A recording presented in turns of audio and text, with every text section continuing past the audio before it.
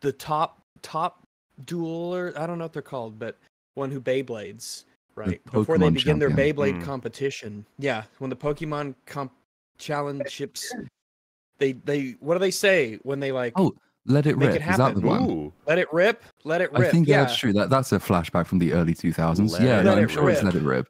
let it rip, and then you would do that, and then you just see what happens. It was very exciting. Hmm. It was kind of like um, it's like more. It's it's basically it's like ethical cockfighting, sort of. Um, except they were probably made by like malnourished agree, it Chinese be- orphans. It would be very unethical to like spin a chicken really fast. And Oh, throw them yeah. To see it, into another arena. creature. and spin them at each other. Yeah, can you imagine? They go.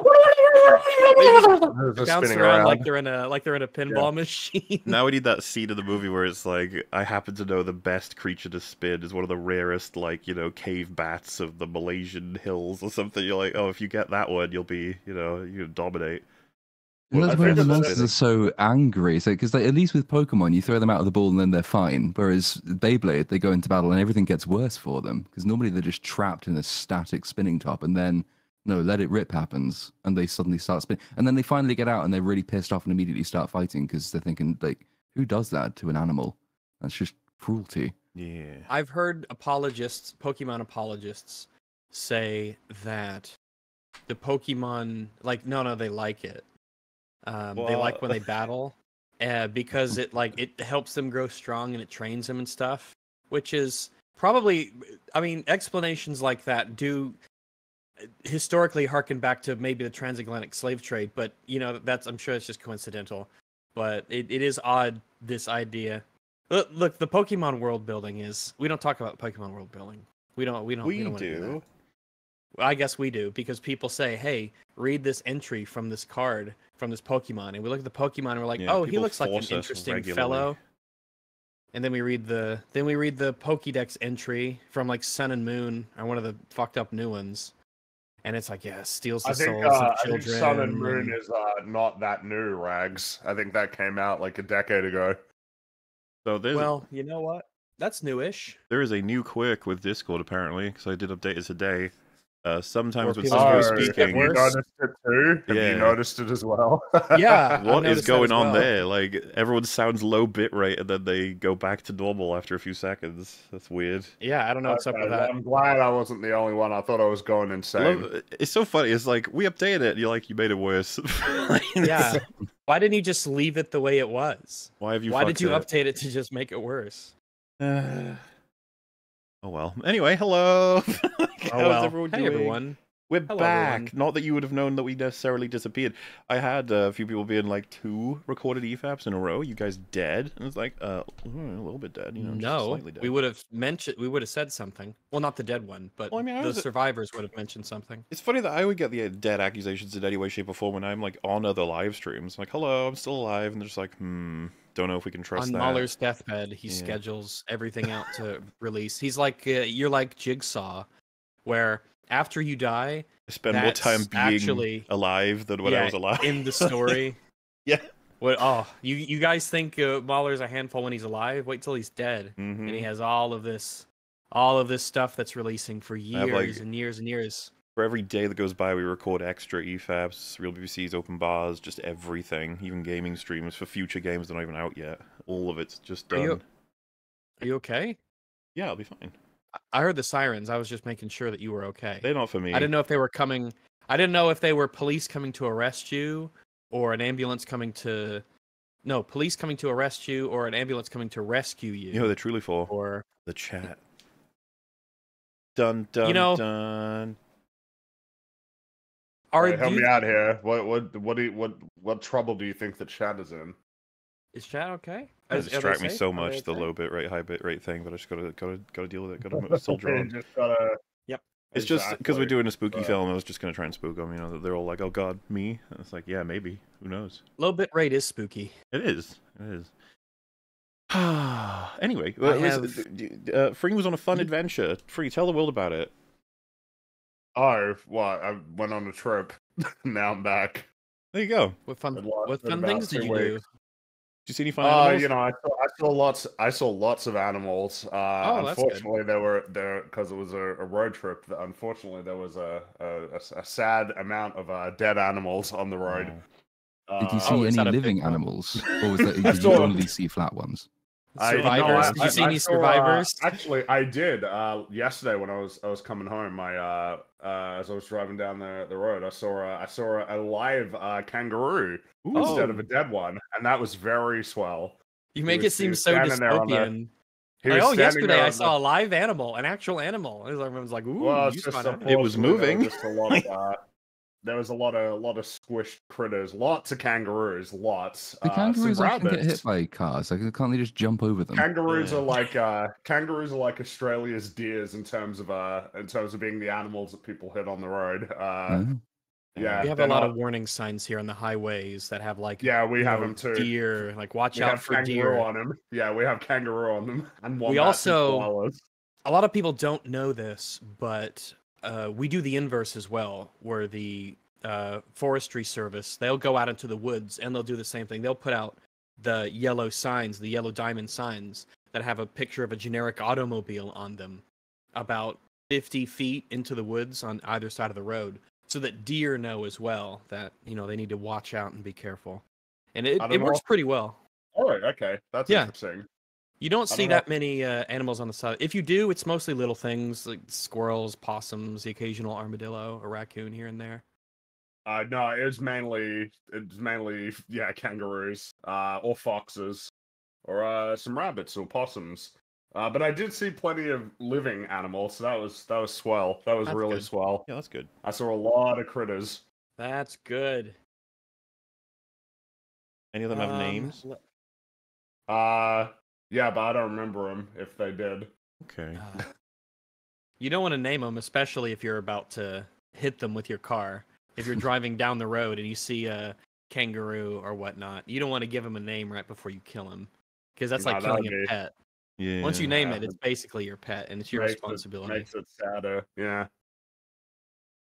Did you visit I- any the- fantastic landmarks?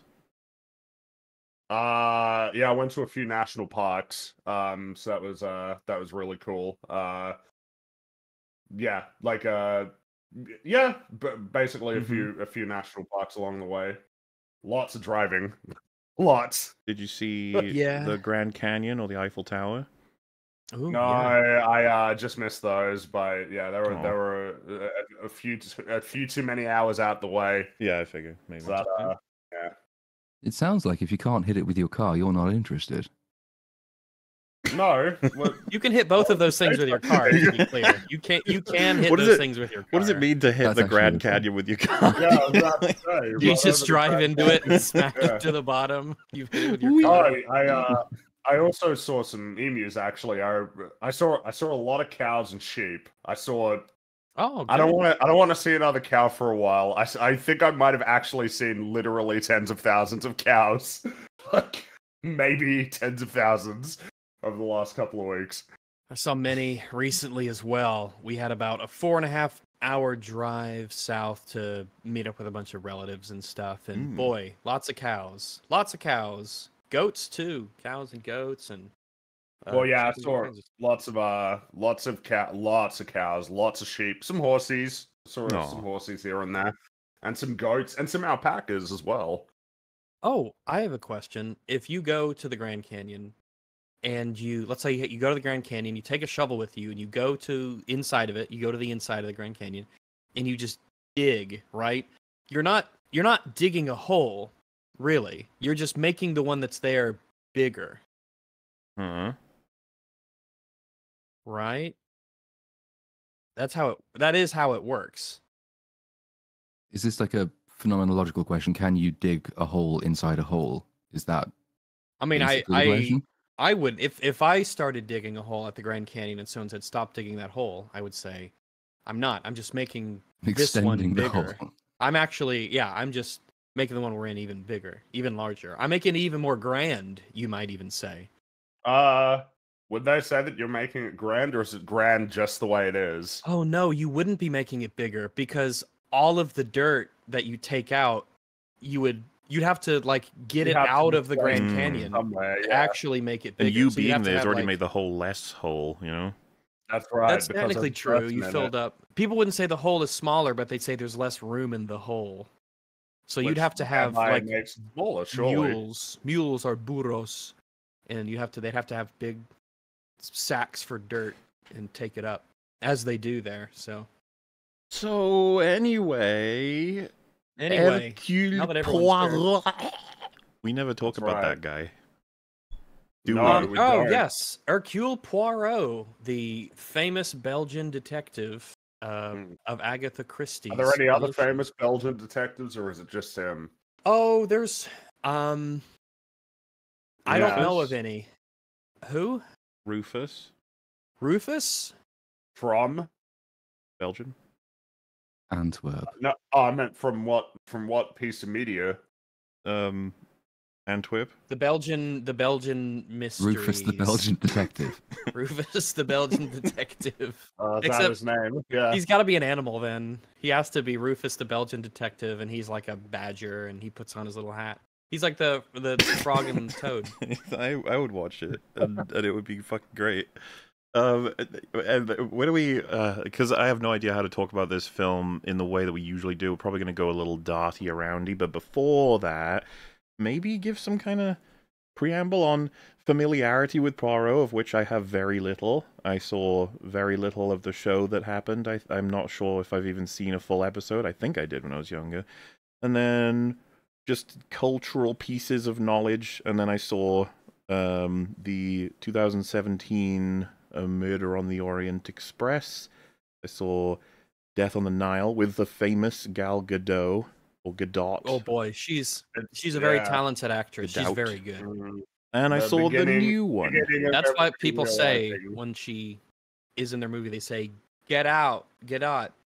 Nice. That's why they call her that. They say "Gal, get out," and she doesn't. Casting director did a great job of getting her in that movie. Uh, and so Somewhat, she's got an insanely good agent. Yeah, that's actually probably true. Uh, so I, like the way I see it is that uh, the the Murder expanded it didn't like it very much. I was like, eh, and then Death on the Nile was like, eh, and I thought this one would be the exact same experience, but it wasn't for me. And uh, then I then I expressed interest in discussing it with these fine gentlemen, and they have all now me. seen it. So I that that's my uh, uh, preamble. Would anyone else like to provide some backing on their familiarity with Mister Poirot? I have Sure. a thematically relevant one. It's like relevant to the the previous EFAP though, on the question of unjustifiable or justifiable murder. Um, and Ooh. it just popped into my mind when you said we were doing this in the last ever Poirot, which I think is just called the Last Poirot. It's not called the Last Poirot, but it's the last ever Poirot. Directed by plot- Rian Johnson. Yes, it is. It's the sequel to Age of Belgium, but it's um the the last thing that he Oh, I ever thought you were going to does say is The that Belgium Awakens. the Belgium awakens. Oh. Um, And then The so Rise of the Germany basic- would be the third one. Oh no! That would be the very, very dark third one. Yeah. Yeah. Um, but the, the basic plot is Poirot becomes convinced that there, there have been these five murders that have happened, and everyone, like, they, they think they found the people responsible, and so they've all gone to prison. But Poirot, who is dying because he's really old and he has a bad heart, he is convinced that another person is secretly orchestrating all of these various different murders. And so he summons everyone to this house, and the guy who is there isn't actually directly responsible for killing anyone, but Poirot reasons that what this guy is doing is subtly psychologically manipulating people into committing murders. And so Poirot's last ever case ends with him shooting the guy and then not taking his heart medication, so he dies of a heart attack. Now, he says in his little letter to Captain Hastings after the fact, he's not sure that necessarily murdering this person was the right thing to do, but he is sure that it stopped other murders from happening. So, is that an example of a justifiable murder? It's a Um, mad there. well, it's, it's going to be down to how you use the words, right? Like if you by justifiable are strictly referring to, I feel that it was morally fine, but the law won't. That's what I mean by that statement or whatever. It's like that's one thing. But um, if you mean Yeah. Will it be justified as murder? Like, uh, uh, will it will it justify a murder? It's like like it can't, as in like you can't. If it is a murder, then it's non-justified. You know, like law. It's Uh, like yeah, definitionally, I think if it's if it's murder, it is it is an unjustified killing. Because there are Um, plenty of murders that I think all of us are going to be like, yeah, that was probably okay. Yeah, like yeah, know? there could be bad rulings, or there could be a really weird or unjust law, like drink in the freezer's done. Um, Hmm. but I law. think that yeah, it's it's the it's the useful difference between saying this is a killing, you've killed someone, like if someone tries to rob your house and you shoot them, like that's not murder, that's you've killed in self-defense, and then you have murder, which is you are not justified in taking this life. That's why we have you know killing versus murder. It also sounds um, quite which- controversial for Poirot, though I suppose that would be the kind of thing you'd expect to happen in his final story. It is, and like I just quite like the idea that the guy's actual crime is just being a troll, and Poirot can't actually pin evidence on him, so he just shoots him. That's, that's the end. Like, I is don't that controversial? I've I've had enough. Are people He's like, upset I've with had that? enough of this shit. Or I feel like a lot of diehard Poirot fans might be like, "Ooh, Yeah. this is very unlike him to do this." I think it, that was my impression because like, I think it was one of the la- it might even have been the last one Agatha Christie herself ever wrote, and so like I think the general consensus was that she was going a bit off the boil toward the end anyway. But like my my entire familiarity with Poirot comes with the David Such- uh, Suchet David Suchet one, so the TV show that ran for however many years that was. But just as like background entertainment because my dad likes it and my nan likes it, so it's that Miss Marple, Jeremy Brett, Sherlock Holmes were just kind of always on without necessarily ever paying attention to it. But it just makes it really weird seeing anyone playing Poirot who isn't David Suchet, which is why I haven't seen Kenneth Branagh in the role until this film. Did you or see like the other two or just this one? Just this one. Not a bad decision, IMO. But anyway, uh, um, someone in chat has asked, "I thought murder was premeditated," and I I have heard someone else say this as well. But uh, you have different degree. Maybe the law's different elsewhere, but here in America we have different degrees of murder, and we also have manslaughter. Um, so like first degree murder is like premeditated, planned out murder. You're going to go kill the person. And I think second degree murder is not intending to kill someone, but ending up doing it either as part of another crime or maybe a crime of passion or something like that, where it's murder, but it's not premeditated and planned. And then you have manslaughter, which is like the accidental murder of someone, where you didn't intend to murder anybody. Maybe you're playing a prank, or maybe you were negligent with something and it ended up killing someone as a result. And I think that's manslaughter. Um, and I, I, I don't know. I'm I'm no lawyer, but I don't I don't actually I don't really know any lawyers either. So there you go. Take that for what it is. very well. Uh, what about you, Fringy? Anything on on the old Poirot? Yeah. How many Uh, people have I you mean- murdered? I I uh I'm familiar with the character just like through I guess cultural osmosis, but I'd say I'm like not particularly familiar. I think I I, I think I may have seen the the uh, the seventies uh, Orient Express film. Uh, I definitely caught like a few episodes of uh, that British uh, the the TV show that was running, uh, and then just like things that you know about the character and like kind of what he represents and his little idiosyncrasies and and all that. But yeah, I'm not super familiar with Hercule Poirot. Hence, I'm probably going to pr- mispronounce his name a few times while we're doing this. It's Uh, okay. Not but yeah, everyone I- will make fun of you or anything. What I uh, I won't. all I'd really known about the newer films is that people didn't really think that they were very good. Um, and I like that the Murder on the Orient Express, the the one that Kenneth Branagh made, was was just like not as good as the one that came out in the seventies. Uh, and then Death on the Nile, all I knew about that was everybody making fun of it because Gal Gadot can't act, uh, she can't which was really funny. That seemed to have been the Well- beginning of everybody realizing she can't act. And then uh, A Haunting in Venice kind of just came and went. Uh, it seems Yeah. like it, it came out and it, it just sort of disappeared just as quickly. Uh, yeah, but then it's- you- but they make their money. So they these yeah well they do make their money but it looks like death on the nile and a haunting in venice made considerably less than uh, murder on the orient express did. Which is uh it's a real shame because I want there to be mystery um movies that can you know carry What, the uh, genre. like the knives out genre? Yeah like that can Yeah. contrast Yeah. themselves with the really crappy ones. Like it, it sucks because i i really like a haunting in venice. I like it a lot um and oh my i god spoilers Yeah. well i um I hate the idea that the big popular ones that make all the money and everyone goes like, "Oh my god, this is so amazing," are the shitty Knives Out and the shitty Glass Onion movie. When this one is kind of going under the radar. And that's I pretty amazing, right? wonder Because how they're not just like bad; they're some of the worst I think you can do in the genre. Like I don't know that I've seen worse yeah. attempts at it. They're re- well it's it's they're really bad in part because the goal is to try and not be like a typical who done it story where it plays itself straight Hmm. where it is just exactly what it is some uh, you know some crime has occurred and the really interesting quirky detective is actually going to figure out who did it and be right instead of like all of this ah let's mess around with people's expectations of genre or oh what if it's just dumb huh these are pretty clever It's ideas just dumb.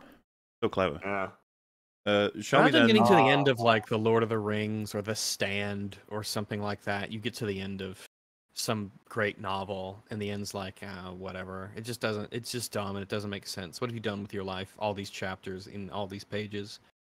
A lot of people would be pretty miffed at Yeah, like. Gandalf's like, oh, I Like, just give it remembered a pass spell I can kill Sauron with. And they're like, really? And it's like, yeah, Ah, he's so yeah. dumb that he didn't think to counter it. You're like, okay, And doesn't that make you think about stories or something? yeah. Yeah, yeah. My work Wow. here is done, and now and Flies Netflix away. Is like that's so impressive. Here's here's many more films and a lot of money. Yeah, every all the film critics on YouTube are like, "Wow, how clever, how incredibly uh, amazing this was! What a it- it subversion of the something with genre." genre that makes it good. Uh, that makes it really good. I can make a video on how it's it's like that because Rian Johnson said that's what the film is. Not gonna lie. Uh, Yeah, I and would, if you don't like it, you just didn't get it. You didn't understand it like we understood it. I would pay good money to watch Poirot dress down uh, LeBlanc or Yeah, that would be name? Absolutely. that would be uh, ben, Matt LeBlanc. Benoit Blanc. right? That's it. Yeah. Yeah. Anyway, uh, Uh, I was going to say, should mind. we get the initial out of the way? We'll go one by one, because uh, we don't exactly know what everyone here Mine feels about R. everything about uh, a, a a haunting in Venice. So, could go left to right, or could go from what I am least familiar with to most familiar with, since I shall be uh, piloting this. Meaning, Lil Platoon could go first if you want. What did you think of a haunting in Venice? I liked it. I don't. I wasn't blown away by it, but I thought. I mean, it's beautifully shot, and actually, it didn't exploit Venice porn too hard, which is normally how you trick people into thinking that it's beautifully shot. Is you just show people Venice, and they think, "Oh my goodness, how amazing it is." But no, I think it's actually genuinely very well shot um, in in the technical aspects. Uh, I I liked that they did give pretty much everybody in there at least one noticeable sort of character dynamic. That was nice, and no one was just there to make up numbers. Um, I I slightly lean away from the supernatural elements and also from the World War II stuff. I, I, I like the. I, it gives important context. It explains where the characters are and what they think.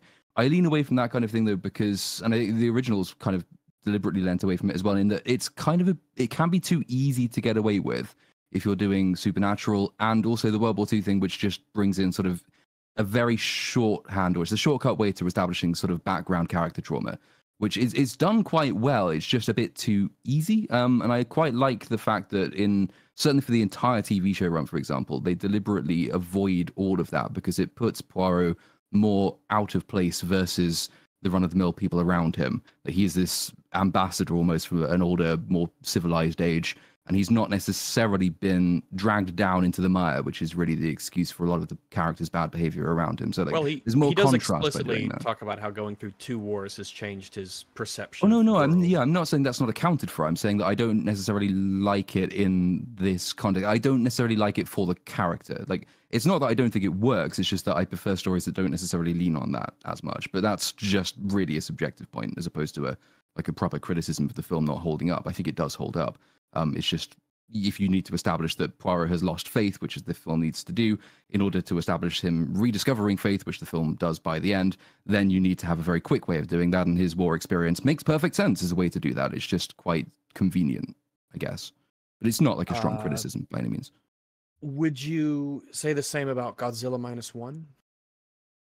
No, but I don't. Maybe that's the problem. Is the point of comparison in that I'm I'm sort of looking at the way that Poirot has always been represented, at least how I'm familiar with him, and just like this is just the things I prefer about how his character is contrasted with people around him. Godzilla minus one is very different because a there isn't that point of comparison in the same way, um, and b the, the the story is absolutely hinges on that part of sort of socio historical context in Japan generally, and the main character being the embodiment of all of that. I think it works brilliantly well in Godzilla minus one because it was unexpected and because it was maybe more nuanced than this film does with Poirot. I mean, it's it's kind of stock to say that World War II causes character trauma and trauma is motivation, and so we've we've sort of gone through that very quickly. Um, it's it's the quickest way to get him to lose his faith in man. Uh, whereas minus one is more detailed, I would say. Um, but I'm conscious as I'm prattling on about it that this is not a particularly well formed critique. So It's okay. uh, Um, maybe it's just a, we'll get through Yeah. to all of it, but I was gonna say, Fringy, if you want to give your thoughts. Yeah, I liked it. I was uh kind of pleasantly surprised again because I really hadn't heard good things about the other uh films uh in a variety of different ways, but I thought this film was cool. I think it's uh I think it was it's a cool idea, right, to put the really intelligent detective in uh kind of like a horror d- d- maybe supernatural uh situation where he has to sort of grapple with uh unknowns or you know is his mind playing tricks on him it, feels like a sort of fun venue to uh test uh the character and test his beliefs in an interesting way. Um I think I would also agree that it didn't like blow my mind, uh, but I I enjoyed it. I th- I, th- I think it's a I think it's a neat movie. Very well. Um, Regolio, what do you think? I really liked this movie. Uh, I've seen it twice, and on a second viewing, I was able to appreciate and notice a lot of things that wouldn't stand out or be particularly noteworthy uh, until you sort of had the context of everything. So I'm very glad I watched it a second time yesterday with MauLer, and we went through it, and we, you know, kind of took our mental notes and actual notes on uh, on the movie. Um, I, I I actually really like this. I think it's emotional. I think that it has a lot to say. There's a lot of layers working uh, working here in tandem.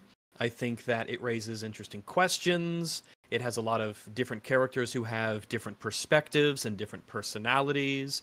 It does a lot of things that it doesn't have to do, but it does them anyway. And it fleshes out this, you know, not just the mystery element, but the the humanization of a lot of the characters who are here.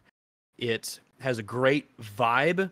It's not like it's it's that excellent line of being not a horror movie, but like a scary-ish movie or a suspense movie. It really straddles that line very well for me. Um, and I think the acting is really excellent all around.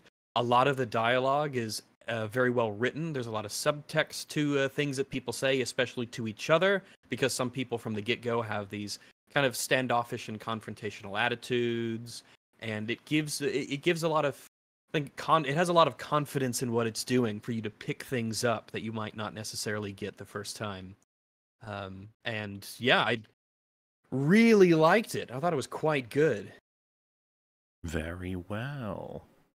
uh, for me, I was I, I think I was just interested by the I hadn't seen anything to do with Poirot in a significant way when the um the Murder in the Orient Express came out, the 2017 version. So I was like, I'll just check that out, and I believe it got downgraded halfway through from primary monitor to secondary monitor. A shame that no film should ever have to uh, deal with, but unfortunately, what happened? And then I remember finishing it, and I think I talked to uh, Fringy at the time about how I was not happy with a lot of the choices in the film.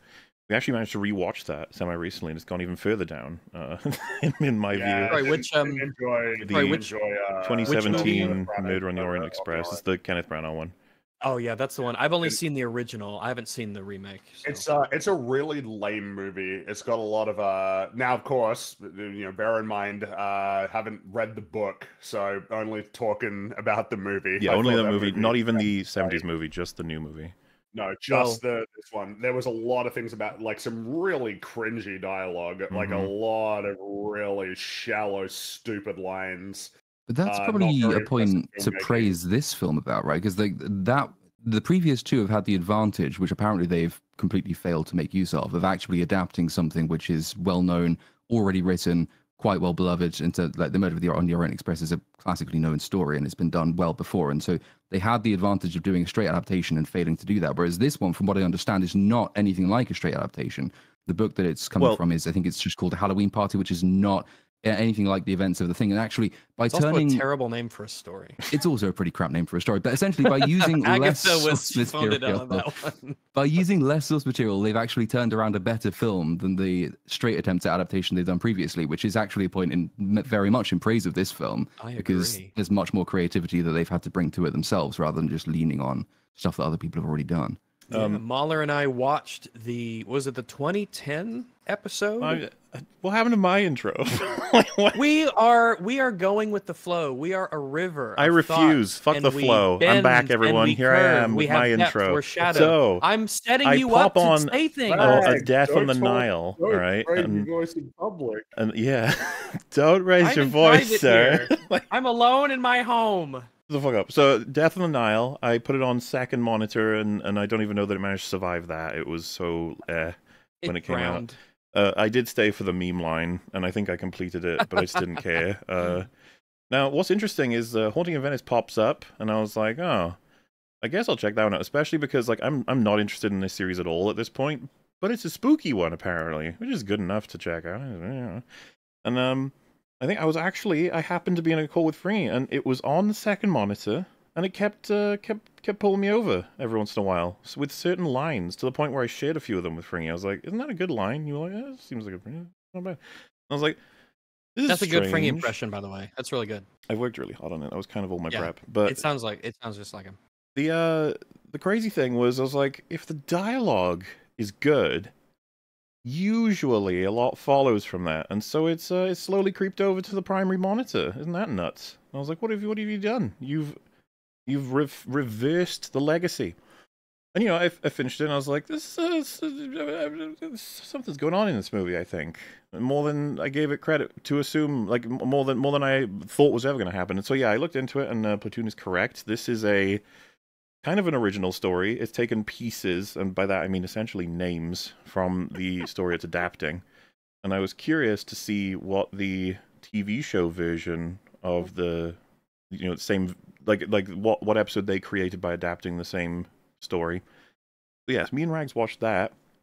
Um, quite enjoyable, and it's uh, uh, you know, Yeah, it's all um, right.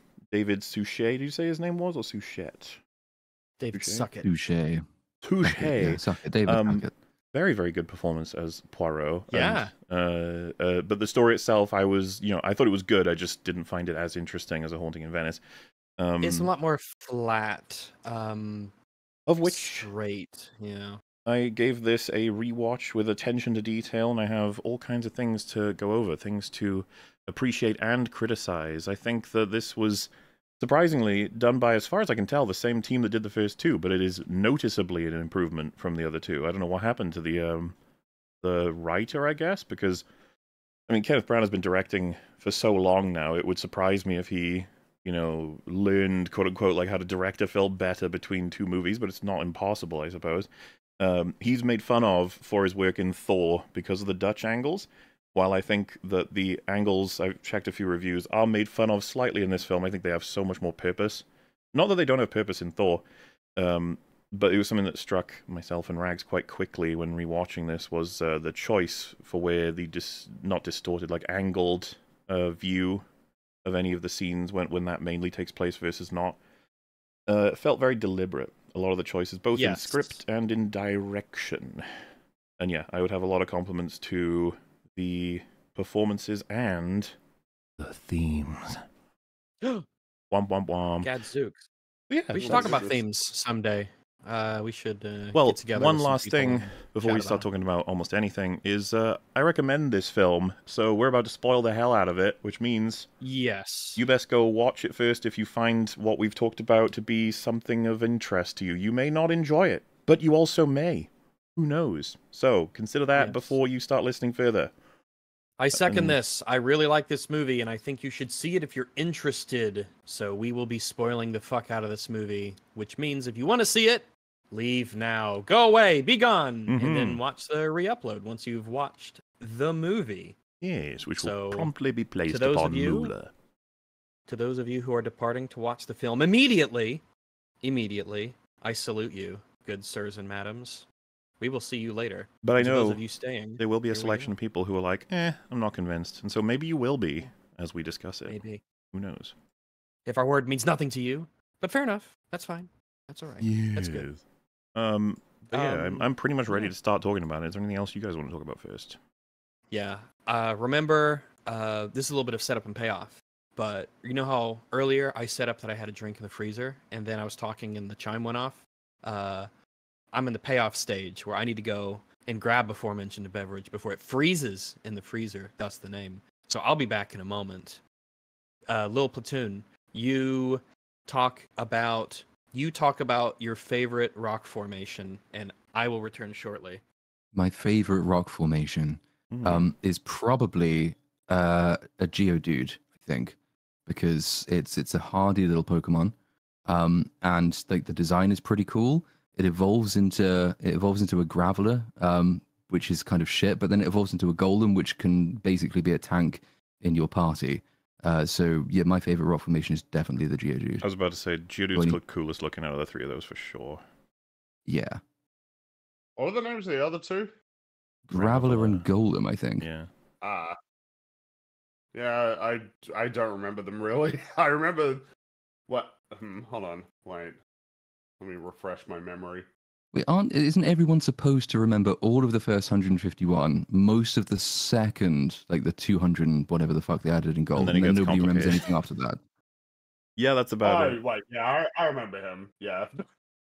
I was gonna say, I'd be surprised if you didn't. Yeah, little rock guy with his arms going, "Yeah, look at me go." And then he gets a movie like Rocky, but instead it's called Geodude. How long does it take to retrieve And, a uh, drink? I'm here. I was There actually. I wanted to wait. I wanted to wait until Fringy was done before I. uh Because he's talking about Pokemon. I got. I got a. I got some Pokemon cards lately. Uh, recently, I got um, Charmander. Well, maybe I should go in order. I got Bulbasaur. I got Venus. No, Bulbasaur, Bulbasaur, Ivysaur, and Venusaur. And I got. uh, What's the? Oh, Charmander, Charmeleon, and Charizard. And I got Squirtle, Squirtle, Wartortle, and Blastoise. He sent me two Blastoises by mistake, but that's all right. They're very cool. Yeah, there are a worse mistakes I to love- do. It's good nostalgia, you know, good nostalgia to finally kind of have. They got a display case for them. They look quite nice. Boy, I sure do love Pokemon. So, um, probably not going to do this the way that we do a lot of breakdowns. I would prefer to probably summarize the basic plot relatively Okay. quickly, and then go Yes, back through and talk about different elements of it. So, uh, I guess what's interesting is this is the third film in Kenneth Branagh's Poirot series, and it is uh, it begins with him having been reti- like he's retired, which is uh, you you think like oh it's coming to a close almost. Then his um, I mean maybe his tenure as as Poirot, which uh, I think they want to make a fourth one, and this one's done well enough that I imagine they they could be prompted to do so. Certainly, it was funny. I think I, when I was talking about it, I mentioned it ending on a on a cliffhanger, and someone was like, I can't remember if it was in a stream or not, but I think it could have been when I was streaming one of the games. But someone was like, "That's not how, like, why the fuck do you need that in a who done it? Like, a, oh, come back next." I was like, "No, no, no, in like a in like a good way, like in a way that he's reinvigorated and ready for case of, not like they did. They found the Joker card or uh, some kind of fucking reference to some evil killer, and he's gonna get him next time. It was nothing like that. It was like a much more positive one. Back when stories, you know, could bait the future in a more broad and uplifting sense. But um, He's back to work. I think Kenneth Branagh has talked about the possibility of doing. I, I ha- hate to use these words, but an Agatha Christie cinematic universe, oh, um, because like she weaves plenty of different characters throughout all of her many, many different creations. They actually burn through one of them in this film, though. That's Ariadne's character, because like she pops up quite a lot as kind of a stand-in for Agatha Christie herself to explain like the basics of detective novel writing. So it's kind of like a meta character, but as we'll see in this film, like she doesn't come out of it particularly well. But I quite Well- like the idea of Poirot Miss Marple crossover at some point in the future. Having looked over uh, some of the people's reviews of this, most of the negative ones I saw reference to how upset fans were with what they've done with Ariadne Oliver. Uh, she's not a character they wanted to see fill this role, uh, considering the source material. Which I mean, I'm just not familiar with the source material, so I can Me understand. neither. But uh, I quite like her character in this. Obviously, Uh, yeah. the role she likewise. fulfills. Um, also played very well by Tina Fey, who you just don't see in much drama stuff. More comedy lady, at least as far as I know. I don't see her much at all, actually. She's in 30 Rock, right? Yeah, she was. Uh, I feel like I haven't seen her in a movie for a while. She was in Mean Girls. uh, yeah, and I guess that means that she would have been in the the the remake one that they did, right? Oh, maybe. Yeah, that could make sense. Um, Oh, that came and went, didn't it? yeah, Yeah, I think it made a lot of money though. So Oh, she wrote Mean Girls. That's cool. Did she? Okay. I did not know that. If that's true, even I just read it from chat. Anyway, he is retired, Poirot, and he is uh, uh, uh, met by Ariadne, his his old writer friend, who uh, invites him to a palazzo where she believes that a uh, woman is going to perform a séance that uh, she has seen previously and believes to be real, and she thinks it will defeat Poirot or rather that uh, she wants Poirot to defeat her. She wants to put them together, and uh, uh, she's also expressed like an, a, a thing of how she's dried up on books. She wants ideas, inspiration. She wants to have a hit. So this seems like a really good idea to her. Which, um, as with most things told by any character in this film, you get like the half truth at first, and then you get the full amount later, which changes a lot of context. In any case, they end up going to this palazzo, and the uh, Michelle Yeoh plays uh, I think her name is Joyce Reynolds is the she's the medium and um, portrayed extremely well. It's always nice to see her in more and more stuff because I think that everything ever all at once has basically made it so her career is now just, like just rock solid. She'll have no trouble getting roles that she wants. Though as far as I'm aware, she's in Star Trek Discovery, like all of it. it's like oh, she was also in that one of the Fuck, she is. Was she in like one of the Witcher shows or something? She was in some uh, fantasy yes, show. Blood spin-off one. Origin. Was it Blood Spin-off one. Origin? I think Yeah. it was, yeah. Um, so you know, not not all bangers. it's a Shame, but uh, I thought she was really, really good in this. In any case, um, you know, they they do the séance. There's a lot of evidence of strange, spooky things happening that are almost unexplainable. And uh, as the night moves on, there are two murders, horrifying. And by the end of the film, Poirot reveals, despite many different difficult circumstances and all kinds of players involved with all kinds of devices upon this fateful night, who the murderer is, and uh, we reach the end. I guess that's a sort of a summary of, of what to expect. It's not so, yeah. too far outside of what you may have expected in general. It's um, I think it's a decent blueprint for a whodunit in terms of a broad sense. You know, things turning out to not be as they seem. I seem. think so. Yeah. Um, Well, I guess it's an interesting one in in that it is trying to you know tease the supernatural elements to be like ah Yeah, there so- are some things maybe you can't explain. Ooh, that's that's uh, what's awkward for me. Someone I've I've seen it said before. People don't like uh him having to go up against the supernatural, and that might be very fair from you know having consumed a lot of his source material, the stuff that he's in. That that's not something they ever touch. And a friend of mine even said that they weren't a huge fan because this film essentially makes it fact that the supernatural exists, which I don't agree with. Uh, I don't agree with that either.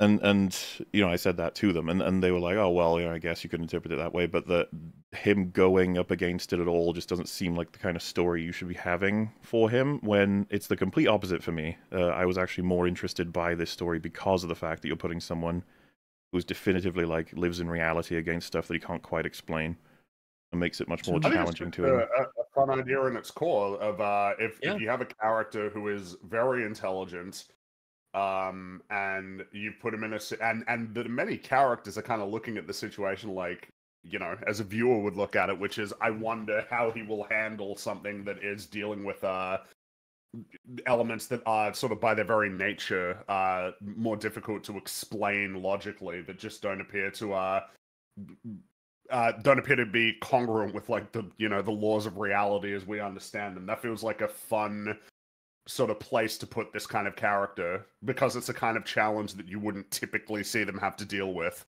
I think Uh, it, it, oh, works. sorry, for it. Well, because it it works really well. I think it's just right up until the end point because it's not. It's more of an Arthur Conan Doyle type story in the sense that, that the supernatural is involved at all. is something that Arthur Conan Doyle quite liked doing and had no real trouble putting Sherlock Holmes against things that seemed to be supernatural and in some cases actually were supernatural. I think Agatha Christie did it a couple of times with Poirot, but the whole point of it was always supposed to be that it, he's so intelligent that, that what seems to be supernatural ultimately is revealed not to be. This is just people being very, very clever and also very, very scummy. So he can see through it by the end. But like, there's not a complete absence of supernatural ideas in there. It's just that they are in fact grounded in reality.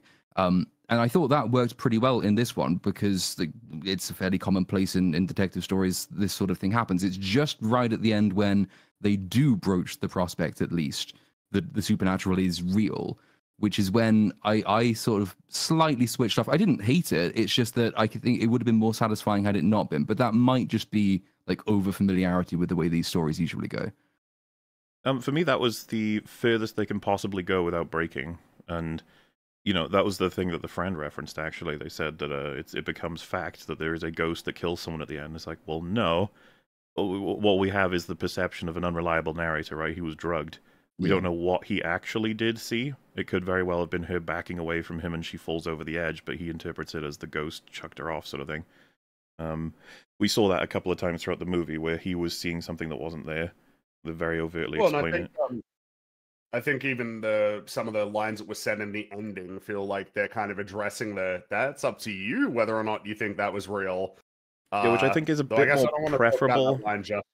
I totally I, understand I and appreciate a definitive no. There is no supernatural. It's like, okay, you could tell that story, but I also like the angle of just being like, we've got all the explanations for the people who want it to be absolutely real, but we've also left enough room for the people who maybe want to believe a bit more in the supernatural that you uh, can. Like, uh, it feels like a bit more fun to be slightly open, but uh, I really do think that if you were, if I was forced at gunpoint to choose whether or not any supernatural shit exists in this film, I'd say no. Likewise. I don't I know how strongly agree. they stress it in the, the previous versions of this. So Poirot's big shtick, you know, all the way through his many depictions, his utter faith in the grey cells. He always mentions the grey cells. Like he's got immense faith in, in rationality and his ability to understand human nature. Um, so I think it's I, I get leaving it ambiguous at the end for the audience's point of view. I think I, I don't know how well they stress the grey cells shit in the Kenneth Branagh film, so maybe it's just not as big a part of his character in these. But leaving it ambiguous for him, I think, is maybe slightly out of character because they also tie that into his you know rediscovery of faith, don't they? So it's like he's seemingly accepting of the possibility that there is a supernatural explanation for it. I don't know. The Poirot's that I've seen probably wouldn't be in that way, but yeah, I mm, think by the end the she does can work. She does say, right, you saw something, and he says, I was under the influence. My subconscious yeah. mind assembled facts ahead of the rational, which is something I think this movie does very well. Like, actually uses a rational, normal, human, sort of mechanical thing as a way to imply the supernatural, but it isn't. That's um, mm-hmm. mm-hmm. I would actually argue that's a, that's a, a, a prism of this whole film that I'm actually pretty appreciative of. Is that a lot of elements are trying their best through writing and directorial uh, aspects to convince you that normal things they present normal things in a way that makes you feel like they're not normal at all, which I quite like. Because uh, by the time you hit the end, a lot of it is it makes complete sense or can be explained, which uh, he does explicitly say is the thing he's here to do. And I feel like by the end of it, it's reaffirmed even just by moving that uh that uh cup and saucer on the table uh, uh, yep. symbolically. Things get put back in order by Poirot is what he does. There is hmm. a I think the film does a really good job at establishing that and obviously going into these you don't necessarily know exactly what to expect, but it really puts you into the space that the characters are in where they're in this palazzo. It's night. It's Halloween. Spooky stuff is going on. How could there possibly be a rational explanation for it? Then uh, you know all the events occur, and then by the end, you know you're out in the sun, and it's the next day, and um, it, it's it's very it feels not claustrophobic or trapped, but it just feels like it's really excellently sort of contained as a place. It's mm-hmm. it's like it's it's a good. It's got that haunted house vibe to it that leans into the oh is are there spooky supernatural things and sort of stuff. So that's it's an element the film does really really well.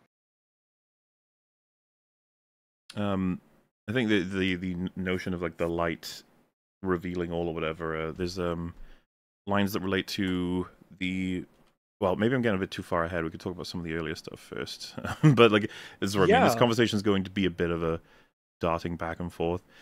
Uh, kind of, yeah. Um, because a lot of things will harken back to previous previous events, things you might not notice the first time.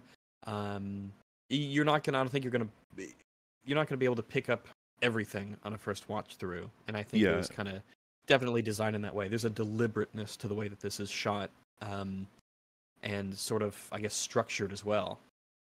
Even from the first seconds of the movie, you're treated with this very off-center, dreary, uneven, things aren't quite right imagery. Yeah, which is uh, taking place more so what's to come. uh, in his subconscious slash dreams, right? If that's how we're to believe that, because the daylight sort of cinematography is all very strict and static and symmetrical, even at times. Um, Yeah. One could even call it safe uh, in terms of just there's an implication at the beginning of the film that he has figured out everything. Everything is in order and everything is protected. He's in a little fortress, and it's partly due to um, at least what this film posits, which is that he's been around death so much that he's he's had enough, retired, and now he's living a life of what one could call indulgence, just uh, taking care of himself, and and he's happy and safe. And I think that the opening, you know, five ten minutes captures it quite well. I mean, it's it's overtly stated by Ariadne as well. She says, I mean, "Happiness is uh, not satisfaction." Yes, I like that. I thought you would like that as well, Fringy. That sounds like a line that you'd like. Yeah. Yeah. There's a lot it's of- uh it's um it makes you think, don't it? Hmm. But I mean it's it's right at the beginning of the movie, so that was uh it's kind of like you know, if it feels like in the first portion of the movie, whatever sort of lines that pop up like that, it's like, oh, we're doing we we setting up theme here, aren't we? You know? Well, being in Venice, as she describes as a gorgeous relic slowly sinking into the sea. Like, Yeah. uh, yeah, His- yeah, it's like his protecting of mm, himself is slowly killing all the potential he has. Yeah, like the the potential he has as this agent in the world for good. Yeah, and of course, in that scene, you have her explaining her desperation to get a good book because uh, hers have flopped recently. And that's um again like Mm. something I was trying to imply earlier was that she gives you good reason for why she's so obsessively trying to get him involved in this whole thing, but she simultaneously is running essentially a whole project on him to trick him and to then write a book about how she successfully fooled a man who she helped build the profile of into being a genius, which she clearly has a bit of a bitter resentment for that because he's still famous, he's still sought after while she's uh, slowly faded away, even though she had 27 bestsellers, I think she said. 27 30, bestsellers, but the last three flopped. They were not so small good. beer, small beer was the way they were described. She wants a big beer book next. I actually I like that misdirect. That was quite well done. I thought. Um, is that you you kind of get used once you've seen enough of these murder mysteries, you get used to the, the scene in the room where Poirot stands effectively on top of everybody else and just relays exactly how things are, and then you kind of think, oh, okay, so that's the mystery solved. Um, but the way that they they do sort of the, the preemptive version of that, which is that it actually is not quite that. He's correct, but this is not the, the crux of the mystery. Um, and it, yeah, it goes back to that point. Every character in there has the, the one essential sort of setup beat, which is going to have to be paid off and exploited later on as a misdirect. I think everybody has at least one kind of misdirecting moment. That's quite satisfying. Also, like the, the little things when um you know he's he's writing down lists when the, the investigation has started, and he gets slightly frumpy and affronted when like the, the people he's speaking to assume that he's copying the version of him that she wrote. Yeah, Um, that was quite a nice touch. I like that. yeah, because a lot of It also uh, influence is presumed that he's like stolen it from her books when a lot of what have she's written about, at least in this form of the fiction, is going to be inspired by what she saw of him, which she does explain at one point as well. into contrast between this uh, Poirot and uh, the awful Benoit Blanc from the terrible Rian Johnson movies. Um, I do not believe for one second, as should no sane person also believe, but there's no way that I believe that this is actually a famous detective that anyone would give the time of day. Whereas this movie, very early, establishes that he is a well known name. People do know who he is. People wait outside of his house hoping to have him solve their mysteries. Uh, and then, as Little Platoon sort of uh, set up a bit, his the I suppose the the quote unquote faux reveal at the be you know sort of the near of the mystery. It lets you know his process and how he looks at things and his way of going about stuff. So you can very quickly respect this character and get into that by believing he can really exist. you believe the reputation. It's not funny just that you uh, explain that because uh, the beginning of uh, the 2017 Orient Express begins with him solving a mystery, uh, but that one's played out plays out. It's obviously meant to be like, oh, look at how impressive he is, but like it was kind of cartoonish. A little bit, yeah. uh, at least in that movie. Like it was it was silly, but it was essentially trying to achieve the same thing of uh, establishing that he is he is good. He is good at what he does, uh, and you can see that for yourself rather than essentially just having it be asserted by the writer. and he's got an he's got an actual personality as a I this is this is which is fine. It's becoming sort of I guess a discussion on our protagonist, you could say, um, Hercule Poirot. But he's I really like him in this movie. He has a personality. He has mannerisms. He's not cartoonish. He is a person that you can believe is a real person who's been around for decades. He's an older man, uh, an older gentleman, and he has this incredible talent for logic and picking up on details and connecting dots. Um, so there's never a moment in this movie where you're like, ah, that that person couldn't really exist. This is just the the silly detective trope. They do a lot of work to establish and get you to believe him, as they do all the characters, I would say. But particularly important for your protagonist, who's uh, doing the mystery solving. Yeah, I think there's a sharpness to him that's never lost, and I quite like how much like self doubt he has, but mostly in the scenes where he's alone, which he does sort of recuse Yes. himself to the bathroom a couple of times to have a moment because this case is incredibly stressful and he's been drugged, which he doesn't know. So nothing is quite as it seems, sort of thing. But then when he's in front of other people, like you have Ariadne almost throughout the film undermining him, first in a friendly jabbing way, and then later as like an actually aggressive sort of tearing him down kind of way to help cover up her role in this uh, story.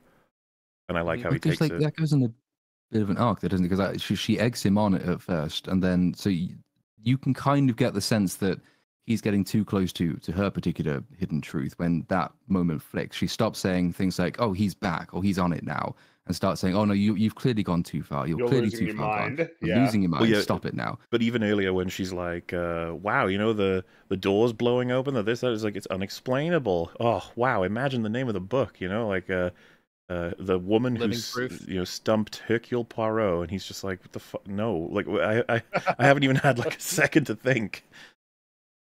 You know, because she's she's so desperate to get to that, which is the uh the medium, and her plan wins. Like it actually defeats him.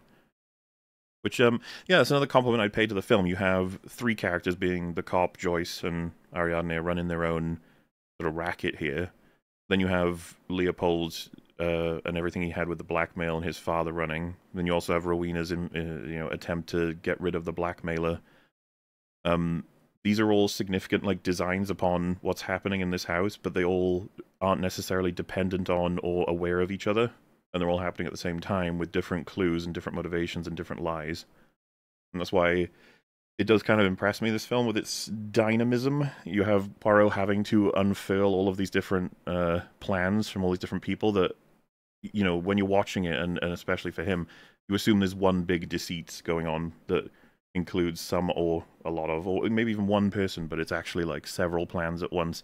The do all have like a common core, being the uh, the, the initial murder. more multifaceted mystery rather than just the singular Yeah, you know who who done it in the sense it's like ah but there's yeah there's another game at play uh which especially in uh, you know talking about how they have a similar core but they're in some sense disconnected in a way that that uh kind of works in favor of the film by going for a supernatural thing that you can have a lot of things happening that don't seem to have an apparent connection and the, oh, and really all that does is it contributes to the sort of sense of like wait something is wrong uh and but further motivates him to actually figure it out and it's super fun in a subversive way, as uh, Platoon was pointing out.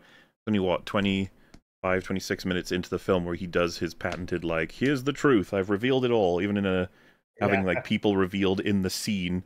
And uh, it was on a second watch through that I started to really appreciate. Uh, and I actually think it's better than the other two films. Um, his performance as Poirot, I feel like you get a big sense of his um, frustration with being tricked and like how good he feels to be able to point out what is true. He's got quite a righteous indignation, but the second that things get worse, so to speak, you know, at first you have Michelle Yeoh's performance, which he's a bit confused by, and then the doors blown open. Things falling over, the disappearing toy. He's like, I can't actually explain any of that. Fuck.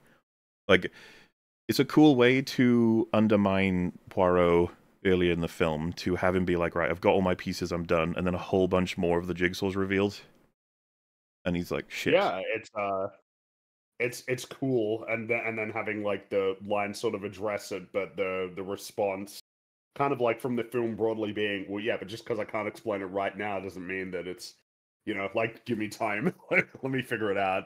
Because he, even though it shakes him, he's still got the belief of I can figure it out by doing what I normally do. Yeah, Well, it and- kind of keeps you on your toes, keeps the tone uneasy. You don't. There really isn't that sense of, uh, as he is solving things, sort of that first time. You get virtually no time to sort of enjoy the cathartic element of, you know, the detective has done it again before things, you know, sort of ramp up once more. Uh, you don't really get that until the end. You're constantly kind of on your toes, looking around. Things are, you know, shifty. And I think it does a good job of making the audience go like, whoa, whoa, whoa, whoa. What is going on then? Wait a minute, yeah. Because I like- Oh my god. It's like that was clear evidence that the medium is fucking with us, but simultaneously is she fully fucking with us? And uh, again, as with a lot of what I believe, I essentially think that they work to do all of it, uh, everything in the film have a underlying uh, mundane explanation. Maybe mundane isn't the right word, but the fact that she believes she is absolutely hearing voices and translating, you know, trauma from the dead to give them peace, to let people know what happened to them, that whole thing, while the film offers that she's a very traumatized that makes her woman. feel better. Yeah, it does. She the, does. She does the way that express she yeah the way that uh, she gets over her and i guess we'll kind of bounce around character to character character to character as we sort of progress but when you listen to people give their reasons for what their histories are how they feel about things what gives them satisfaction you can sort of understand all of their actions better which is i mean it's like good basic character stuff but it's really nailed well in this for everybody. And the way that I kind of had mentioned earlier, it's not at all necessary for all of the characters because you have a good, basically like a dozen characters, and they're all distinct and different, and they have their own motivations and reasons for things and relationships with different people involved in the story. So, it's it's just all it's all very neat and flavorful as a movie.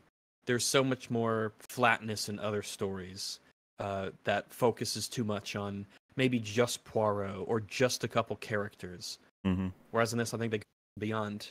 They have this big, rich cast. Well, I mean, we could start with Well, talking something- about Joyce Hmm. because she does. Uh, she's only in the first act, so to speak.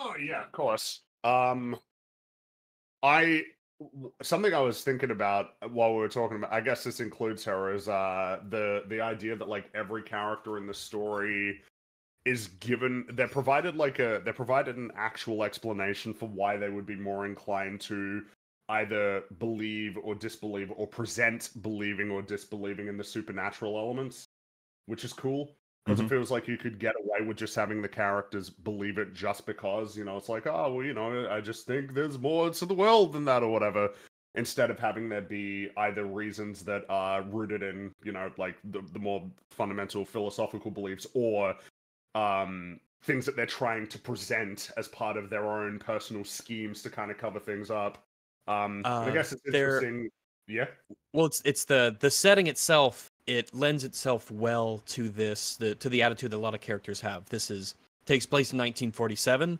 This is Venice. Venice is in Italy, allegedly, and uh, you know you got the Vatican City in Italy.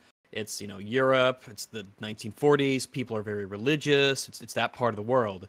So it's not unusual for a lot of characters to just have this sort of attitude, and it's not unusual just the same for other characters to say, "Nah, it's all bullshit," or for people to take the fact of like, "Oh, I might be you know religious in this element, but dealing with ghosts and spooky things, no, no, no, don't do that. Yeah, I'm not about that." So we do get that good, you know, a, a, a, diversity of uh, of opinions here regarding that. Yeah, we even get like not just different reasons to believe or to not believe, but the people lying about whether or not they actually do. Right? Like Leopold uh, spends the whole movie trying to fan the flames on the ghostly element, uh, somewhat, He's- and Well, and he's- uh, discredit uh, Joyce as well. Well, yeah, it's interesting because he clearly believes in some supernatural element in one sense, but he's like, yeah, There's Joyce is a to believe in fraud. Yeah, I think Mhm. she's Yeah. a liar. um, which is the same. I mean, that's, I mean, it's not. That's every religious person thinks their religion's correct and the others are wrong. That's that's just that's a normal thing to see. So this is like a different take on that element. A lot of people who believe Yeah. in the supernatural also believe in fraudsters. I mean, every religion warns of false prophets. Um, so if we were to start with Joyce, I found that, uh, and this this applies to throughout the movie.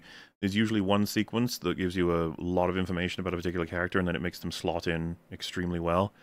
Uh, it's so easy for a character like Poirot, and I think the audience somewhat with with a medium to be like, yeah, you're you're you're full of shit, uh, obviously. And their conversations, almost every line that's shared between Poirot and uh, Joyce is excellent as far as I'm concerned.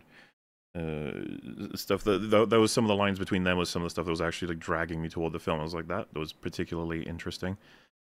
Um, Even yeah, the when they first meet and after the séance, there's just a lot of. It really does give you the sense that these lines were chosen very deliberately. They take they take advantage of opportunities. You have Poirot, skepticism about things, the way he sees the world. Contrast that with hers and what she's doing. Is she real? Is she not? What does she truly believe? Um, they don't waste these exchanges and interactions. Every every like conversation has something of value. There's no there's no real there's no chaff in this movie. um, And with her, they do a good job at sort of making you wonder what's the extent of her own belief? Is she a fraud? Does she really believe she can do it? If so, how is that possible? There's this Yeah. uneasiness about her. She, Well, she kind of. like- Sorry, Go after you. for it. Oh, uh, I was just gonna say that uh, it, it seemed that she uh, she actually had a lot of uh, answers to kind of like Poirot's Yes. questions and jabs. Like she was prepared to deal with the kinds of things that uh, he would say to her. Yeah, like she's been doing this like she's been doing this a while. These are questions she's heard before. She's used to the skepticism. She's not antagonistic to it. She's not like, "Oh, I can't I can't believe you don't believe that I do." But she's used to it, so she has good intelligent answers to things that are meant to make you think about stuff. Um, I think one of the best lines or short exchanges would be when she says, essentially, it's sad that you, when she's talking to Poirot, she says, it's sad that you don't believe, you know, in, in, in these like ghosts and supernatural and stuff. And he says, yeah, I, the truth is sad. Um, yeah, it- it's a, Yeah, they- it's, it's very sharp sort of cutting of their two they barb ways each other like at the world. him basically calling her an, an opportunist preying on people um and then her counter is you don't believe in the soul like that doesn't address what he's saying at all. Even if he does believe there's a soul it's he's saying you're lying to people but that it's like it it flips it back around on him immediately as like a flaw in his perspective and then him saying i've lost my faith. And then you know the the oh how sad. But uh yeah the, as you as you point out it's the kind of thing that you like to hear that both of them aren't backing down instead of like some shitty line about how no you're wrong. Because like the, the order of operations makes that curious because you, you're right. I mean, you, all of that is present, but quite quickly, you know, upon seance beginning, Poirot does reveal that the very quite simple mechanical tricks used behind it because he's seen these things a thousand times before, um, which ordinarily you'd expect would just rubbish the medium entirely. But actually, you know, she continues as as though she is a true believer even after the mechanical trick has Mhm. been revealed, um, which slightly I, I can't I don't know exactly how to feel about that because, like, you're right. I mean, it, it does pose the question about how true her belief is, but also, I mean, does that not also mean that she is simultaneously quite a, a shallow, dull, manipulative kind of bitch that she's prepared to I uh, think- I think- amplify her claims I with think this do a- kind of trick? Well, you've got her two assistants, one of which says, you know, he thinks that it's real. They just play up the showmanship element. To help people believe. She's a little, yeah. She she herself is a bit cheeky. She tells you know Poirot, lighten him up, you know, lighten up, enjoy yourself, that kind of thing.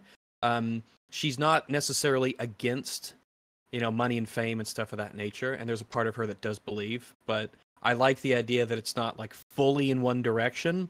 Where it's I'm not fully a fraud. I'm not fully the real thing. I there is an element of realness in it, and there is also the element of we play this up, and I don't think it's necessarily from her perspective done maliciously. as she said, it it does give her great catharsis when she can make people feel better about the way that she can uh, that, that she contacts people. Um, so it's one of those. It just sort of uh, it seems like an organic kind of well, you know, it works out for me. It works out for them. We're willing to not lie but bend the truth because you know she doesn't think she's lying. So um, I like that element of that that middle ground that we have with her. I just had flashbacks to that South Park episode though. Like, who's oh, who's the medium guy, the biggest douche in the universe? Oh, damn Um, it. I, yeah, I can't remember. Oh, Uh, drove me Edwards, something. Edwards. Um, damn it. Jonathan Oh. Edwards crossing over with Jonathan Edwards. that might be it. It's an old Yeah. show. Yeah, it's a show. And then the he- is, oh, but but I'm bringing happiness to people. Like, you know, I'm making them feel like their relatives are still out there. It's like, no, you're you're being a dick. Life is difficult. Stop doing that. You are the biggest douche in the universe. Well, we Well, have the um. yeah, they do have we that back get recognitions. We we get from multiple characters too. Recognitions of, like, oh, I'm I'm making this person believe that you know the daughter's soul is still here, and someone's like, yeah, you made her believe that the soul is there and in torment and stuff like that. So there's a lot of exploration into the reasons why people disapprove of things. Um, you have the you know purely religious element from, uh, or the, at least the mostly religious element from, uh, the um, oh, what's her name, Seminoff, Olga Seminoff, and you have the more like it's it's just a cruel thing to do to people to make people believe certain things from you know Poirot and the um the chef forget his name um gosh so many names there's a lot of characters.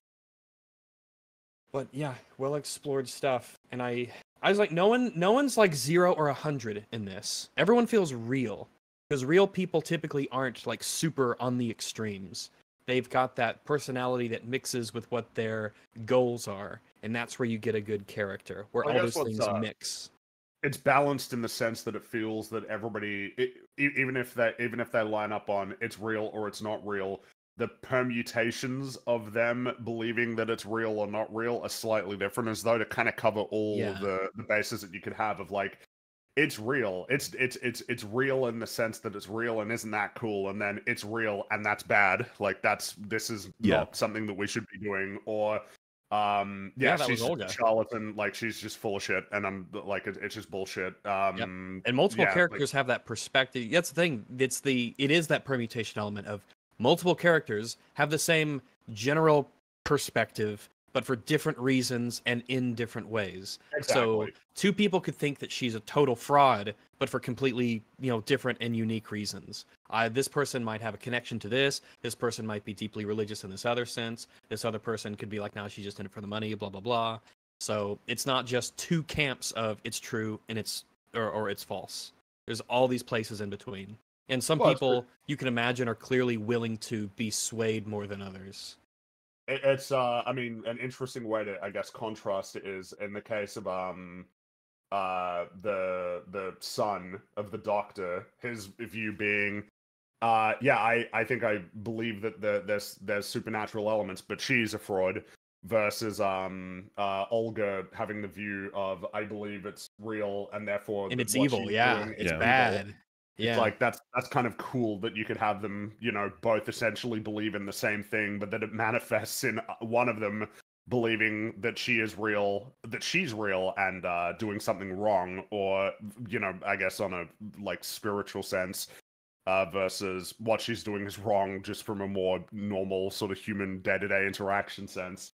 Um that's like that's that's got to be you know that's worth something right? When you when you have all of the characters have a perspective that's uh that's unique and informed. Yeah, I think so.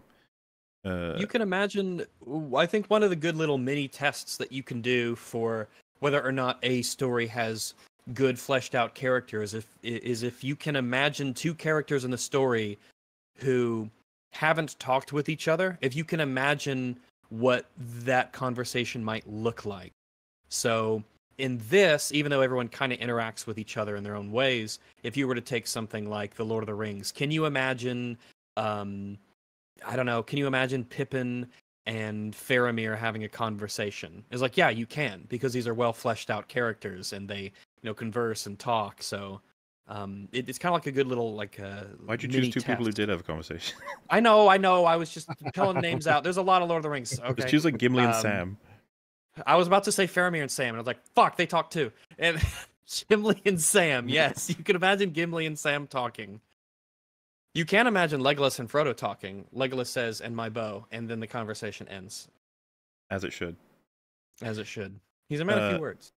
But yeah, something about the uh, scene between Joyce and Poirot after the seance where she explains, and this is, by the way, uh, I'm willing to sort of go over it because I'd be curious if I could be convinced as to how what I think about it as a foundation. But a lot of the trauma for most of the characters, or at least a selection of the characters, does relate to the war. But of course, the uh, era does imply a, a direct connection, right? And that um, part of her trauma is the as a war nurse she would have been surrounded by people dead and dying days after days and it like destroyed her brain uh, you know for lack of a better more psychological term. And she would have heard all kinds of screams and voices in her head and until she started to share them as actual like connections to the dead with people she didn't feel coherent right? And so like but it was at least somewhat accurate. And then would have caused a lot of people to feel better, feel make herself feel better. And as she explains this, because Michelle Yeoh is excellent, she's crying. Like the it seems very much real from her perspective, and she can't see anything but positives coming out of it. And so when you have Mhm. someone like that who's lived that life and come to this p- place versus someone like Poirot, I think it just creates really interesting conflict to have both of what two people who consider themselves to be like essentially, as she puts it, um, people who can speak for the dead or to the dead and for the sake of making the world a better place, but at the same time kind of consider each other their worst enemy. Like when she meets him, she says, "You're to prove I'm a fraud," essentially. Um, in a in a similar sense you have the way that a, a good way that this film in, in many ways it's very much background and flavor but in some ways having this be 1947 and after world war ii is the element of ptsd and the mental effects of war are still not really understood um, Yeah. they're still being discovered and studied the nature of war has changed and so people have the, these sort of things occur, especially now that you have these large scale conflicts. You're going to have relatively more large scale, you know, elements of this, uh, you know, th- this mental, um, you know, element popping up. So if this took place further into the future, then you might not be able to have the same excuses of it's not necessarily a misdiagnosis, but these are two you have two characters here who have elements of post-traumatic stress disorder in some way. There's they're not specific about it. You have Yeah. obviously the medium and you have the doctor. And you even have leopold specifically saying they call what he has battle fatigue but that's not what it is. He's not tired. He's broken there is they don't understand what it is and it kind of means that this lack of understanding can lead to more open-ended um, improperly diagnosed and treated people and that leads to things down the road you know he doesn't get the you know medicine's not where it is today we don't have the things that we have today when I think that one could refer to the whole thing as like the ghosts of war, right? That's the haunting element of it. I think that's kind of the thing Mike Flanagan tries to go with in his haunting stuff. It's all past traumas that are actually experienced between humans as opposed to spooky ghosts just going boo. You know, Well, there's- it's uh, it's actually something to, to jump basically to the end of the film because one of the lines I found most interesting in terms of uh, I guess uh, tying everything together uh, of like how to reconcile whatever you might perceive as the supernatural elements that aren't explained uh, with what could be explained rationally, which was uh, I'm paraphrasing, but it was uh, in addressing the fate of uh of um it was Rowena um that uh he said something along the lines of you know we, we all have ghosts and whether real or imagined like whether real or supernatural you know it it catches up. The idea being that there's like you know you could just view it as it's it's um that there's like there's always you know consequence right that follows from uh from events and choices. Um and and that and that has an impact on you uh and and that the that you got to like you know work through it and, and move through it. Kind of addressing the idea of like oh well the ghosts you know it, it, they don't need to be real. It could just be like the specter of uh kind of like i guess human psychology or something along those lines. Yeah, They come It's the difference in perspective, which is the interesting one. I think th- This is the thing I think that maybe stuck in my craw slightly is that it's very easy to see with Michelle Yeoh's character and, and with the father, who both directly lived through and experienced the war. and their form of PTSD is is therefore born of very personal experience, effectively inaction. Even if you know she was technically a doctor, but you know that's still inaction if you're in war. Whereas Poirot doesn't serve in the Second World War. He's too old to have done that. So his response to trauma, well, the origin of his trauma is a curious one, and his response to trauma is as well. Because you can say with her character, she's trying to make sense of the world that she has to live in, because that's what she had to do all the way going through. In his case, it is it disenchantment with the world, and he's removed from it in a sense, but he's watched it happen again and has concluded the best way to deal with this is just to lock himself out of it. And then again, you have the Doctor who's closer to the to Michelle Yeoh's character because he was in it, and so he's locked himself away as well. I, I guess my, my problem was just I'm not sure I have a full grasp on what exactly Poirot's trauma is, if it's not he, just general civilizational disenchantment. He has said there's a number of things. There is an element of uh, they bring up how um, death follows him wherever he goes. He's mm-hmm. a detective. He solves murders. He's surrounded by death. Um, you have him saying almost uh, forget what he said verbatim, but it was something along the lines of the the cruelty of human indifference mm. that he's witnessed over the years. There is, of course, you see the effects of the you know the, of these two wars, even if you're not a part of it.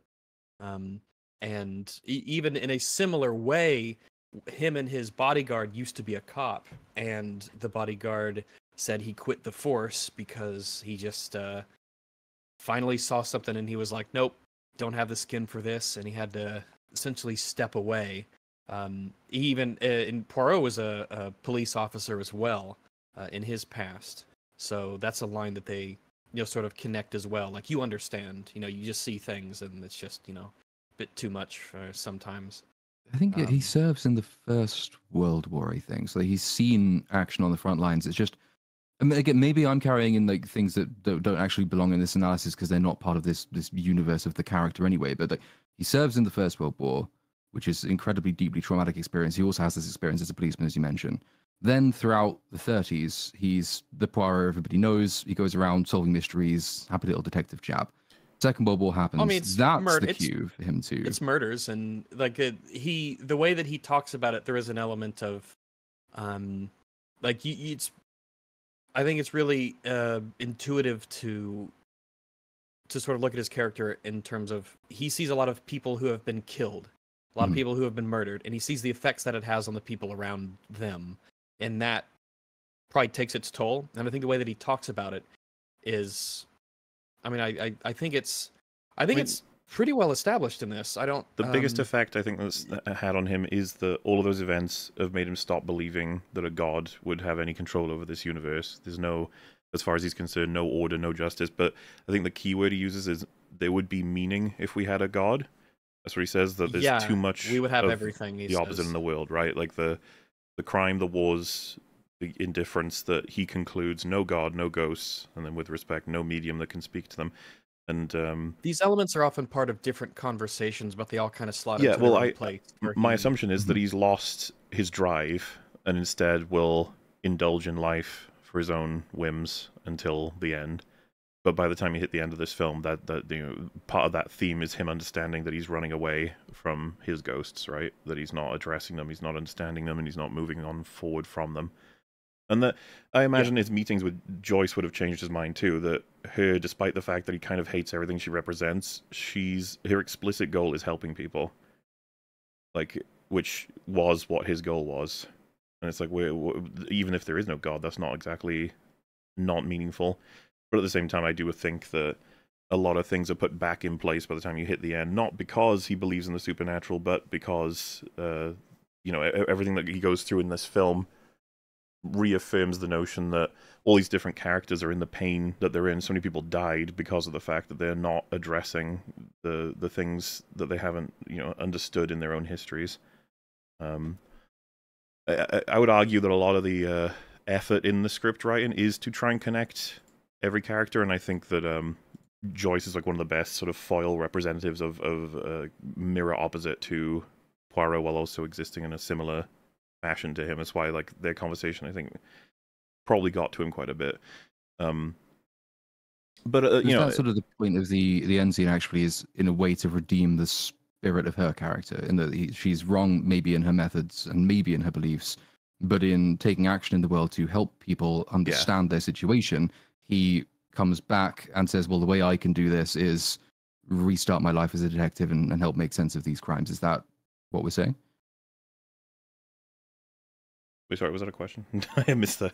Yeah, no, no. I'm just trying. Yeah, I'm just trying to make sure I because I'm I'm still working through this. Yeah, one, no, so I um, saw it, like five minutes before coming live. But so it, would that be a fair summation then? So that he effectively is redeeming the spirit of what she's doing by going back and recommencing his work as a detective. Is that? I'd, I'd say fair it's more so focused on him than like essentially. I, I guess in a sense it could be that you know like whether her methods or whatever she is like an active participant in the world and doing it in her way, and he has a way of doing it, which is being a super smart fella and uh solving cases. That Mhm. that that it's like um the whole the whole story. The kind of purpose is to reinvigorate uh Poirot to to help people again. Sure. Okay. As Someone said, um, I'm not saying you can't do a story where Poirot has a crisis of faith, but that sounds very close to if bad thing happened, why God Reddit atheism. Dude, Uh, that's that's not very fair, is it? I think um, the film does a pretty good job of putting him through, possibly, especially with what time we're in. It's like, what would he have had to have gone through and know about to have his faith in God questioned? Like, well, we know where we could start. And um, yeah, the supernatural then being a vehicle for him to really question exactly what uh, is correct and incorrect about his decisions that he's made. Um, I thought that the film was filled with very interesting quotes that um, made me think a little bit that? I'm surprised I hadn't heard before, even though it's something I think about a lot.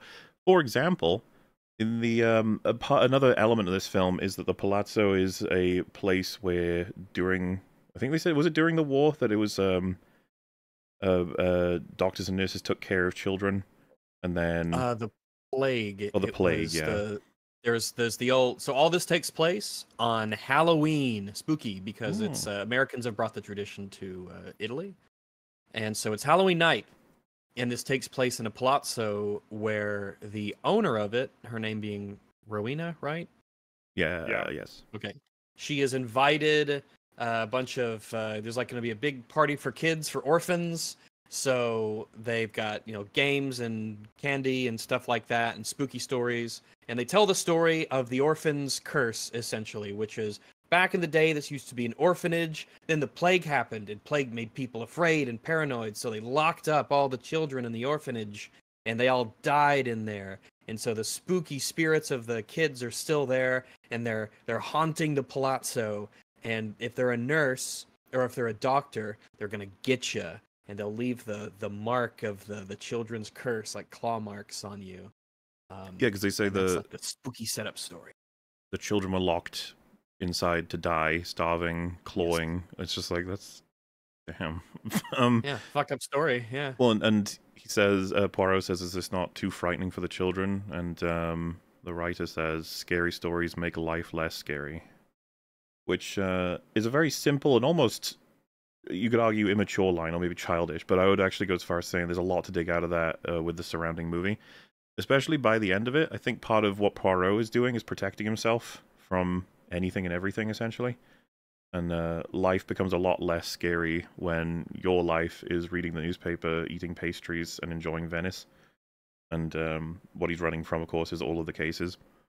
And I think that the nature of having gone through this experience has opened him back up to being like, "Oh fuck it, let's do this. Let's get in. Let's get stuck in." Like even if a case goes horribly wrong, goes to places that I uh, would never want to visit, that doesn't mean I shouldn't do it in the first place, right? Um, which is something that I think got to him partially by what uh, Ariadne says to him. She says, um, "Like you don't you don't have friends, you have admirers. You're a fool, an ego, a black cloud that lures death, and you know it. That's why you quit." Like, damn. I think. Uh, well, yeah, I mean, you know, where, wherever he goes, death follows him is a thing that he might end up thinking about because of the fact that he is so interested in solving cases and justifying or, or bringing justice to situations. Um, yeah, and I think that's pretty well addressed. This is the thing; I can't speak on it from a wider understanding of Poirot as a character.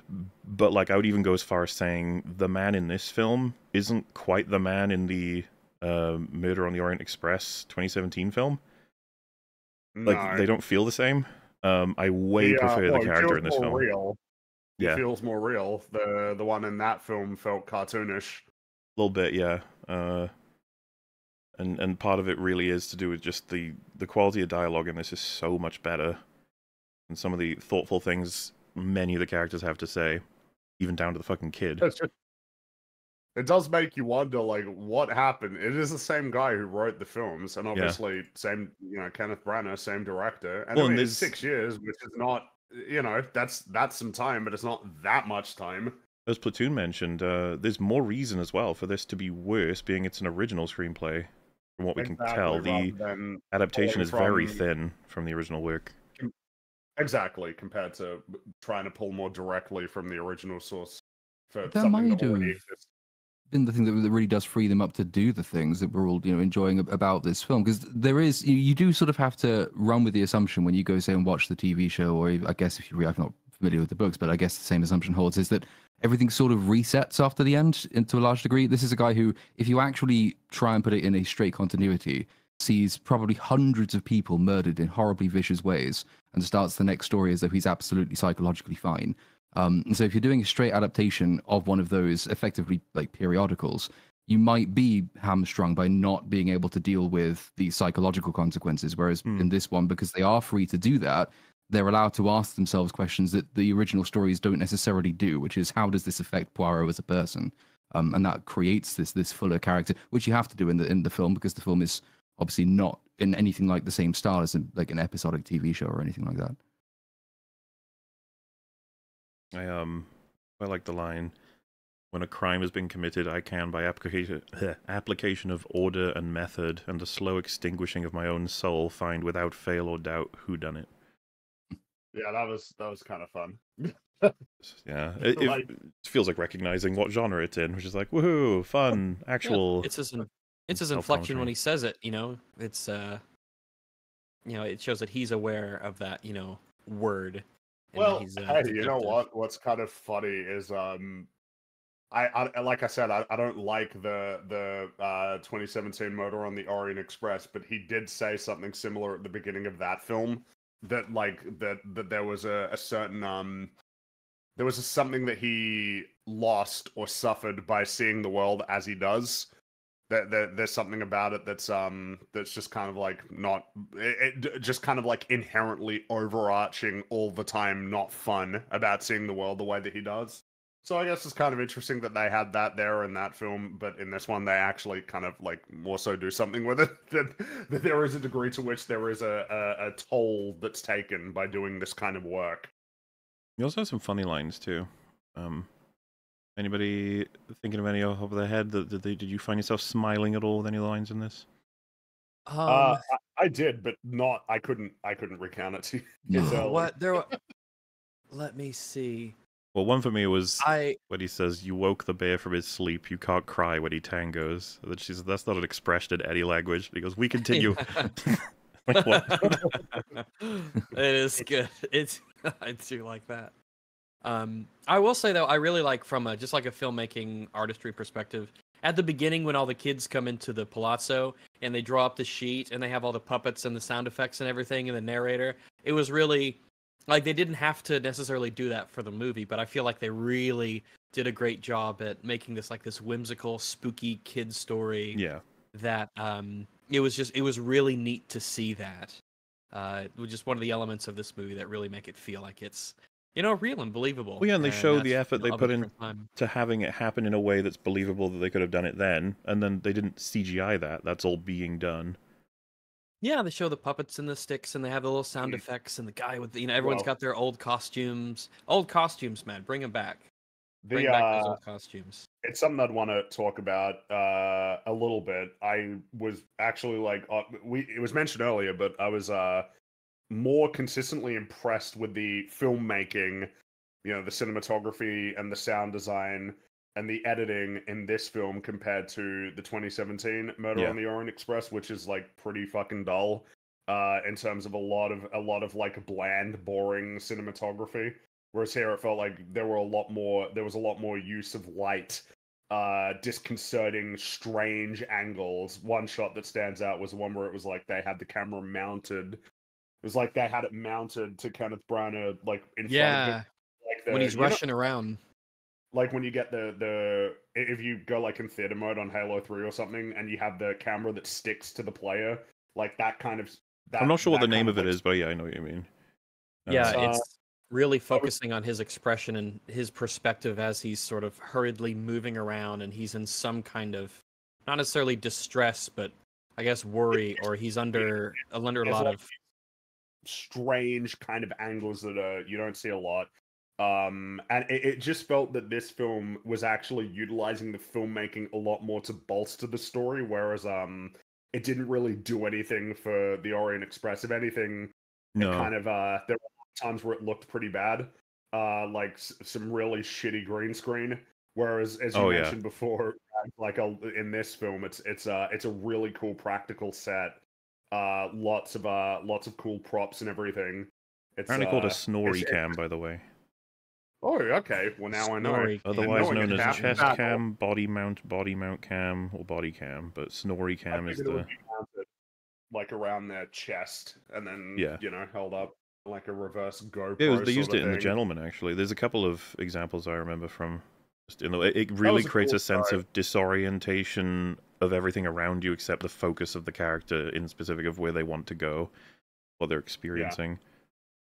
And yeah, this- similarly go ahead. uh, th- this part of the film I think is one of the couple of times where he's just he doesn't know what the fuck is going on. He's so confused, especially And with like, uh, it helps the bring you basement. into the the the actual very much disorientation that's going on with him because of the uh like the hallucinogenic uh honey that he had consumed.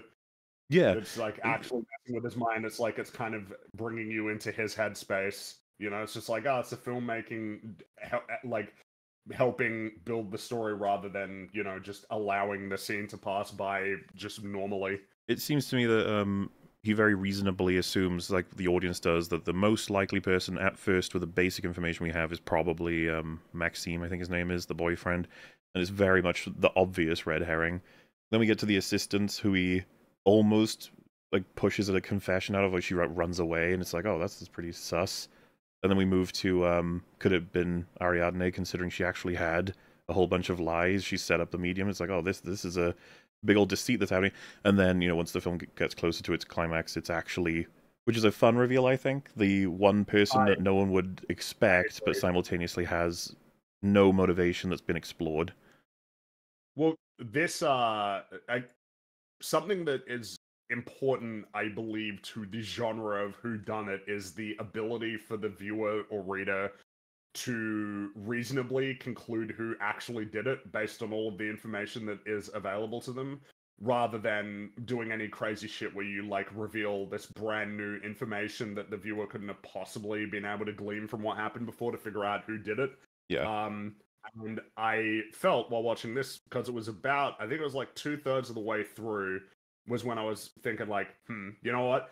I for the exact rationale that you provided, we've been provided pretty good reasons for basically every character but her. That tells you something, and and and gives you reason to conclude, hmm.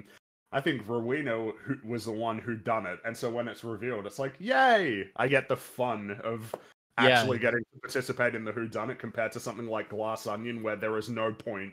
There's just yeah, no point. it's yeah, you, it's a fool's errand to try and work with it. You can't work with it. A good mystery movie and story, there it's almost collaborative. That you want to have, you don't want to hold the hand of the the viewer, the reader, but you want to have this element of like you are, you like, here are things for You you to notice. Here are things for you to pick you know? off. You want- him. you want it, you don't want it all to hit at the end. You want to set up the things, uh, and uh, you you want to set stuff up. You want to have things that are dropped, hints dropped here and there, and this film does a good job at that. You notice the little things, um, little. It, it it's Well, not it- like it- it's a film that rewards you for paying attention to the nature of uh, for the things that you should be paying attention to in the Who Done It story. You know, Yes. who was where, when, and why. Uh, what reason would they have to do uh to do the crime um uh, like how could they have how could they have managed to do it all of these sorts of like little if you're paying attention to these elements as you're watching the story it's providing you and then of course thinking about the whole idea of misdirection which the film obviously in this case it deliberately did it was trying to direct it very quickly you know early on in the film they try to rule out rowena as a as uh being possible because of the alibi um that feels deliberate you know starting with like ruling Yeah. her out first so that it then starts to focus you in on the more obvious candidates like um maxime was the ex-fiance. He feels like the obvious red herring of yeah i mean he, like he seems like a likely candidate. It's just everybody has a, a reason. Uh she's the only one who didn't have an apparent one but there was Well, when um when they established that maxime was only interested in money, the first thought I had was, but he's here. Why would he be here? yeah exactly Yes. Is here. Well, the first time we first the first time we meet him, he says, you know, I lost too, Rowena. Yeah. That, Yeah. that line of him Which, saying like um, he's emotionally invested in this, and, and that's an important one to actually because uh because it was it was when he said when, when he said that essentially the reason it fell apart is because Rowena couldn't handle the idea of like him being a part of uh, her daughter's life, like that that she that her daughter wouldn't be all hers. It was that line where it's like, hmm, you know, Yeah, this hasn't been- that's the this clever thing been with his flagged character, before. right? Like, he's introduced specifically to take you to both introduce the motive, but also lead you away from putting the motive on the right person. Because he, Exactly. he delivers that all important line, but because he's much more obviously suspicious, you actually go further away from the truth before you get to the truth at the end. Which obviously the reveal they do that it's, it's the fact that the mother can't abandon her daughter or feels she's being abandoned by her daughter. They do that in Microcosm in the scene with um he cuts himself and then she says honey's a great antiseptic. He puts it on, licks it, and then says, uh, Yeah. "No, it's not wildflower. I can't place it." And right after he does that, the this slip of his like photo of her falls out of his pocket, and Poirot's like, "Ah," and it's like they needed to get that little clue out and then be like, "Look, look, look, look, look, look at this photo. Oh, isn't that interesting?" And it's like I think it's just that's stuff like that I probably the most enjoy. Yeah, It's like the most important scene in terms of laying out all of the information that you, you know, like in the most condensed space to actually figure it out. Uh, but they misdirect, so, whi- which you know, it just tells you something about the nature of the writing and the the, the storytelling that they know. Oh, we're giving away too much here. Misdirect, get them thinking down that train of thought, which is kind of interesting because it can be hard to know how people will um Yeah. I how you know you everybody kind of knows what I'm talking about when you watch a film or a TV show and a character like picks up something or puts an object down and the camera, Camera, lingers on that for a couple of seconds you instantly it's like oh that's important. Like it, it communicates instantly that that's important and that's like a difficult thing to deal with when you're doing a story like this where you're deli- there, there's a degree to which the director needs to simultaneously guide the viewer towards the right answer while also you know guiding them away from that answer yeah, as making well. Sure it's not too figure out. conspicuous. exactly That's And why, um, that's why that's why dialogue works so well for this sort of reveal because people just talk. Talking is normal. It's it you know talking fills the screen in a way that it's a different sense that is uh that you know that you're experiencing. You're not focusing on uh, dialogue or sound in the way that you focus on a visual object in the frame. So when you have when they go up to the garden uh, at the top of the palazzo and Rowena's saying, you know, all this effort for a teaspoon of wildflower honey or whatever she says, she's just like talking to him. She's just talking to Mhm. characters, and you don't you don't know that it's conspicuous until later. You know when Maxime you know points it out, and we get the other little reveals when you get uh, so. Uh, Where dialogue's reward used paying really well. Yes, yes, it really course, does. on a rewatch it's like oh shit Yeah, yeah 'cause like even- it all the pet name for her that gives away that the medium knows more than one would expect, which was information provided by Ariadne, not known by Rowena, assuming then that she's the blackmailer, because Rowena probably does believe she can speak to the dead, and that's how she's discovered the truth, which is not actually how she knows. She's trying to run a racket, which cost her her life, which I think is so interesting. I'll try and talk about more of these elements in a minute. The reason I brought all this up was that that very play that the nickname is from is where she got the inspiration to poison with honey, and it's also uh, where yeah, it's also where uh, Leopold found out that that was a potential because he's read basically all of her books, and that's uh, one of the ones in her library. Isn't it's that like cool? yeah, it's really cool, and it's really kind of something that is you know, not. I don't think many people who watch this are going to come away with thinking about that. It was like, but it is work that was done in the script. It is and there. it's not easy. That's not easy to have it all line up that uh, tightly. Um, that's that takes a level of uh, forethought and consideration in terms of constructing a mystery, which feels like that's got to be worth a lot when again I, I i know that we're going to keep bringing it up but like knives out and like glass onion are being held up in high regard as being like oh they have revived the who done it genre and not only have they revived it but they're some of the best examples of the genre that's grim that's fucking grim, grim, yeah. all right we've uh, because we brushed on it and i don't want to forget saying it because it, it's actually slightly relevant and i suppose coincidental because MauLer and myself recently watched Ghostbusters. This is going somewhere. I promise. Ghostbusters Afterlife, and I caught. Um, I thankfully could not finish Frozen Empire because I had other things to do. Um, talking about the character of Leopold in this, the son, the young, the young man, um, the, the the boy essentially. Um, this movie does what a lot of movies can't seem to ever do, which is have a realistic, believable non-insufferable depiction of An a intelligent child. very young character, yeah, of an intelligent child who's well read uh, and who is clearly very smart. Um, this film, I think, does it really good, and I'd like to point that out specifically because in my mind, I have Ghostbusters Afterlife, in particular, still kind of in my my my recent memory, where it portrays a very young character who is conspicuously incredibly good at fucking everything, and she has an insufferable personality, and I want her to die. Got insufferable dialogue. Leo- it does. I hate. I hate her so much. I hate. I hate her. I hate her. I hate her. Uh, but Leopold in this is very interesting as a character. His relationship with his dad, his um, kindness towards other people, even in the more subtle lines, like when we first meet him and he's in the chair reading his book, and someone says, "Hey, you should have some cake," and he says, "No, the cake's for the orphans." Um, you know, he wants them to enjoy it because he doesn't, because he's he's not a selfish guy. Uh, he prefers certain stories other over store uh, over other stories. He reads um, spooky stories on Halloween because he think it's he thinks it's thematically appropriate. You know, a an a, a, a, a holiday like this calls for spooky stories. He prefers the more you know serious things as opposed to Charles Dickens, which was recommended to him by Poirot. Uh, Poirot says, you know, a boy your age, wouldn't Charles Dickens be more appropriate? And he says, nah, it's it's Very silly. silly. Uh, yeah, it's silly. And Uh, Poirot he almost likes- goes to agree as well, which is like a subtle way of putting them on Yeah. the same intellectual level, which I quite liked.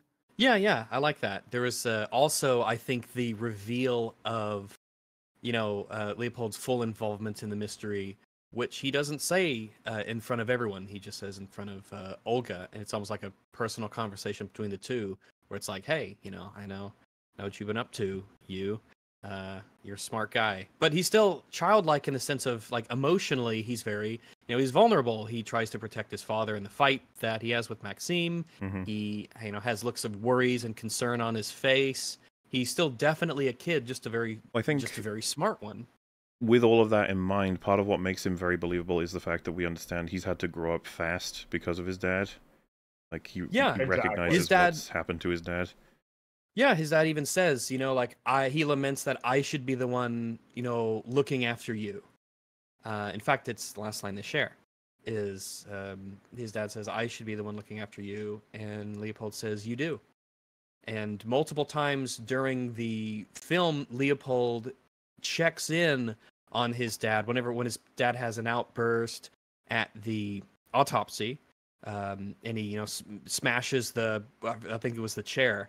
Leopold hears it. He's close by and he's there on the balcony. He looks down and he asks if things are okay. He checks in on his dad at the party to make sure things are all right. He's always, you know, we, we actually see that where he is around checking in on his dad.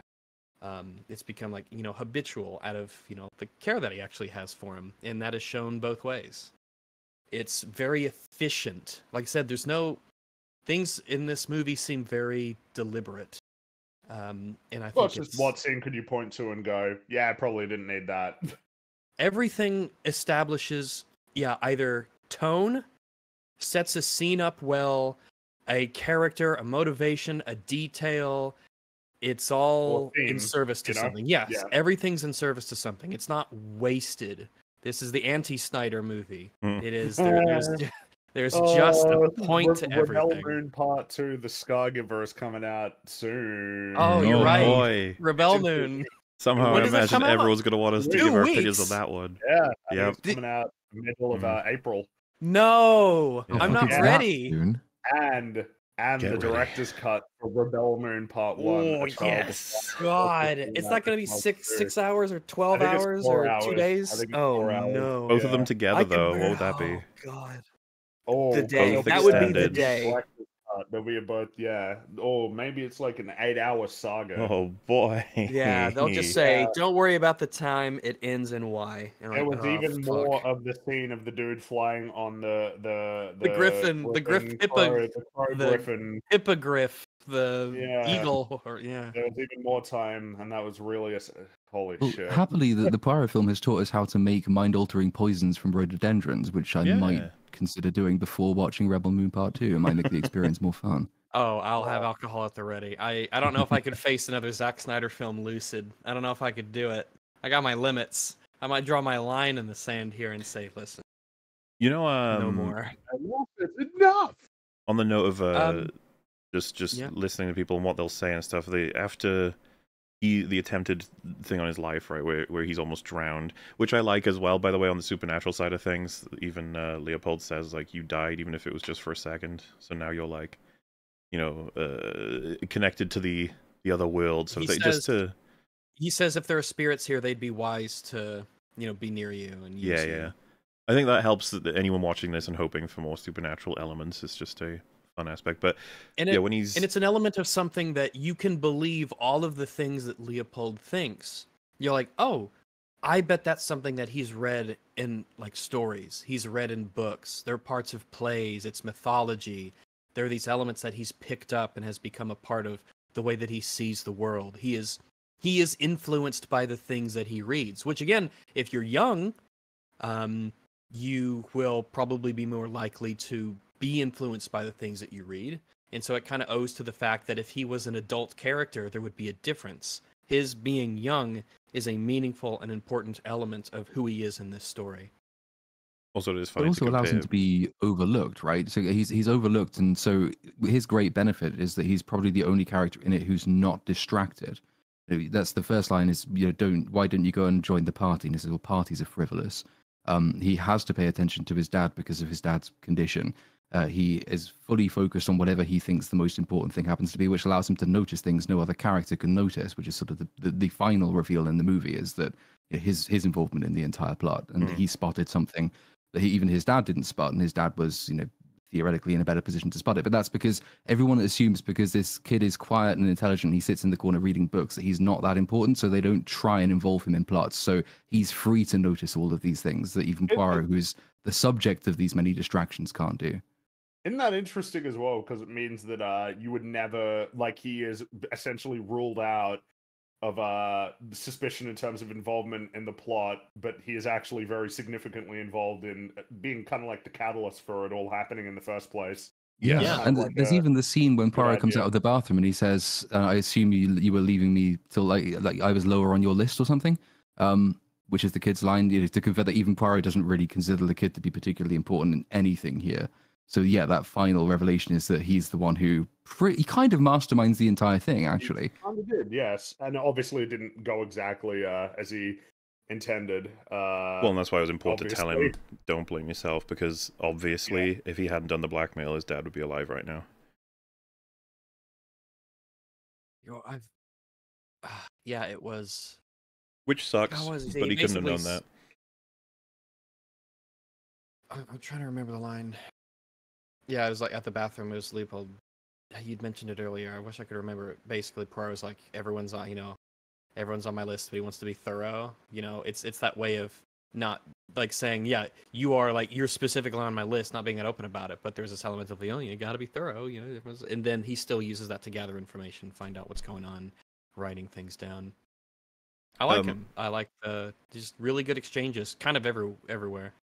Well, what I was bringing up about the um the way Poirot absorbs information, right? Like after uh, Joyce is killed, he's just sitting down, nursing his sort of his head and just looking around the camera, keeps panning back to his eyes, like uh, just following around each person who's talking.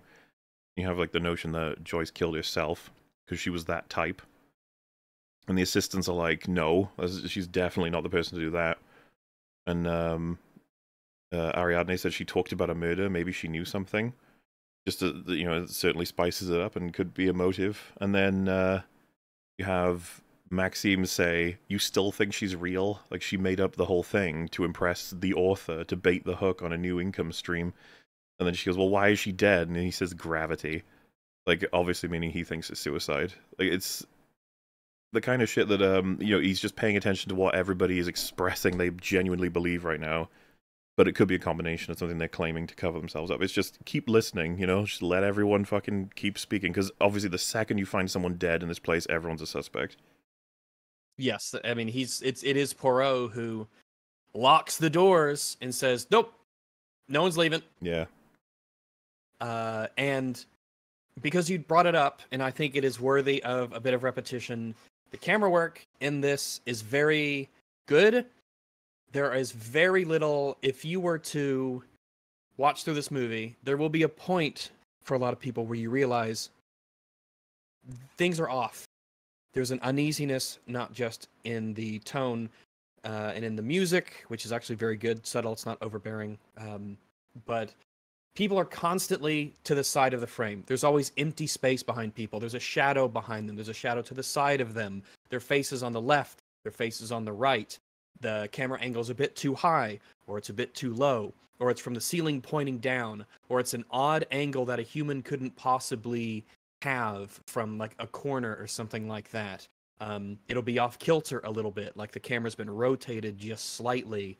Um, and obviously, there is the element of when Poirot's face is in many shots, there is a very slight sway and wobble. It is subtle, and I didn't even notice it the first time watching this movie. But the second time, I noticed that a lot of times when Poirot was the one who was in the frame, again, typically either to the left or the right, but never in the center, um, there would be a, that very slight camera wobble that wouldn't necessarily be there on the person that he was like having a conversation with when they cut back to them. Cameras are constantly shifting in the perspective. It's a very dynamic and snappy kind of change that is oddly subtle for how conspicuous it is once you notice it. You get that sudden realization like, oh, this movie shot really weirdly but not in a bad way. You just kind of notice it that things are off.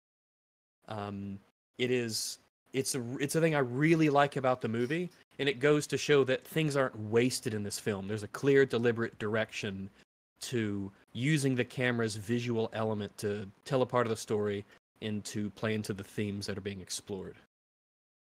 I think there's a distinct difference between shooting at night and shooting at day as well. The uh, control oh, of oh, yes. the camera.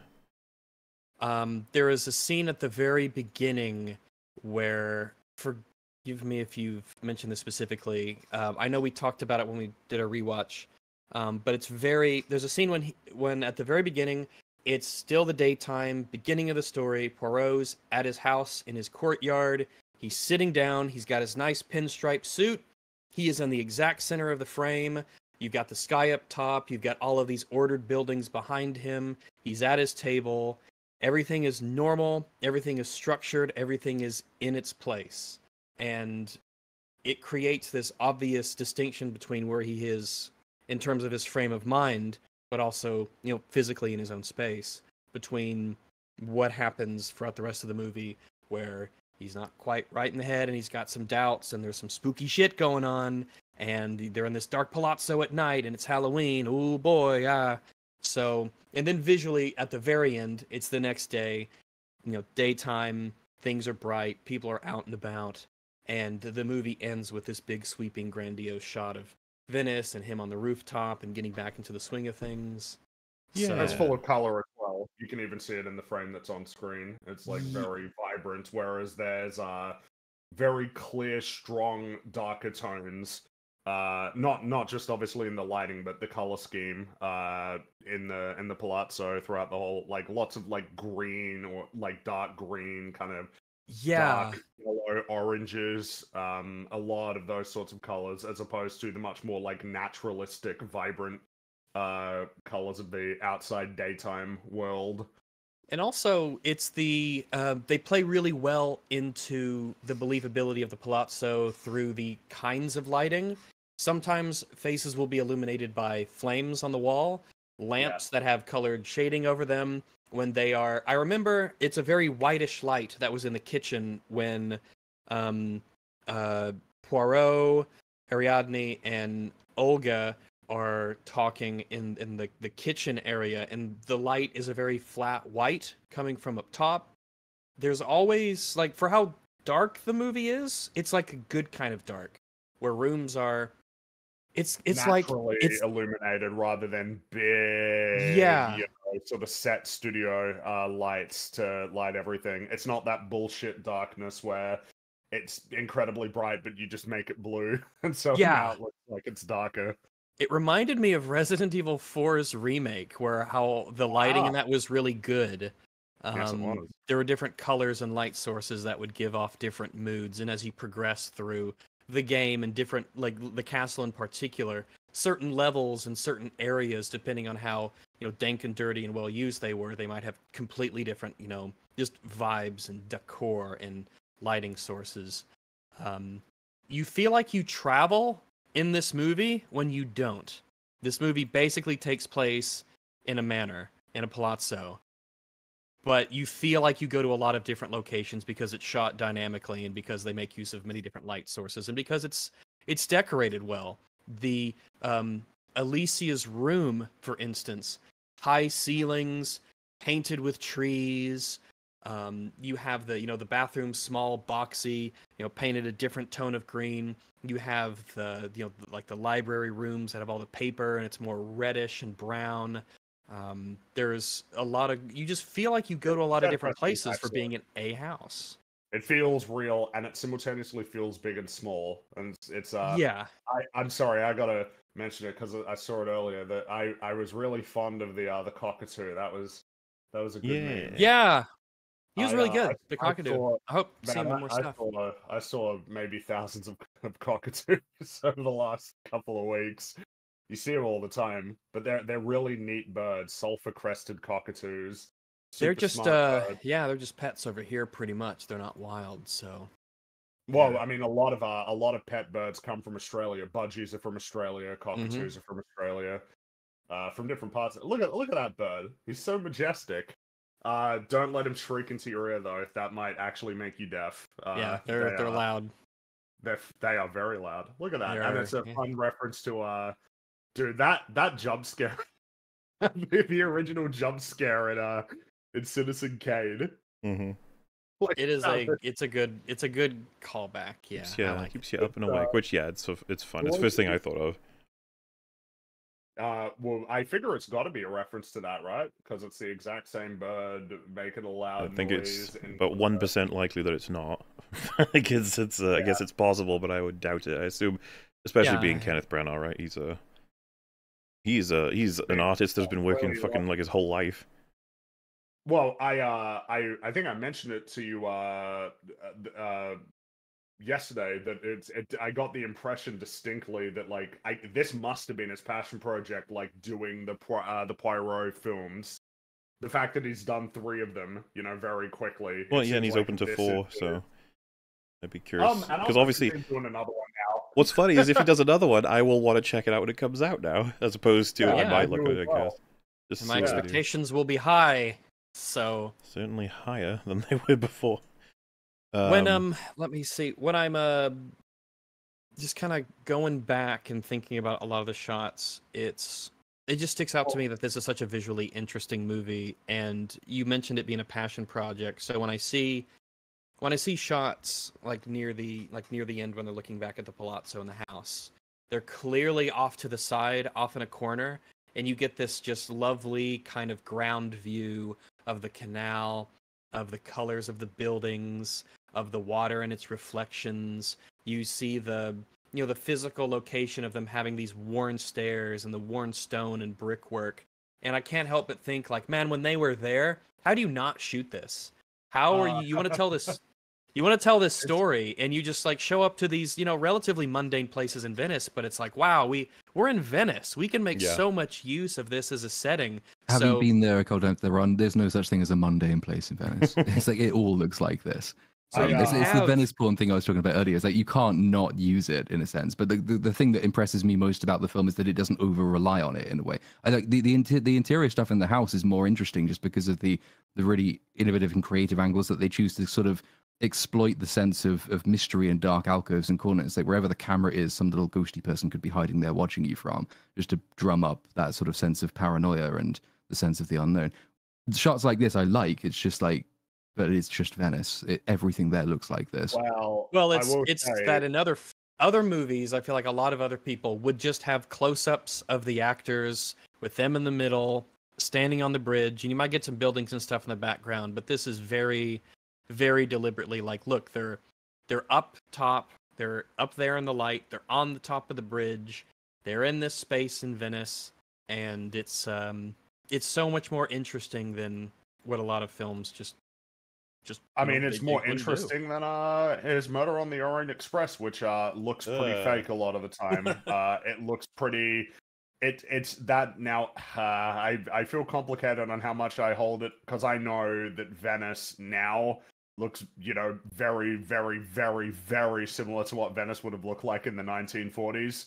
Uh, whereas you know Istanbul now compared to what it would have looked like in the 1930s by comparison, but th- there's like a lot of pretty bad visual effect shots uh, for like environments. And uh, Murder on the Orient Express, a lot of really bad blue screen. Like they didn't even bother. Just it seems like they didn't even bother making like a snowy set that they could just sort of be on. Um, so it was really nice in this film to like actually you- make use you couldn't of dress real up a train you know No, I, it's, like it's bizarre. It's a it's a really weird kind of fake looking world. Whereas here, everything felt super duper tangible Very uh, because they were just making use of a place that actually exists. Uh, yeah, there was uh, a good period. You know, uh, I, I assume it's period accurate stuff. Nothing stands out as being wrong. You you see the nuns earlier on, people in the streets, all of the, all the, like the Halloween masks and stuff were clearly old timey stuff. Um, you had some, you know, some soldiers still hanging around. You have the, I think in the in the beginning there's a scene. It's when Ariadne and Poirot sit down on a bench, and she tells him about, "Ooh, come to this séance thing after the palazzo party for the kids." Um, and you have like this little wall of old photographs that probably relates to this war. You have this old monument with a. It had this. I forget what it was specifically, but like this little Italian colored thing placed on this little monument. Um, you had just a lot of just a lot of cool details that you didn't have to have, but they they could have had just a mostly empty courtyard area with not much going on, but instead they filled it with people dressed period accurate, couple soldiers, stuff like that, references to the war. Um, and it it that stuff adds up. It goes a long way to build a vibe. And you know me, I'm all about vibes. I'm a big vibe Mm. man. I'm the big yeah. I'm big into vibes. I love him. I love Weebus. Weebus. So uh, we mentioned it earlier, but something I quite enjoyed was the nature of the subconscious and how it's kind of simultaneously making him freak out, but it's also something that's really reliable and kind of gives him an insight into how his brain works. The um, I when he's know it- interviewing I was thinking about that earlier, but I, I didn't know it. Yeah. when he was interviewing Maxime, um, he looks at the invitation, right, which we eventually find out was sent by Ariadne, and uh, because she she thought that would just be a really good sort of uh, addition to the situation. He's like a little bit of TNT to throw in to make it more dramatic. But um, he looks at the note, and we've seen a couple like r- references this earlier. But he just he pulls the word apple out of the several words that are there, um, but he doesn't even know why and he and you got the apple being worked on by Maxime in the scene. And then he like almost faints, and she's like, "Oh God, you okay?" And then he walks away. She thinks that he's struggling and just getting maybe old or has like problems, whatever. But he's just like, "Why do I keep coming back to the apple?"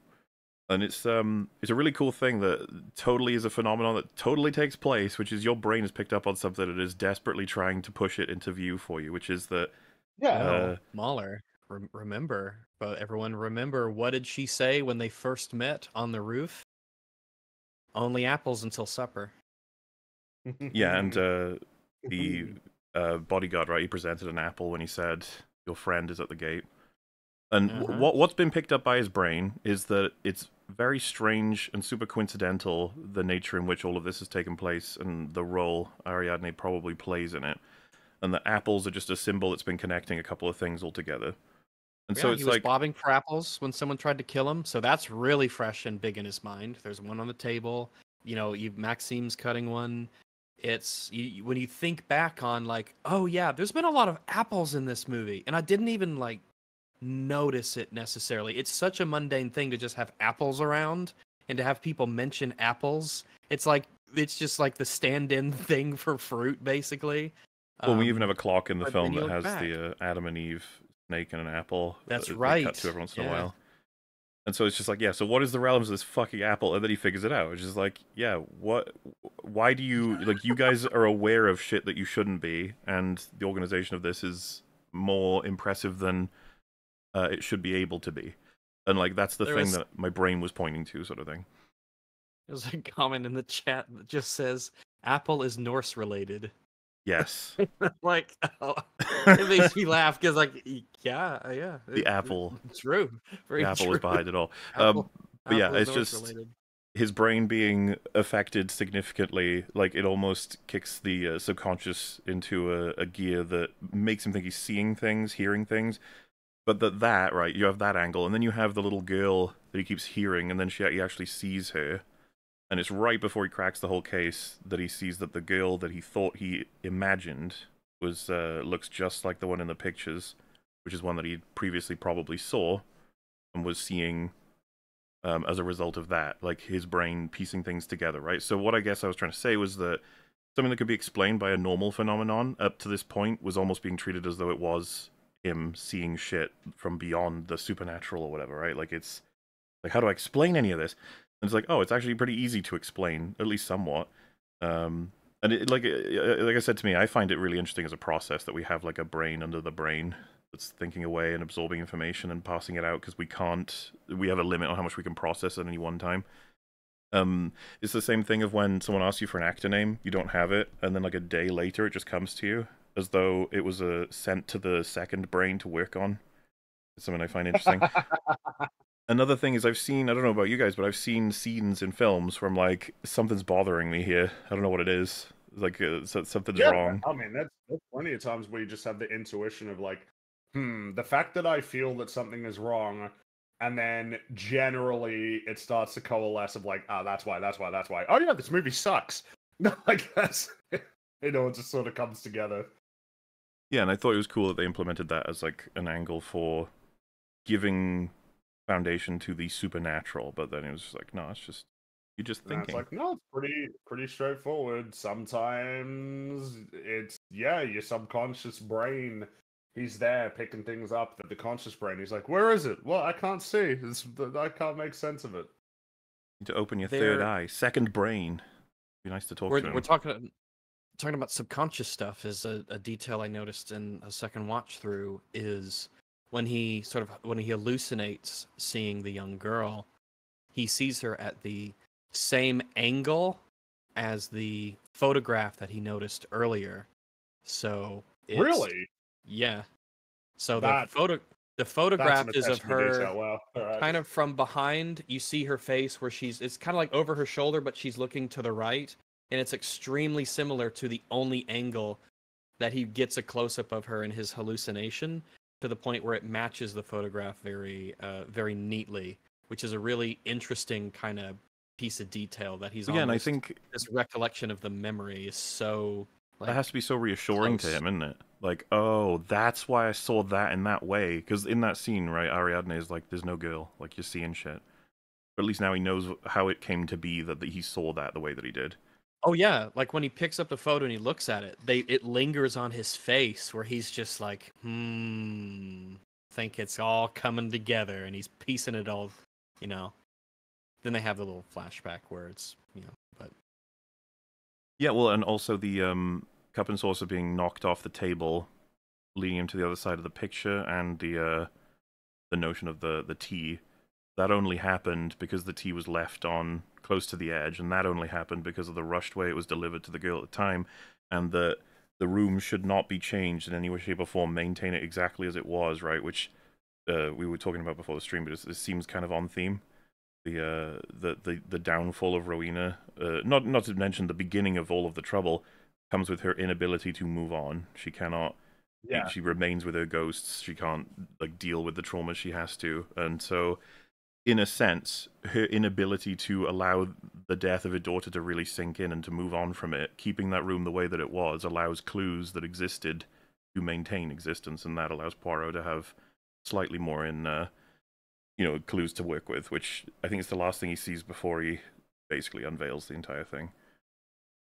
There is, um, also I don't know if it's intended but I believe in the half of the photograph that had Maxime in it was the one had that had the vast majority of the flowers in it.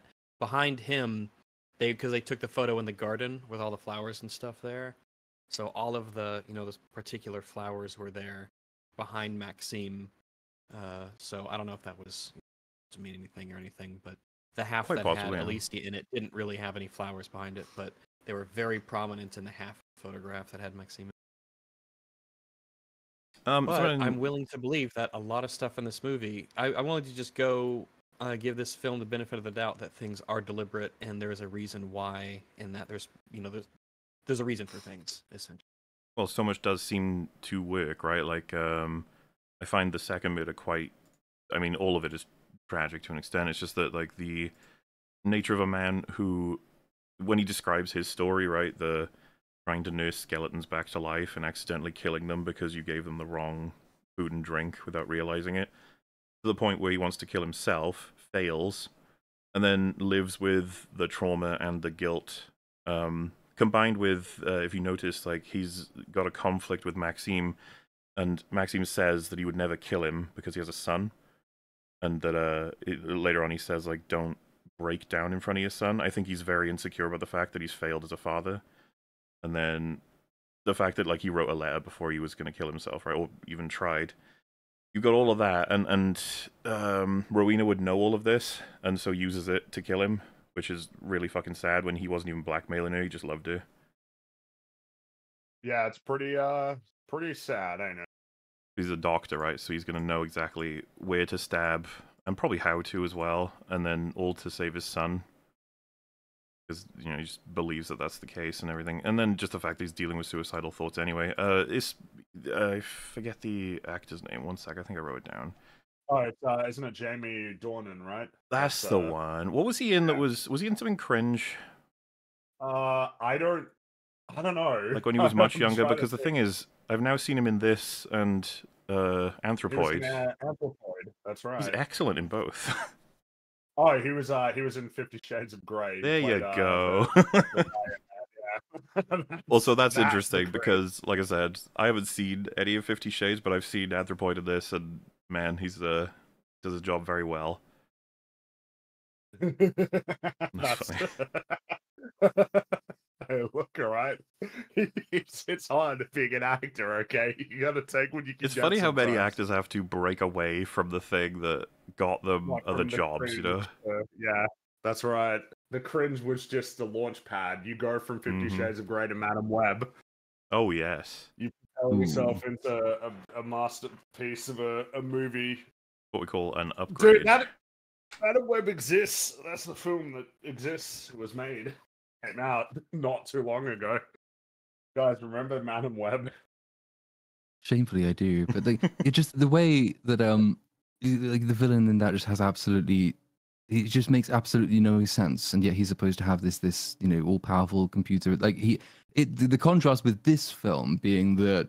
I, I, it actually feels kind of blasphemous to compare this film with Mad. well any good film with Madam Web, but this one in particular. But like the, the way a lot of this works is because it doesn't stem from maliciousness. It, it is a tragedy more than it is a crime story. It, it's certainly in the background that is because like the, the initial inciting death is an accident, isn't it? It's not a deliberate yes, murder, which allows for mistakes to be made on the part of the person who will go on to be guilty, which allows for the hero to start piecing things together without relying on gross incompetence from the person that they're trying to to root out.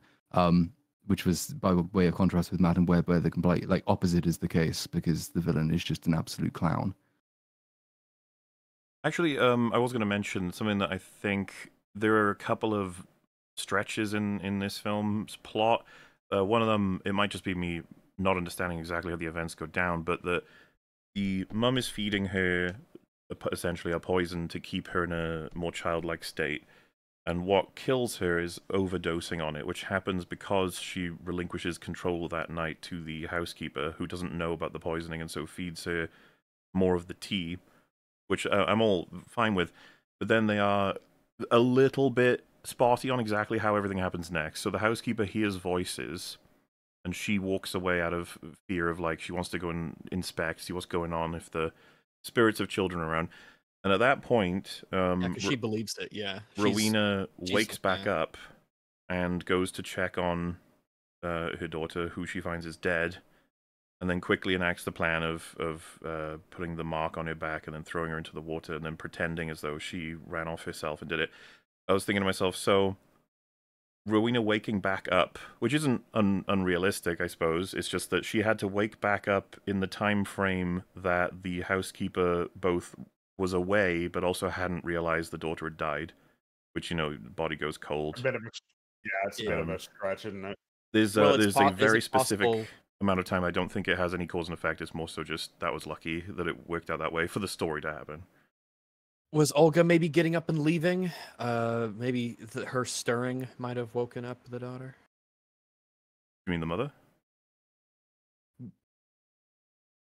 Who was uh, maybe? It was yeah. that I, sorry, I, I, wakes up There's, uh, um, to discover what's happening. They don't give you a lot on how it all happened. I think the best uh, faith assumption we can have is she heard voices, ran off to inspect them, and her running woke up the mum, who then checked on the daughter. The daughter's dead. She fakes her death, and then the housekeeper comes back. That's probably the most reasonable way that happens. yeah, I'd say there's there's a level of coincidence there with being the yeah being some of the timing. Well, there's and one other thing too, on- which is the housekeeper is described as carelessly putting the honey in the linen closet. Had she not done that, there's a good chance that the honey would have been gotten rid of by the mother, and thus would not be given to Poirot, which would not tip him off as to the nature of the honey having done this. At least not from his point of view. He could still have surmised that from the flowers. He wouldn't need the honey. Yeah, we still have that element. The bees in the you know the basement, the old hives. You know what she'd said about wildflower honey. Because remember, she says, "I Um, thought my yeah. Uh, closets were bare or whatever. I think it's the idea she was trying to get rid of any and all possible links to anything related to the poisoning. Um, but yeah, you know, that's pretty. It's pretty tight uh, upon thorough inspection. I I'm surprised at how much is actually functional, considering the amount of varied dynamics we've got going on here for different people doing different things for different reasons. Who, uh, like, I never would have assumed the person who wrote this wrote uh, the first two, and by that I mean Uh, just screenplays. No, no, that's well, yeah, the, the, wrote those and wrote some other films that are, yeah, no, so his great. history is not reassuring. He's written a lot of He bad wrote, shit. uh, he wrote Green Lantern. He uh, He wrote loads of Blade Runner heroes. 2049. Heroes Beyond uh, season one is absolute shit. Yeah, uh, I mean, uh, Jungle Cruise, the riveting Dwayne Johnson Jungle and Call of the Wild, the uh, the one with Harrison Ford that nobody watched. And he's uh he apparently he's going to be writing a uh, Bioshock, so Yeah, I mean, you know, We'll which see. is interesting because it's like you know one one strong screenplay out of. Well, what's funny of, is, uh, um, of Eddie, if yeah. someone said like, could the person who wrote this film with no other information whatsoever, do you think they'd be a suit for writing a Bioshock film? It's like potentially, with only this film, but maybe yeah, uh, only but with all only considering this film. like- Yeah, like, because I think look, right. if there if I sense an underlying and clear element of passion for what you are doing, that gives me great optimism because that passion for writing can be applied to all kinds of different stories. The worst thing is probably it's not just what's you know a clear lack of talent. It is a clear lack of caring. That's why Well, yeah, we like Taika lot of Marvel Waititi is just like radioactive when it comes to his involvement in things. It's like, oh shit, you might just not give a fuck and don't even care that you're ruining things, and that's awful. Yeah, it's really bad when the, uh, there, there's. It's one thing to write something really bad, but you a Yeah, lot versus um Like your indifference. right? Yeah, Snyder, he's one of those types of people. Like he probably cares a lot about Rebel Moon. Yeah. uh, there's a noteworthy out. badness to it, which is at least something. Well, it's compared to compared to the kind of um, empathy that you get from a lot of writers on Marvel films, for instance, who write stuff that's bad and seemingly aren't like passionate about it at all. Like not even just like not passionate about you know the Marvel stuff, but don't seem to have much of a passion for storytelling in general. It's like really lame and off-putting. Uh, and I guess it's interesting because I don't know that you write something like this if that's the case where you you don't like care uh, about storytelling. You know, it's Mhm. I'm not sure. I mean, so, you know, and look, sometimes sometimes a, a really great filmmaker makes a bad film, and sometimes a really bad filmmaker manages to make a good film. It's hard to tell whether it's a, a fluke or if it's a deliberate, like all sort of the product of very deliberate, thoughtful, considered writing. But Yeah. the thing is, is that this film is a little, it's a little too tight uh, to be the kind of thing where I'd just be like, ah, well, he just locked into it. I don't. It's I don't- weird. Yeah, this one's way. like weirdly good in the sense of how much attention to detail and care and passion was pretty much in every single part of the filmmaking, you know, Mhm. um, arsenal here. The sound design and the visuals and the script writing and you know all the story stuff. It, it's a complete package in terms of giving a shit. So obviously, you know, as MauLer said, the next one of these I will be interested to see when it releases, and my expectations will be high. I'm like Anton Ego after the Ratatouille. Uh, I will be hungry for more. Oh my my god. expectations will be high. But that's good because you know, like I'd look. Rebel Moon is it. It is what it is. It is no. There's nothing more or less that could be Rebel Moon. But I know that the next one will be shit. I would wager a gajillion dollars. It will be shit because there is a clear pattern here. Um, How but dare you? But the thing is, if it is it is good, we'll be ready for it. Like, if it is good, we will If be. is I good, will. I will be stunned and I will be happy. I will be happy and stunned. Yes. Uh, I'll be like, wow, you made something that I liked for the first time. I'll be confused. Decade. I'll be shocked. Oh, it actually will have been more than a decade. Oh, the last thing, I haven't seen Watchmen, but the last thing I liked was clear up some confusion. Some people are saying like, surely the director is relevant too. So Kenneth Branagh directed all three. Two of them, yeah. as far as I'm concerned, are bad, and one of them is good. What does that mean? It's like, well, I guess it could mean a lot of things. I have no idea whether or not the writer did a better job, or if he did a better job, or if because the fact they weren't working from an adaptation, maybe they have more time. I can't know. All I do know is that this film strikes me as having been made by a different set of people, or the same people with a different set of principles. Now, uh, another question was, wait, do you think Kenneth Branagh is like a bad creator? And it's like, no, I have a huge amount of No. respect for him, both as an actor and as a director. But I can't uh, deny that some of the stuff he's made I think is shit, but some of the stuff he's made I think is pretty cool as well. So you know, it's, I I'm fine with that being the reality. Uh, it's just it's just curious to see this this combination make three films in a series, and one of them is just so different than the other two, as far as I'm concerned, both directorially and, what's, uh, screenplay. what's curious about it is that the one that has panned. Now, to be fair, I haven't seen Death on the Nile. Maybe I'll watch it just to round out the set, and also because the memes will maybe be funny. Um, but what's interesting is that the film out of the two that I've seen that is the best one that he's made of these this uh, set is uh, the one that is based on a far lesser known uh, version and not very directly compared to the adaptation of probably the most well known and well regarded uh, uh, Poirot story, Murder Hmm. on the Orient Express. It's just interesting how um uh aside it, it's just very it's a very um bland film that one is anyway uh and just like a lot of the the way that it's made uh it almost seems like having a much more distinctive and clear twist on the formula of taking the detective story and injecting more of the like horror and supernatural elements into it. Like doing that just openly calls for a different approach to it because you're trying to create uh feelings of like suspense um and uh and uh and horror and um like dread apprehension these sorts of things. And it's like it invites um a different approach perhaps rather than playing it very conventionally. Or, or it could just be that it's like, ah, he's starting to get his mojo. He's getting into a rhythm. He's figured out how to do the uh, his version of Hercule Poirot. Um, Yeah, because like I said, I preferred the performance and the writing for the character in this than. Uh, I did. I, I mean, I thought I really like him as uh, Poirot. I gotta say, I really like him. Yeah, uh, I like him a think lot. Uh, pretty charming. I felt, yeah, it it feels like he's starting to. And so you know, something that like I think is curious is the budget was 60 million or around that, and the gross worldwide was 122.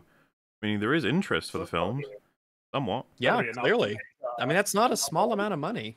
Okay, it's not probably the best that they could ask for, but at the same time, Well, I for a film like this, that must be okay. And that that would have made it one of the few successful uh, Disney films of 2023. Actually, this is uh, this is this is. Don't give Fox, him so ideas. Stay away from this, Disney. It's 20th Century claws away. Studios. My bad. 20th Century Studio. I gotta say, I don't know if I've ranted about it before, but how? What the Go fuck? for it. Why would you get rid of the name like 20th Century Fox and be like, ah, nah, now Well, I we're mean, 20th Century Studios? What is that? I don't know. I don't can't- know, man. I can't explain these things to you. But uh it's because it's interesting the uh, budget for Death on the Nile was 90 million and it grossed 137.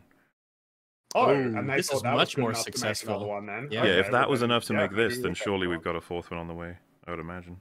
But, I hope uh, so. I, I, I, I do hope so now. Yeah, but maybe I'll feel differently when I watch Death on the Nile. I'll be like, oh shit, all right, like, let's, not, let's not try this again, shall we?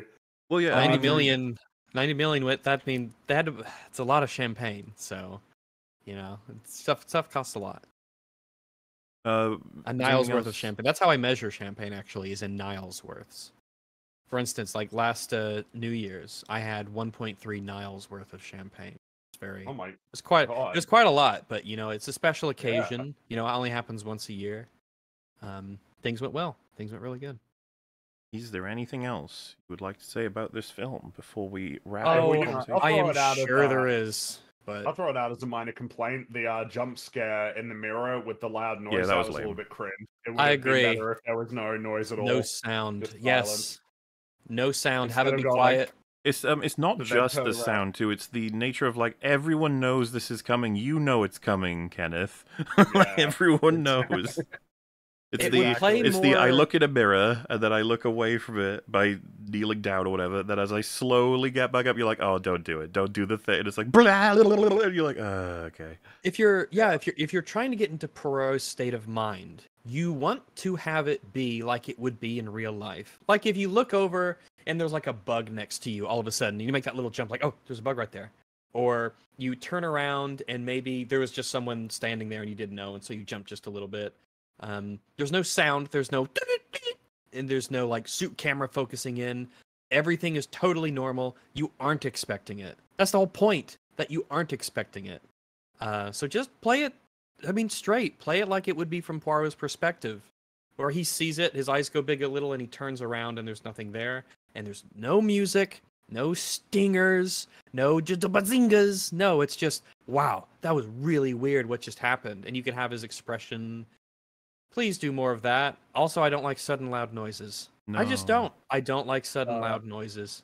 Well, the thing is, is it's it's um, I uh I recently rewatched The Shining, um, which has fucking excellent sound design, and there's a lot of uh, there's a lot of I guess what you could call like loud noises in there, but it's it's kind of like um, there's a difference between doing the whole silence and then like suddenly a loud noise versus the soundtrack and like sound design throughout the film has like these sort of um Hmm, not sure like how I would describe them. You you know what I mean when I'm talking about like the the music in The Shining, how there's a lot of like weird, disconcerting like strings uh that come in and out of it that are constantly like, oh geez, all right, I don't, I don't know about that. Uh, that don't make me feel comfortable. Uh, those sorts of things. Um, as opposed to the much more conventional silence, silence, silence, and then you know, and then just back to normal. It's kind of like at this point, can we stop doing that? Everybody knows how it works. Everybody an knows annoying movie get really thing. quiet. Yeah. It But, makes me um, think of your movie as a movie and not like the story experienced. yeah. Kind of, it for that moment, it kind of pulls me out of it, and I'm like, uh, don't do the movie thing. I, Because it, it's it does- and cheap and, and, and easy to do. It's the same thing. It's the problem with like modern horror generally is that it goes way too much on the, the guaranteed sort of physiological response to stimuli. Like it, it, horror is gore and jump scares as opposed to unsettling or Mhm. uh, like super even, even like the, the vague supernatural things in, in, in this film which get you sort of uneasy in yourself which has got much more in common with an old style ghost story than it does with what a lot of the modern hor- horror genre, uh, words horror genre has become. Um, I, yeah, slower paced, quieter, and actually be clever about what you're doing, and don't just say, "Ah, it's disgusting, therefore it's horrible," or "Ha, made you jump, lol." That's not. well, yeah, it's very uh, scary. It's not. It's not like you earned any. It is. It is normal. It means that your brain, your body is working properly. When if you hear a sudden loud noise, you kind of like jolt. That's just like. That's just something that you do. It's not. It doesn't mean that you were scared. It means you were startled, which is a very different thing. Yeah. Mm. And it's just it's easy compared to the idea again. If you think about a film like The Shining, right, the gradual building of uh, a sense of unease turning into like a persistent sense of dread. Um, it's yeah, it's uh, it's it's it's lame to just do like the which I guess is interesting because generally this film does do a good job of um building a sense of uh, unease uh, but Mhm. it's it's a much more like natural and and uh, I guess Well- you know for lack of a better word, a likable sense of unease. What's funny That's why it stands out. That's me. well, yeah, perhaps that's an equally uh, the weird thing stands out. sort of nitpick level. Just eh, I didn't like the one obvious use of CG in the skeleton that reveals the bees. It's I would like, say, yeah, just looked Yeah, bad. yeah. and it's like Did- did couldn't what? get like Just kill, get, just like get just- a real skeleton, but not real bees. Yeah, You don't get a to real bees. child. Yeah, just kill a real child. kill a and real child. bees and You have to wait a know, few hundred it. years to make sure it rots the right way. You know, I'm just saying, make sure you get it right, and I then bring everyone like, back. um, I feel like you need to to maybe help with like making better horror films. Obviously, there are there are great horror films, but there, there's a lot of there's Uh, yeah. damn there's a lot of bad ones um is for people to think about films that aren't uh i guess what would be conventionally considered horror films that have scary moments or scary imagery.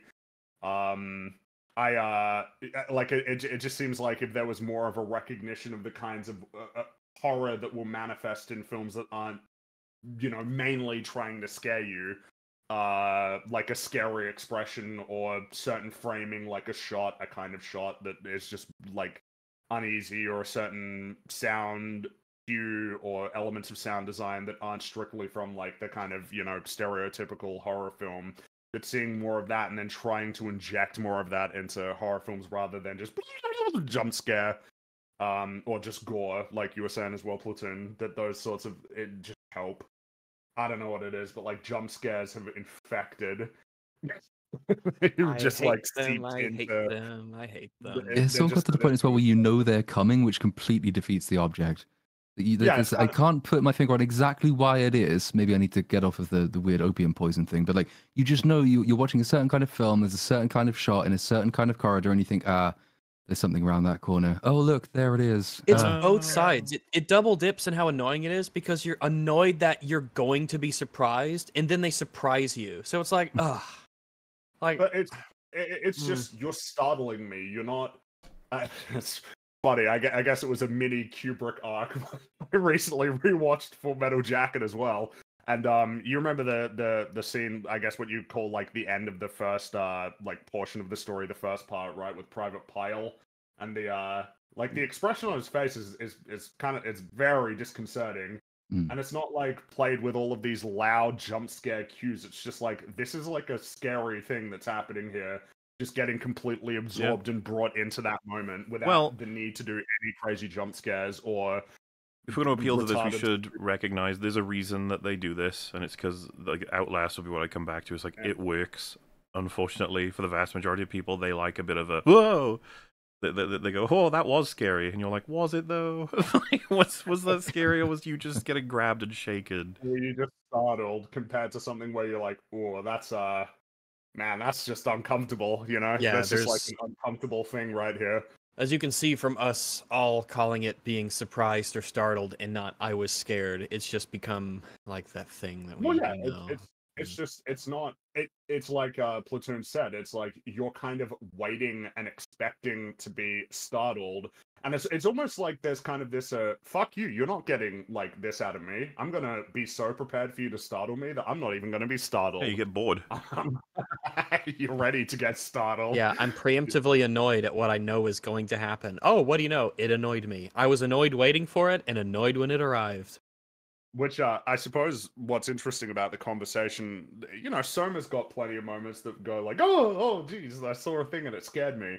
Um, but I'm obviously much more amenable to uh to. I don't like calling them jump scares because it's so negative a connotation attached to it. But I guess being startled in Was, Soma, um, you know, when you run over my and there's a. Amnesia Soma videos, I think. I can't remember if it was those or if it was the Machine for Pigs ones, but the natural jump scare versus the prepared one being the big room, lots of fog. There's a creature in here. He's on a normal rotation of his own Well, programming. Descent. You have to find your way to get around, basically. If you are running, you turn a corner, and there he is on his very natural walking cycle, and you create a jump scare by doing that, like that to me is top tier jump scare. That's not Yeah, you know, a That's just how cutscene that be. starts up. Yeah, that's just that is it. There it is. You've just jumped into something and you are scared of it. It's like that is the best kind of jump scare possible. I think. Hence why you can have a similar. you want to um, have that like, happen because it's terrifying. So when you force it to happen by locking, say in the flash. game, you, it's like make Uh-huh. sure you know move this thing that's in your way, and your character puts his hands on it, goes ugh. Ugh, and then some guy grabs you, goes, "Oh, no, no, no," and you go, "Oh my god!" It's like, yeah, that's a joke, and it's like, ugh. It happens in a lot of games that aren't even like spooky, where you'll be playing a game and your little soldier man's running around, and you could just you'll turn a corner or you go in a direction, you don't notice like a horde of enemies or a horde of something, and you're like, ah, nope, and you just turn around and go the other way, and you're like, ah, different on the same level, but it's the you know the same concept When- of just that's what would happen. You you look or you look over and you see a bunch of bad things, and you nope out of there In, because uh, like in- ah. Outlast, when you like, there's a part where the floor's given way so that you can only shimmy across a very small amount that's across from, like, it puts you in reach of a whole bunch of prisoners in cells. And you can start moving. You see some of them aren't moving at all. Some of them are kind of close. Some of them look unhinged. And then the oogly boogly man grabs your penis, and you're like, "Oh my god!" And he's scary, and you just go, "Oh!" Oh. oh the camera shakes, and you fall over. And I'm just like, "Yeah, I knew that. What else was gonna happen? You guys don't do anything else. You just go oogly boogly ah." There's um, we- is it the basement in The Last of Us Part One. That basement is it the hospital basement? Like it's all flooded. It's really dark. Oh, that's um, two. it's Part is it- two. no, because I've not played Part Two. There's definitely a Oh. basement thing in Part One. I think Oh, you're yeah, right. it's- there is, there is, yeah. And that that always sticks out as a fairly good example of what you're talking about. Like you know that there is some horrible dark shit here, and you know it's going to fuck you up in some way, but you don't know precisely what or when. And it's the dread of anticipating it which makes it horrifying more than the actual, you know, being mobbed by Yeah. giant mushroom creatures. Like that's a pretty good example of like uh, diegetic so- jump scares, I guess. Well, the But Descent has a really good one. The first time Oh, you yes, uh, you yes. meet the the Crawley boys. That might um, unironically be the best movie jump scare in history. I think Yeah. it might be. It's it's it's kind of my go-to for just perfectly executed one.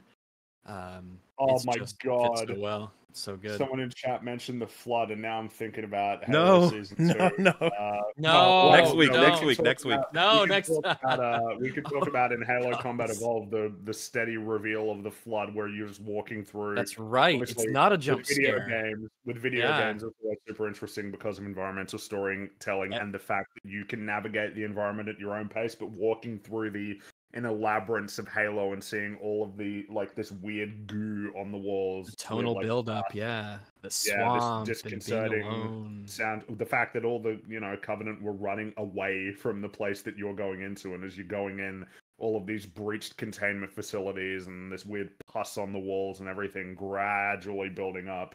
It's really it, it's patience man like it's seriously you will There's a reason rewarded. why we remember it when that game came out like 36 years ago, and we still remember how we feel when we play that and why it works even on a real replay, where you get that appreciation of, oh, we're like playing a different video game now. yeah exactly Okay, it's a all right. twist Oh boy, I and sure do love Halo.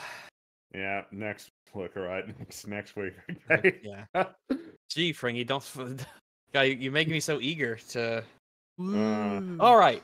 No, it's good. Well, it's gonna be great. Look, Um, it's fair. We talk about something we like, and then the next week we talk about something that we despise with every ounce of our soul. It's just uh, A little bit. It's it's nature, you know, balancing everything out. It's give and take. mhm. We there's probably a lot about there is a lot about a haunting in Venice that no doubt we have skipped over, didn't talk about, haven't it hasn't come to the forefront of our minds as you know, as we have these pretty much these ambient, mostly unguided uh, discussions. There's a lot of stuff in this movie that yeah we just haven't brought up.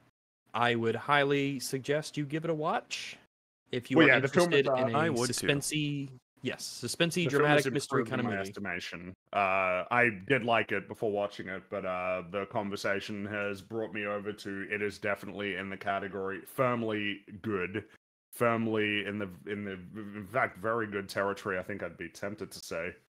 It's uh, I would it's say just, it's it's quite impressively good, yes. Yeah, it's uh A lot of work If went into a that movie- screenplay. Absolutely. It's just you're just full of appreciation for it and you're so glad that it exists. As I said, not just as a foil to those god awful Rian Johnson movies, but it's it was just a really fun experience to watch the movie. Um, I'm actually going to be curious. I've, I've recommended it to my parents, so I'll be curious what they say. Because you know, with people's parents in movies, sometimes you it's the grab bag of who knows what. So we shall. Um, we'll see. We'll see. But good stuff. A haunting in Venice. Let's hope the next one is a real banger. Yeah. I hope it is. If there will be another one, which it seems I like hope there probably so. will. I hope so. And now, for the first time in a while, perhaps we should uh, we can we can read some super chats since this What? episode is not quite as long as uh, as it can be when we're talking about something that's absolute shite. Wow, a live super chat. This takes me back. This takes me back I mean, to crazy. me, they're all they're they're kind of live to to us in a way. in a way. This is a, huh? Wow, Yeah. I like this. Alright, Reminds well, me and, of and of course, I want to give uh, a chance to Yeah, Mr. Platoon if he would like to um, eject, since this is a uh, an intermission of sorts. Completely up to you, sir. Unless, of course, you had anything else to say about a haunting in Venice as well. Um, no, I think I'm going to give it a second watch. I think I was probably slightly cooler on it going in, but actually, this well, it's the great thing about being here is that you learn things about it that you didn't pick up on. So I think I will go and give it a second try. But um, very much enjoyed it. Yeah, but no, I, I'm happy to stick around. It's EFAP. You can't quit after That's less right. than three hours. That's just That's wrong. right. and That's some right. people do. They end up in jail. It's great. Mm, Well, then, I shall get started. The first uh, message is this is what I love about EFAP listening to four men talking about playing with their chickens. True. yes. We have a bit of a, was- you know, expectation play of that, and we didn't want to um, upset anybody by not including it. Boy. Love chickens. Mm-hmm. More Stellar Blade is a Mhm. girls' game. You should have played MGR. The main protagonist, Raiden, is a man. Or Raiden, right? Is a man. Probably say. Probably also high dog. Hi. Oh, well, Raiden is the one from Mortal Raiden Kombat. Mortal Kombat. Raiden is Metal Gear Solid. correct. Raiden is Metal Gear Solid. Yes. Yeah, And That's right. And he chops him up with his sword. I have played goes Fight- spicy, fight- spicy. uh, wrong. Revengeance, right? Rising Revengeance is that what it's called? Yeah, Metal Gear Rising Revenge. It's a Great fun- name. fun Um. Garbage title. Metal Gear Rising Revenge. I played a bit of it. I should play it again someday, like to finish it or You should whatever. play it 'cause you gotta you gotta see Armstrong. You gotta fight Armstrong because part of what makes Well, games for you having missed out on the Stellar Blade demo came out. It was great. It's Okay, actually like not bad. Uh, well, I saw uh the the state of play. They showed some gameplay for it, and it's like, yeah, it looks like a sort of fun Devil May Cry esque action it's game. not just boobs or ass. Yeah, So, yeah, Good. It's also ass. Yeah. It is also Just in, thing in stuff. Raiden's defense, I think it would be really mean if, if everyone's association of Raiden was just revenge and whatever the fuck it was called. Also, Sons of Liberty, which is the actual good Metal Gear game that he's in. Oh, Oh my god! Wait, so hmm. wait, what do you think of Metal Gear Solid Four? I don't know if I've played four. I, in 'Cause, see, fact, I I don't think I he's- have. I believe he is in that. I see. I don't think he was in five, which is the one that I played. Uh, he was in Ground Zeroes as like pre-order uh DLC. I remember that. The, the Oh. you remember Mhm. Ground Zeroes where I they charged do. like forty dollars for a. oh no, wait, they reduced it to thirty, but it was like three hours long. In fact, I think I'm overestimating its length. I think it was shorter than that. Now that I think about it. Um, Opinions on Smiling Friends season two premiere. Oh, Haven't seen it yet. I really enjoyed it. I thought I it haven't was seen it yet. I got The ending joke with Mr. Boss. It, Wait, wait, it- wait! I haven't seen it. I haven't seen it. I won't say it, but It it, was- I the really, joke was funny, right? it was I know. I want to funny. experience it naturally. Really, you're like spoiling uh, that there's funny a jump scare. It was, it was it was really funny. Uh, it's a good joke, and it was a good episode. I enjoyed it a lot. I'm really excited for season two. I'm I'm a big fan of Smiling Friends. Right? Yes. I'm I'm very impressed by it in general. Would like lots more directly injected into the brainstem or whatever. It'll be great. Mhm. Um, Yeah, that would make me oogly goo. hmm Now let's be real. The chat is guilty of being epic. Also, MauLer, I believe I deserve a banning now that I've subs- uh, subbed in double digits. Oh, they mean because of the Hassanok. This is actually a reference to. No, once you get to triple member digits, that is, uh, we don't just ban you. We we hunt you down and kill you because that's it's just Yeah. inspired by Hassan himself. Working class Andy. Yeah. Th- th- For an update for Yeah. anybody who's not aware of this in the E EFAP fandom, he's been uh, losing his mind because his audience is shrinking and nobody cares about the creative things, according to him, that he wants to do. Um, he's very angry that there are subreddits that make fun of him for losing. Uh, What, what in, in a mind like Hassan's, what constitutes a creative thing? I don't know. he went out and I don't swam. He swam so- in, in some some Swum. place. Swum. Yeah. Well, like he Um, jumped in the water and, and did like some like freestyle or something. Yeah, there's a, an exchange where someone suggests he should go out in the water and swim, and then he says, "I fucking did that already." It goes to show none of you pay attention to what I'm actually doing. It's, uh, just like, Man, okay. he, he is like really big mad about uh losing viewers though, isn't he? Jeez. Yes. Didn't he start a? He's starting a podcast with iDubbbz or something. Uh, like man, uh, you had a the amount of videos about like, the fall of Ida. like, dude, I, some people don't even know. He was once upon a time the most invincible person on the internet. He could literally do anything and he'd be fine. Like, uh, iDubbbz could be the poster child of Fall from Grace. yes. Mm. I suppose Boogie has that title, right? It's kinda- Boogie's Boogie's Uh, Boogie's sort of so, yeah. there, but because of iDubbbz was just like super funny, edgy. People were constantly quoting him. The memes and the gifs were all over the place. You had the content cop stuff. He was just this kooky, crazy guy that everyone liked. And now things are different. Um. So, ugh, ooh, e, oof, not good. Uh, main villain of the Deus Ex guy is a n- guy named Bob. uh yeah, Page. Hmm. Good. That's right. Could be He's- William, he's a right? wacky guy. William Page. Well, I guess if you full name, yeah, I suppose. Will I am Page. Hmm. Uh, quote, spiders are like weird oracles, Jabo Ragsons. Interesting. There's some wisdom in that. Oh, I thought of a wise thing Ooh. uh, the other day. It was sometime yesterday. I forget when. I was thinking, and I had a thought, and my my nugget of wisdom was, you cannot clean your butthole if you clench while you wipe. And I thought, hmm, there's a lot of wisdom in that. All right. The more you tighten your cheeks, Tarkin, the more shit will slip through your fingers, like that kind of thing. Something like that. That's I think okay. I think that is a really good phrase that a lot of people can draw something from, and I'm gonna leave that there because there's a lot of there's a lot of wisdom. themes. There's a lot of wisdom in that. A lot of themes in. When will we That's a get EFAP. Gaming Helldivers 2? Hmm. Not I impossible. don't know, but I'm definitely down for it We because I'm a big fan of Helldivers 2. We have Fringy, MauLer, myself, some others. We have played the Helldivers 2. Yeah. Rather I fun am game. definitely I'm definitely down for the Helldivers EFAP gaming. Hey guys, I'm turning 21 tomorrow. Gonna try some alcatisms. Wish me luck. Ooh, Good you'll luck. Have plenty of fun. Congratulations, you made it to 21. You avoided death You for did it. 21 years. Hooray. Good job. Yeah, good job. Have fun. Fringy Soylent Green Goo is people. It's people. Spring, is this true? it's not. Nope, Okay, okay. not true. people? I'm glad you addressed the allegations so quickly. Mm-hmm. we have it on record. Definitely not people, but They Not are not people. Shout out to Ross Scott's efforts to stop games from getting killed. If you purchase the crew at any point, do your part to help stop games from getting killed.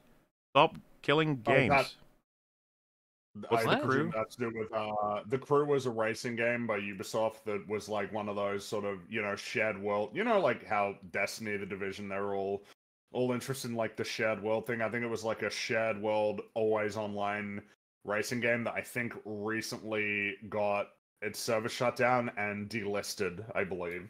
So I presume maybe it has to do with like the idea of making the game still available or something along those lines.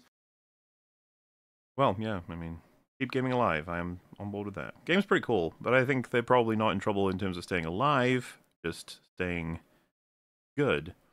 Uh, Uh, it's just game preservation is starting to become a big Oh, yeah, ol', that. uh, part of the conversation, especially with always online games. uh, my GF and I just broke up. Thank you for a very welcome distraction. I'm sorry to hear that, man. Uh, sorry to hear that, dude. Yeah, that's uh, that's all right though. That's yeah, it's it's, it's what happens, you know. Part of the thing it's- that we're able to do, escapism. part of life.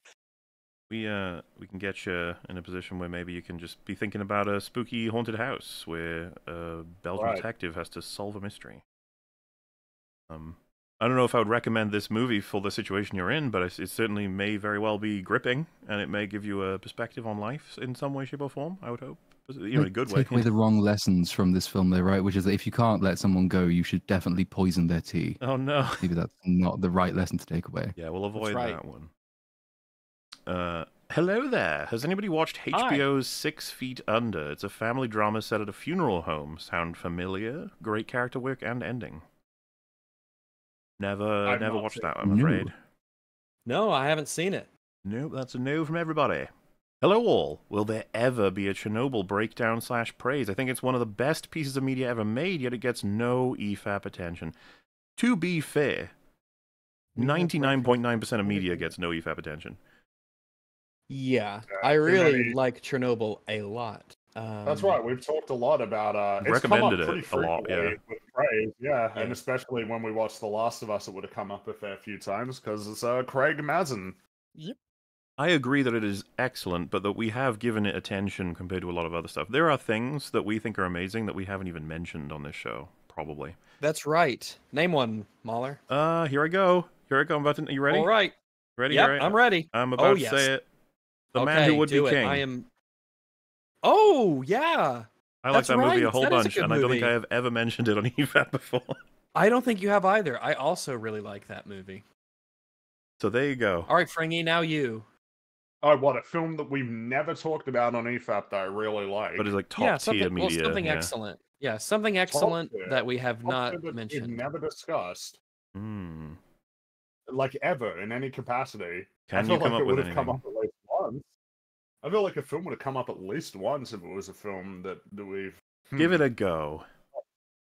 top tier film that we haven't really discussed at all. Uh, Can games be are games? Uh, Sure. TV shows, well? games, whatever. I, I mean, have we ever done like a full blown? Have we? How often have we talked about Super Mario Galaxy? Because I love Super Mario Galaxy. I'm sure you've mentioned. We've definitely covered videos covering Mario, Mario Galaxy. So referenced, right? Yeah, definitely. Uh, right. I mean, it's not. We're not That allowed wasn't to. I'm surprised that Mario's when jump. tasked with doing something obscure but great, you went with Mario. It's- Hey, look, all right. Super Mario Galaxy. It's a great. Okay, but give me rags. You go while I think All right. of a, example. Um, I'm not sure if I ever mentioned it. Let me double check the name though. Uh, All right. While you're doing that, little platoon, what do you, have you got? What, what have you never referenced but you simultaneously think is excellent? Um, using the word excellent very broadly, there was a film on, I think I put it on last night, it's called The Night of the Big Heat, I think it's called. It's a horror film ish um, with Christopher Lee. I think it's a Hammer film from like the 60s. Hmm. I say excellent advisedly. It's more one of those moments where you get to the end and you think, what the fuck was that about? Because um, the basic premise is that these alien creatures have somehow beamed over via satellite to Earth. The temperature is rising, and these people have to try and kick out this plan to stop them. Um, and they fail. But at the end of the film, it just starts raining, and the, the creatures die. And you think, well, but that was bound to happen anyway. So what? What was the big drama? Well, and it was one of those sort of things I just sat there and kind of laughed at. And in a weird way, that's fun and excellent. So I'll, I'll nominate the Night of well, the Big Well, since Heat. you saw it last Uh, night, that doesn't really. the point is I, that uh, It's been out since the '60s. It's I been see. it's been around for ages. I've thought about a uh, uh it's a it's a it's a game that I think I may have only referenced once before, but it's uh it's it was it's called Road Trip Adventure on PlayStation 2. I don't know if I'd say it's excellent, but I remember really enjoying it, and I feel like that's a game that I've never seen get talked about ever. there you go. Like, That it's, works. It came out. It's uh, it it was fun. It's uh, it's it's like a world where there's it, it was cars before cars and interactive. Ooh. Yeah, the cars didn't have like eyes or anything or mouths, but the cars were alive and they lived in a world that was like constructed for Mhm. cars. And you would drive around and go on adventures in this in this world, and it felt like it's a really big open world. I'm not sure how big it actually was, uh, but yeah, Um, Road Trip Adventure on PlayStation 2. And Rags, what have you got? Well, I think I've mentioned Elite Beat Agents. I think. Uh, how about Masquerade, the 2012 South Korean movie directed by Chu Chang Min? I really like that movie a lot. I don't think we've. I I don't know if I've ever mentioned it before, but it's a movie I really I really like. I think that counts. I don't think you've ever referenced it in a way of like a point of praise or criticism to something else. I don't on the E EFAP at least. I don't think so. Yeah, because I can't tell. You never know when things just get offhandedly remarked upon as existing. Um, I think I've talked about um, the Princess and the Goblin, the 1991 animated movie that I watched as a, a young lad that I, I quite liked a lot. There is. I have mentioned Little Nemo Adventures in Slumberland, Mm-hmm. which will be a part of a future EFAP arc, Mm-hmm. but that's all. That's all I'll say. Um, Mm. I think I have meant. I'm trying to think of like, um, what about Final Fantasy Tactics Grimoire of the Rift, the the DS uh, Final Fantasy game? I I quite liked that a Uh, lot. now That you're making me think of uh, another game that I think I've never met. I really like Pokemon Mystery Dungeon Blue Rescue Team on uh, Nintendo DS. I never really played like that game. those. I never played the Mystery Dungeon ones. I don't know anything. It was fun. It had like a about them. story where you, you were a human who became a Pokemon and you lived in a world like it was a Pokemon world. Kind of funny how it's unified. uh, You know, the first game, it's like, yeah, it's a world where the cars have a little society. Uh, and in this one, it's it's Pokemon. They have their society, and you go on an adventure, and you discover you you untangle a mystery, and it's it's really fun. Okay. Uh, I really like Blue. Uh, yeah, uh, Blue Pokemon uh, Pokemon games getting getting bold, trying to have a story. Huh? You just about make me think about the story of like you growing up as a Pokemon or whatever, just get around collecting whatever you need to live and stuff, and then some guy comes along with a creature, beats you the fuck up, and captures you and forces you to fight other things. It's like, no. Well, Yeah, think about it uh, from this perspective. What if you are the lowly, you know, Pidgey or Caterpie, the level two fucker, and you're just like a Pokemon trainer's first Pokemon that they catch, and but then over time you grow up to be this really strong, powerful Pokemon who's got like fame. Because in the world, it would be that Pokemon would be basically as famous as the trainers a lot of the times. So you would go from just living in the grass, just being a Caterpie or whatever, and then you you your trainer beats the Elite Four. You become a Pokemon master. You've got fame and fortune and bitches and all that stuff. And it's like this from zero to hero journey from the Pokemon's perspective. Uh, that you know it, that's certainly a way to look at it, but What about the really heartrending moment though, when you realize that your time is up and you've been sent to the box on the PC forevermore? oh, yeah. You've been replaced by a fucking Dude, that's sober levels because it could be simulated that It you're really happy, and it's like, are we? Where are we? What is this? Is this real? like, what I is joked real? about it at the beginning of the EFAP, but the Pokemon world is a world of horror. Mhm. really. So we just uh look, I just collect I was just buy some cards for nostalgia, man. You Yeah. know, that's You're uh, trying I'm just gonna abuse look nothing. up a Blastoise. Just gonna look at look at Hydro Pump over here. The a brutal Pokemon with pressurized water jets on its shell that are used for high speed tackles. Level Oh, fifty two, number nine. If you got hit by Blastoise and his cannons, that might actually just like tear the flesh from you if Yeah, it was really probably. powerful uh, blast.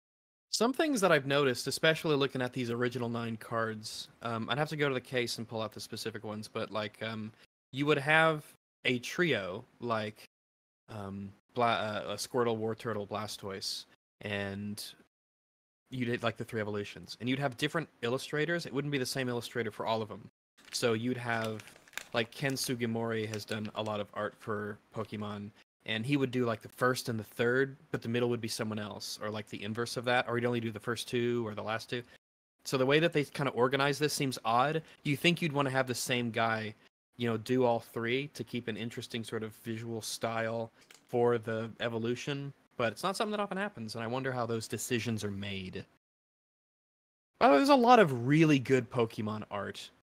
Um, I've I, while looking around for cards, shopping for cards, um, there's a lot of real. I think Magic has like the easily Magic has the best uh, card art that I've seen. But there's a lot of really cool, fun stuff because you you can't really have the same style of art on a Pokemon card that you can on a Magic the Gathering card. It's just totally different vibes, you know.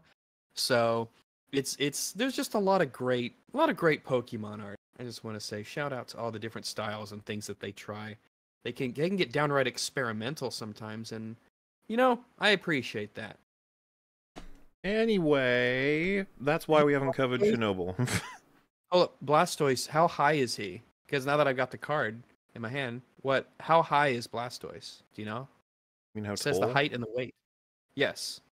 Aren't they all like deceptively small? Because everyone's idea comes from the, the, the cartoon show where they blow them all up or something. Not literally blow them up, but blow up their size.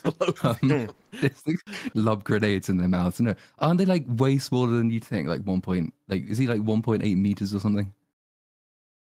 I. What is that in feet? I It has I feet and inches know. listed on the card. that's a sensible thing to use, but I don't actually know what the corresponding thing is. Let's go meters to feet. You said 1.8. Yeah, 1.8 for Blastoise. Let's check. That is not too far off. But it's too high, too tall. it's uh, it's too big, isn't it? That's five too foot big. ten. He's shorter than five foot ten. One me 1.8 meters is 5.9 feet. So you're off by a bit. Not too much, but you are off. You you you you think he's taller than he really is, which I don't blame you. I was a little surprised when I looked at it too. Officially, I'll tell you, this is official from the the 1999 original printing. So yeah, he's five foot three. Hmm. Blastoise is five foot three. He weighs 189 pounds. Pretty They're sure actually- my mum is taller than that. That's just that's They're actually right. specific. They said 188.5 pounds. So we got decimals for our poundage here on Blastoise. Good that they've done that. 188 point. It is good. It's world bu- world building. Do you know what kind of Pokemon he is?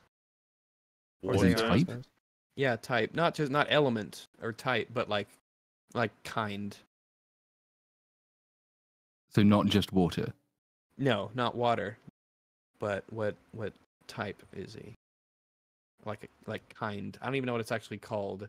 Like for instance, a I think I know what you're talking about, right? Where like the different Pokemon, Yeah, it's there, like- there was a type, but there was some other description of the kind of Pokemon that they were that wasn't. he, oh category. So like a Feraligatr is big jaw category.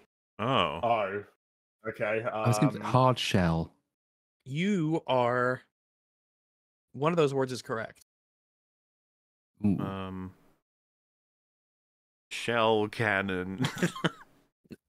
not not a bad guess. is it uh big shelled? No, it isn't big shelled. Okay, but that wasn't a good guess is then. it is shellfish. Oh, He is Okay. a he's a shellfish.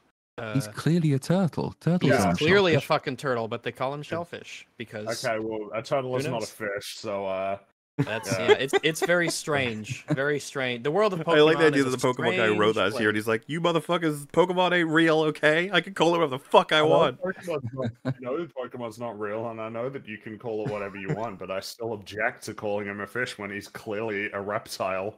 Exactly. Interestingly, Squirtle's category is tiny turtle. Yeah, see, that's more accurate. Yeah, which is like, yeah, it's a turtle and it's small. It's one foot eight. What? so Uh, what does that if make War I'm Turtle? wondering if that's uh, I'm wondering if that's small for a turtle. I guess it depends on what because some turtles are fairly small, but some of them are chongo. Wartortle's category is turtle. He go. You go from tiny.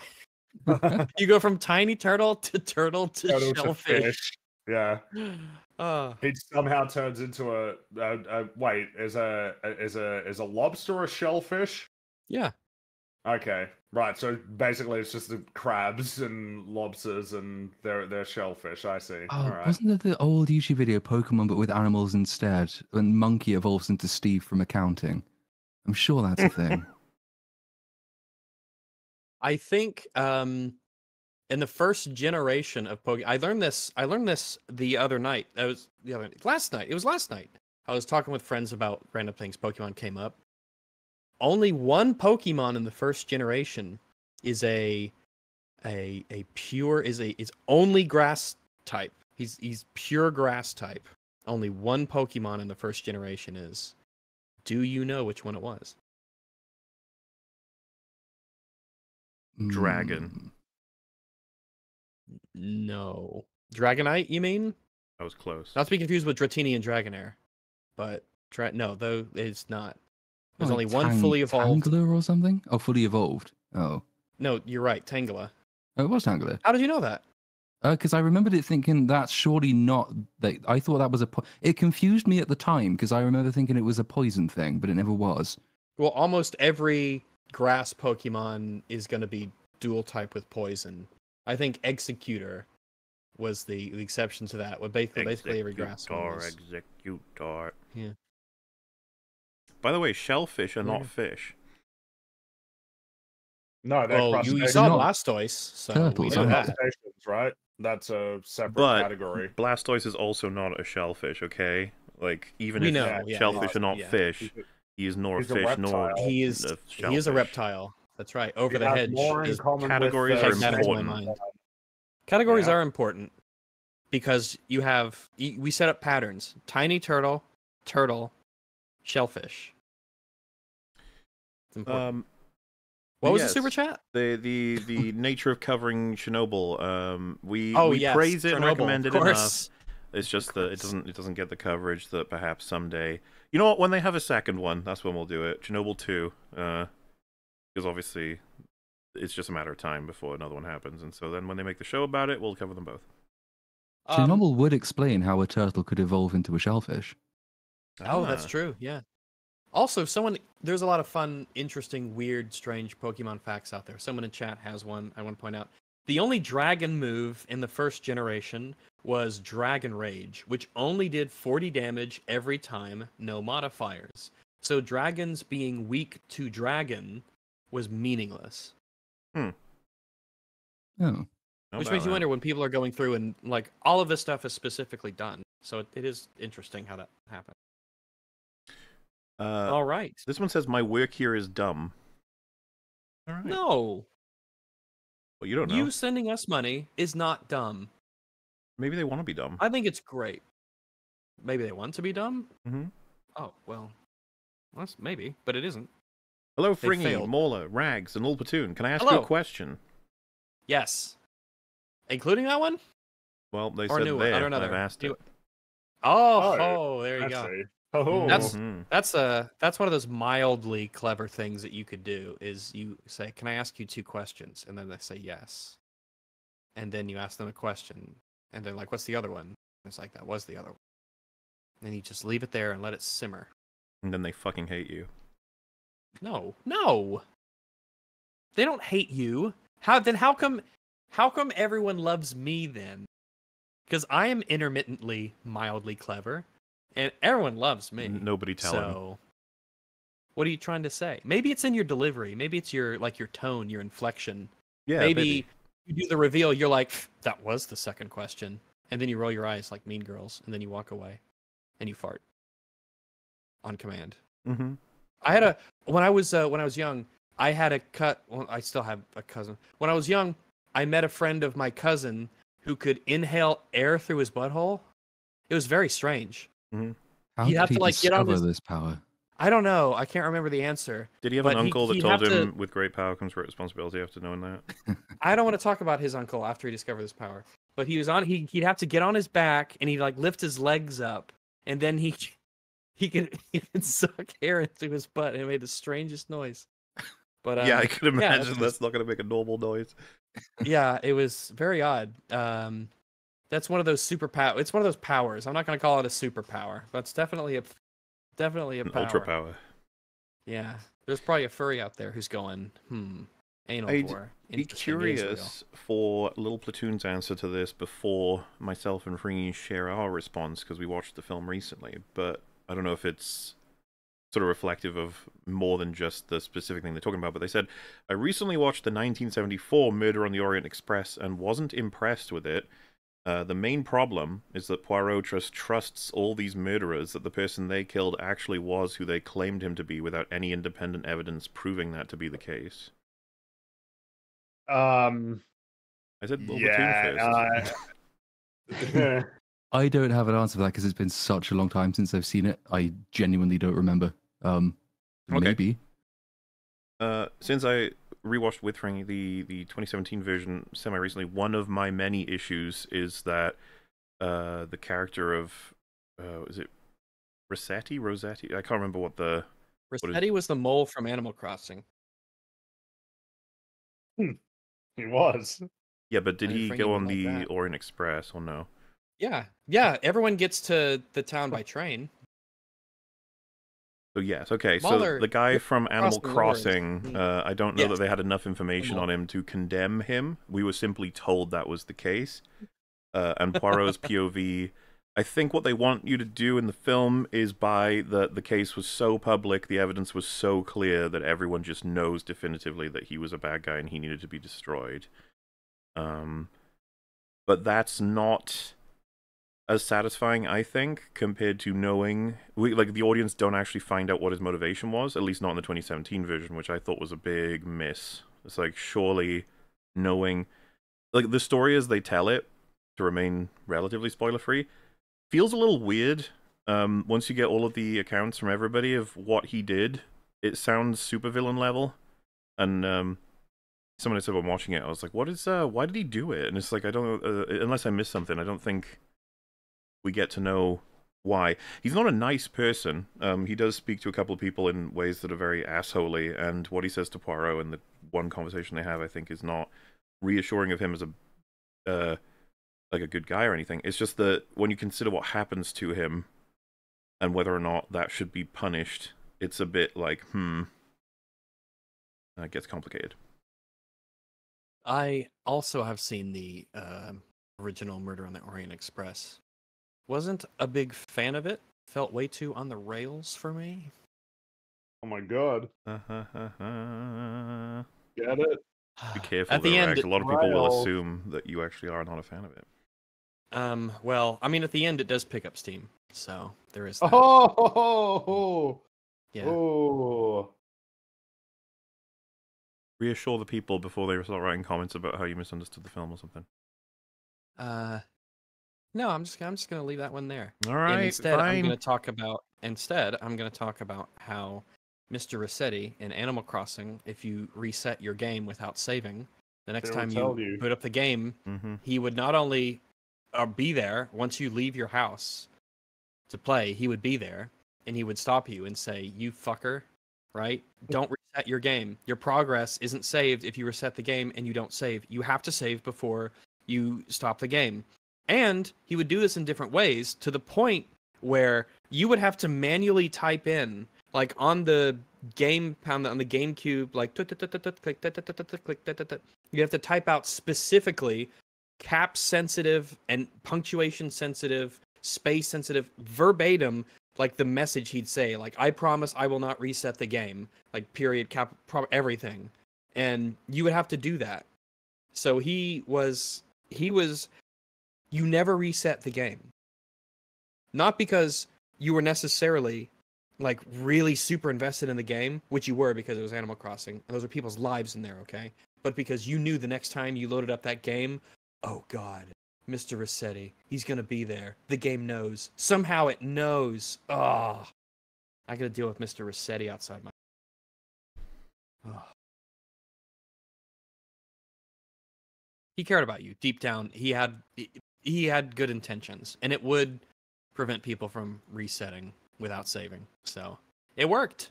It worked in its own way. They made him a character in universe to refer to like a meta thing. I, don't think I've ever seen that in a game actually.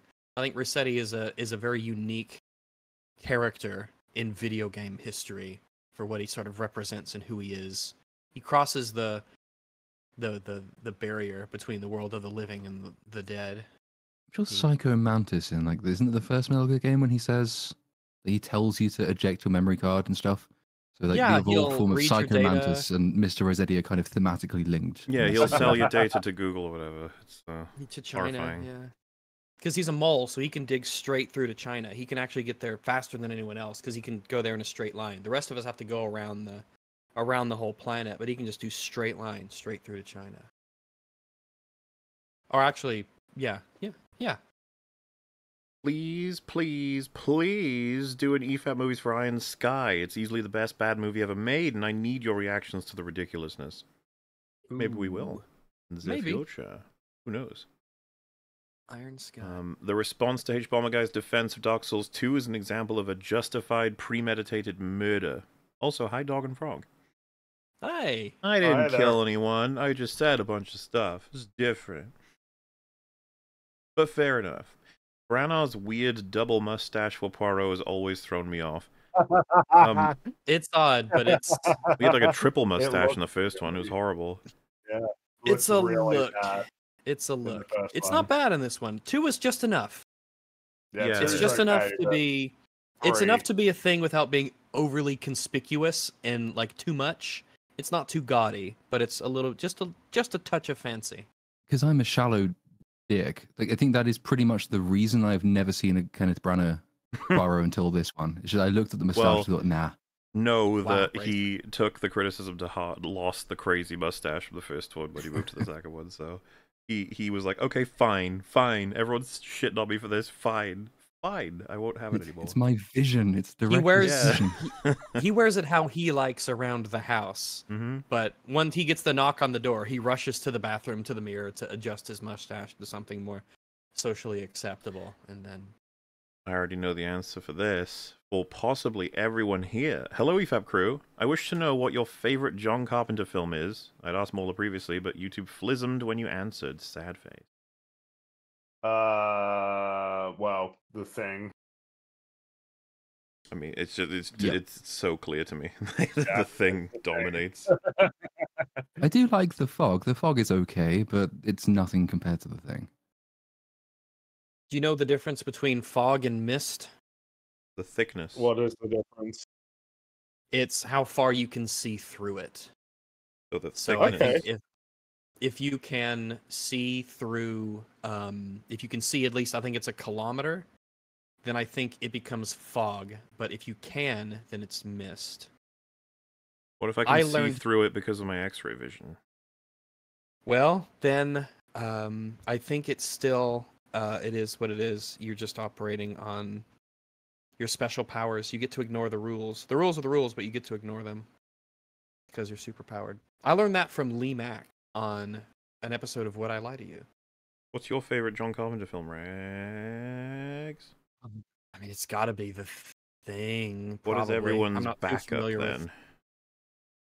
When the thing gets Escape murdered. from New York. Sure. Yeah. I like They Live. Yeah, that's fair. I'd probably go with Big Trouble in Little China. I haven't seen that, but I've heard it's very good. Yeah, I haven't seen it either, actually. I need to. All right. Do you think that whenever the the something bad happens in China, but it's not too bad, all of the people who write news articles have to resist the urge to be like big China in little trouble? Oh, I mean, they've probably done that a few times, yeah. yeah, okay. Fair enough, yeah. that's funny. That's amusing. Uh, though flawed, the Orient Express movie had a better ending than the book. In the film, Poirot is conflicted with the choice he needs to make in the end. In the book, he just makes the choice, and that's it. Still a good read. Ooh. Got some Mm. controversial Yes, Orient yeah. Express Ooh. opinions in here. Yeah, I don't remember really walking away from that movie thinking that it was like greater good or anything. I just I don't know, it just it's fallen out of my mind. I like I know I have seen that movie, but I just don't remember it ever being like, "Oh, that's a good one you should remember." You know? I don't know. I don't know. Farewell and adieu to you fair Flemish massives. Farewell and adieu, you massives of Fleam. This is uh, gay actor Michael Douglas making a reappearance. Uh, you have Flemish hands, Oh. Mr. Massive. You've been counting Grumbos all your life. That's a quote from, I assume, the film Chickpea Grumbo. I'm not sure. Um, You've got meme hands. And they, they also said, I agree with Fringy, breast reductions violate the Hippocratic Oath. Goodness. All right. I don't recall ever making any comments on that subject. Even though, as we all know, Fringy is is the he's the most sexual of the EFAP hosts. Uh, but I don't. But I don't recall him ever saying that. He It just I don't remember saying something like that. No, just I, I don't think I've ever commented on that uh, subject. smaller smaller breasts can impact the Hippocratic ratio, though. The ratio. What's that? The ratio of uh, breasts to hips. Ah, I see. Yeah, like the hip. Uh, yeah, hip. Uh, oh, Uh, hot take. If a film or show has too much good things about it, then you cannot say it is bad. Um, Uh, I'm Um, not sure what I'm not sure what that is means. that a hot take? Is it like a or is- or- quantity of good? It reaches a quantity of good stuff that it that no matter how bad the rest of the yeah, like relative to how much uh, you know what I mean? Like Is he just relative to how describing- much bad or good? Is he just describing like something that is good isn't bad? well, because yeah, or for it to have a lot of good, too much good, then there's no space for it to be too much bad. I guess like I would agree with because that. Because I I don't think Yeah. I would describe a movie as bad if it had a subst- if it had a, a sufficiently high amount of good things in it to where I thought the movie was good. Because I'm not going to say a movie is good and bad. Hmm. It'll be one or the other. But what if it has like it does good, good, good, good, good, good, good, and then it completely does not stick the landing and actually undoes all of the Mm, good. It can that be complicated.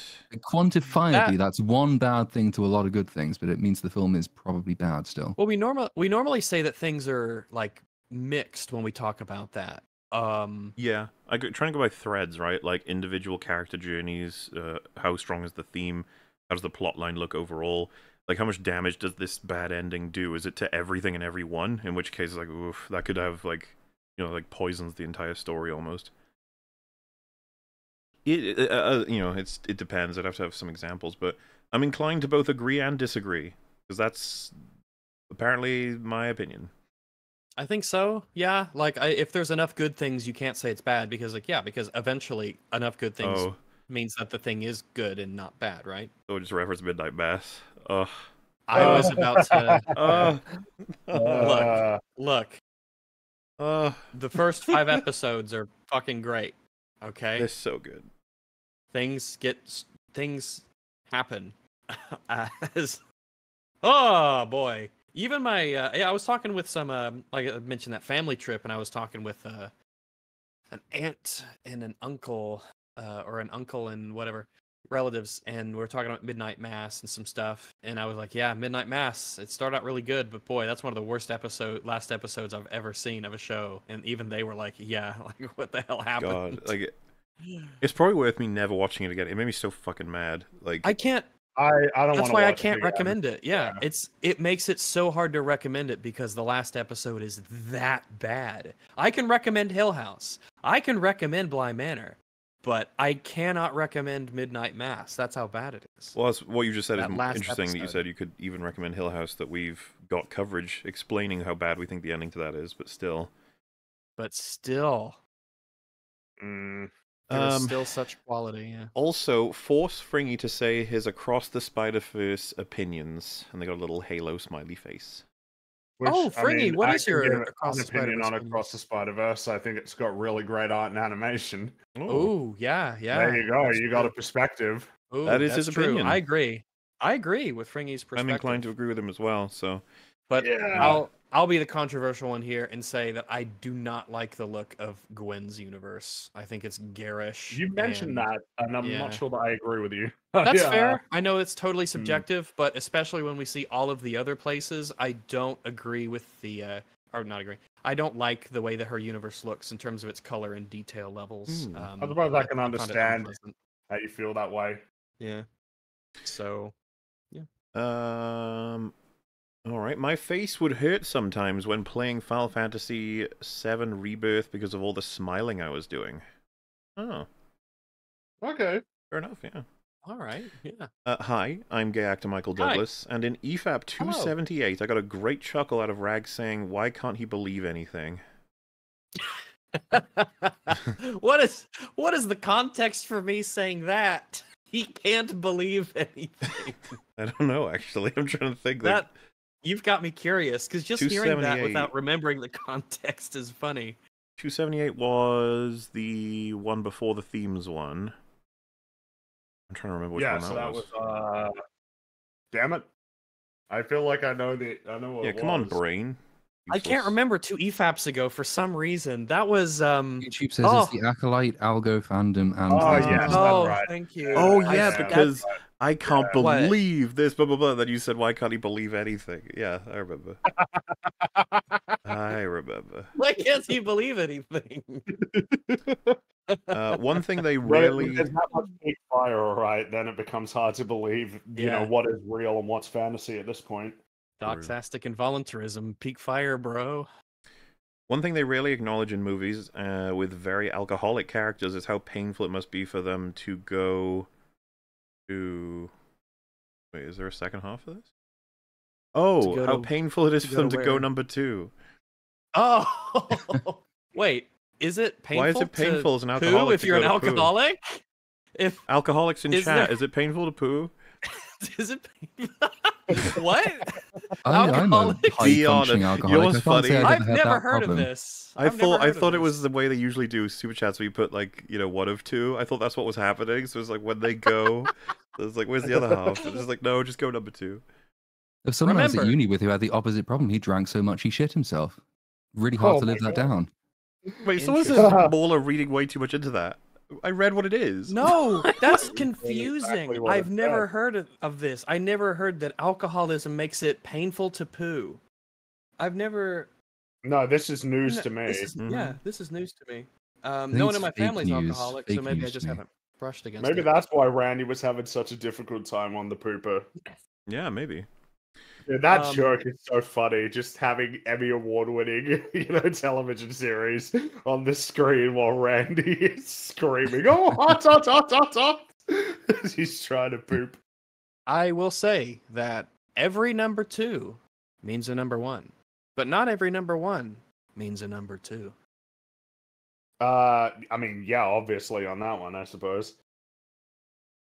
I'm sorry, I'm collecting images. We got to rate Sceptile and Weevil.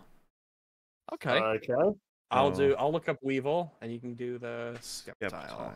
Hopefully that image works. Weevil, I believe, is the first gen. Oh, I know him. Yeah. So No, here he Weedle. is. Three. Gen three. That's yeah. Weedle. No, Weevil. Weevil. Weevil. Yeah. Oh, Weavile, like he's like a jerk. We Weavile. Because Weedle's the cute little caterpillar thing that turns into Beedrill. Yeah. Oh, this is. guy. I, Okay, I yeah, don't know what a get- Weavile is, so I'm guessing it's after Generation 2. I'll show you this. Wait, I, this uh, one seems familiar. Like we've I like really this enjoy how before. smug. I really enjoy how smug uh, Um, he is. I gotta go with what's the first one? yeah, I'm going with number Uh, one. Sceptile. Or, yeah, I'm going with Sceptile. I Sceptile. like it. Look at that. Look at his face. Look at his like, face. "Eh, He's got an I know expression. Things." Yeah, the the second one is a bit anthropomorphic for my taste, and not in a way that I like. Like Meowth is my favorite Pokemon. Um, Yes. but I feel like Meowth is like special in that they're most humanish in disposition and kind of like expressions and stuff. The bottom one looks like like the face of every animated movie cover, you know that ex- that that smug confidence kind of thing. But the first one's a mood, and I like his I, I don't know. I like him. I like the big I fluffy. like his mood. I like the spiny tail. I like how he stand. I like his proportions. I like his face. Sells it. I, I just I It love the is, face, and the bottom's like, oh, He's you're the. so eh. smug. I love it. I really like it. I want to Well, see what are. what is what does he come from? He is a He's Greek- Sceptile. Greco, Greco, whatever. What's the? That's the. He's Gen three starter Pokemon's. Oh boy, you can start out with this lad. Well, he. Well, you don't start with him. He and he's like. oh yeah, you know, he's a, uh, oh there's a mega Sceptile too. So he comes from. How do I from Grovyle, final form of Treecko. Oh yeah, I've seen this guy here. He starts off as this. yeah. I like right. that. I like him. And then he turns into that. Yes, which is another good. Look. I like go. him. It's almost like raptory. He's almost like a like a raptor with the wings I on his little. uh, I like the Gen three starters. They're cool because you got Mudkip and uh and Torchic. Um, and we then talked about this extensively on one of our Yes, super chat catch ups, talking about a lot of the starting Pokemon for many generations. So some of them Yeah. really good, some of them really bad. pretty bad. Yeah. So mixed bag, but I like th- I like it a lot. Yeah. Uh, we got an extinct animal of the day. Uh, Woo! Macroeuphractus, the killer armadillo, and this is an artist rendition. Uh, yeah, there you go. Uh, Oh my goodness! look at that guy! Look guy. out for I him. wouldn't uh, get you. wouldn't want to step on him. Looks like the Like- kind of thing you have to kill in Fallout. It's like a, an armored mole rat. A mole rat with armor, yeah. In brackets, they've called it Armakillo. Armakillo. Yeah, that'd be Um, fine for a oh. fantasy setting. um, actually, someone has just sent me a message. Alcohol keeps your body from releasing vasopressin, a hormone that helps your body hang on to fluid by preventing water from going out in your urine. Damn. Less vasopressin l- means you'll need to pee more, but when your body gets rid of more fluid than normal, that can make you constipated. I see. Ah. Okay. We know the lore. We Then I the agree with the super chat. They need to portray that more in media. Very true. Um, this one says, "I love Nathan in South Park. That face." oh yeah, that's uh yeah, that's right. He uh he's very smug as well. You remember him, right? I don't. I don't think. Shut up. Shut up, Mimsy. Oh, that. Yeah, Yeah, yeah, yeah, yeah. yeah. I got Yeah. you. Um, Um, by the way, because our extinct animal of the day was the killer dillo, um, this was posted on my server earlier. This is a this is a pink fairy armadillo. Huh.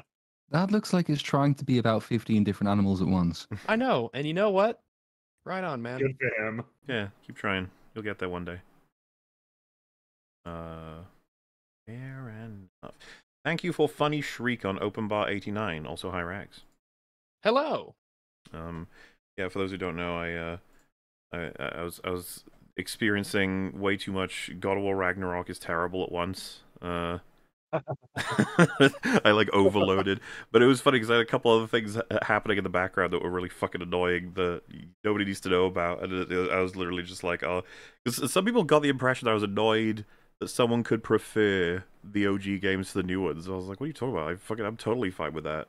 It completely makes sense, especially God of War 3, of which I have expressed many times that I love. Um, but yes, I think that got made into a short on the highlights channel where I was just Yeah, yeah. it's, it's only that. so many times we could see this, hear the same thing over and over and over and over again. And you're just like, ah, here we go again. um, here's five dollars. Now, can you please do your Thanks. iconic Gwimbly dance for me? What? Yeah, here, just like let me so the, like my headphones are up. Let me do it. I gotta stand up for it. All right. So I got I gotta make a little bit of make a little bit of room. Gotta move my. my I feel like he is actually doing a dance right now. Yeah, I think so. All right. Okay. Well, You can hear it. There you go. That's the Gwimbly dance. like while you do that, your foot's got to be back, but you can't look. He's even teaching you how to do it. You gotta you gotta turn back the other way like this. Then whoa, just to just to give them about. Gotta stick that out right there, and then you spin. Then oh, You wrap up right there, right where you started. It's it's not, and there you go. That's it. Good stuff. I'm gonna give that a six. I've seen better. I think. Yeah, it's really good. You've probably seen it uh, before. You just didn't know that was uh, what it actually was. I think that was just a That's really consumable way to learn how to do it, good. which a lot of people do need. I- I've got a I got a thick rug back there, Mhm. Mm. Uh, so you couldn't hear the you know the tapping, but you know you you'd see it. It's in. I think that was a good Gwimbly dance. I do think. yeah, so. it, it matches up. It matches up with the way your hands move, which is really the it's, it's key. This is a message to your to my future self. You better have finished your outline by the time you read this. Also, hi Rags. Hello. Well, I hope you finished your outline. Good luck. But don't punish yourself too hard if you haven't, okay? Genius takes time. Uh, shilling for the spiritualism seance meter. Well, thank you very much. Oh yeah, yeah. Seances don't come cheap. I've hardly seen any marketing for this movie. I'll have to check it out. Well, just after you Dumbos check out DDLC. I mean, I, I do recommend it, but honestly, like I said, I only was like, I'll watch it in the background while I'm doing work, uh, just so that I get an idea of what they're up to. Because the fact that it was like a, a Halloweeny one, I was like, that could. That, I like my Yes. Halloweeny stuff. But like I said, it, it earned my attention the more it's going on. I was like, oh, okay, okay, you're not being cringe. All right, neat. I don't think I would have heard of this if MauLer hadn't, you know, Yeah, suggested no, I- that we watch it, and I'm glad he did because I saw, uh, it was in it was in front of a movie. I forget which one it was, but at the theater, in in before the movie was an ad for Death on the Nile, but I never saw one for this, so who knows? I'm trying to remember how I knew this existed because yeah, I don't feel like I was marketed about it at all. But uh maybe it was something somewhere at some point that got me to be aware of it. What's you guys' opinion on the Pirates of the Caribbean trilogy? Aren't there are there more than trilogy? Aren't there like There four, are. I guess I Five. just asked it five? until, Jeez, shows what I know. well, I like like the first one a lot. yeah, first one's great. As far as I'm concerned, it goes really good, good, uh, bad, really then- bad. Um, yeah, What's weird is that not only can I not remember how many there are, but I only remember the first one, and I think I've seen all five. But after the first one, they, in my mind, have just been like in a. They've been blenderized, kind of like all the that's kind Transformers movies. I remember the set pieces, you know, fairly well. Oh, yeah, in, I- So- uh, yeah, some of the World's things I Best and, remember. uh, World's End. Pirates of the Caribbean, um, The Mummy, and like Hot Fuzz would be like three of my top voted funnest movies of all time, probably. They they're just Oh, fun. really? Everything's so Oh. much fun in them. Are they still doing that all female reboot? Or Hope so. Uh, I think they're doing a reboot of some kind, but I'm not sure like the nature of it. I'm certainly hoping that they go through with it because boy, I, I think it's sure time for women. money. That's what I think. yeah, it's time for women pirates. It Da-da-da, I da, agree. da-da-da. I adopted a bird and named it Fringles, though it doesn't have a goo Oh obsession. God. Oh well. Also, Rags, what, what what would you recommend for first AR-15? Oh, I don't know the brands really well or anything. I mean, just uh, your standard kind of AR-15 is the way to go. Um, there's a few things I would recommend though. I would recommend that you get one that has a, a rail on top, not one that has a fixed like fixed carry handle sights and a fixed uh, front post. Uh, so that later on down the road, if you want to put on a scope or a red dot, um, you have that option. It's something that I highly recommend that people go for, uh, so that if you find that you're really getting into the hobby and you really like that gun in particular, though putting a scope or a red dot on the gun, it changes a lot, particularly a scope, with you know what you can do with it, and how it feels to shoot, and how far you can go. So set yourself up for success. Also, you don't have to pay a lot of money for a good AR-15. AR-15s are very cheap. We've had them for a long time. They're everywhere. You don't have to spend a lot of money, so you don't have to break the bank thinking like, "Oh, I got to spend a lot of money to get a really good one." It's like, "No, no, it's an AR-15. You'll be, you'll be fine. You can buy a you can buy a cheap one. It'll be just fine." Um, if you're just especially if you're just starting off getting into shooting, I highly doubt that the the the MOA accuracy of the gun is going to matter to you. It's going to be more you than anything else. But um, yeah, go uh, go for that is what I would uh, I'd recommend probably more than anything right now at least. So there you go. Oh, also, uh, it's important. Make sure you know the difference between five five six and two two three. Um, because you can put one in you can put one in the other, but not the other in the other. So make sure you know when you buy that you're buying a specific one and that you don't put the wrong you know one because one's interchangeable and one's not. So just know that. So there you go. Uh, I've got to say, the Pokedex entries you read aren't always accurate. The entries are submitted by the children who own the devices, so they are more hearsay than hard facts, unreliable narrativisms. Listen, if a Pokemon is listed as possibly being able to eat my soul, and it was a troll by a kid, I'm still not going anywhere near that Pokemon. Yeah. Um, and I get these from a pretty good site, but I, I guess it's you know I guess I think they mean in universe. They're submitted by the children who have devices, unless they mean oh. it can actually be updated by kids on the websites. In which case, yeah, that makes them useless a little bit. I feel like it would be a big element not to allow bizarre misinformation about Pokemon yeah. like that to persist in the world. And you wouldn't want to have like a children's story about how it steals your soul to be the like defining numero uno fact about it on the Pokédex, you know? Um it's like what kind of weird ass science? It's like the, the professor says, "Hey, go out and and discover everything about the world.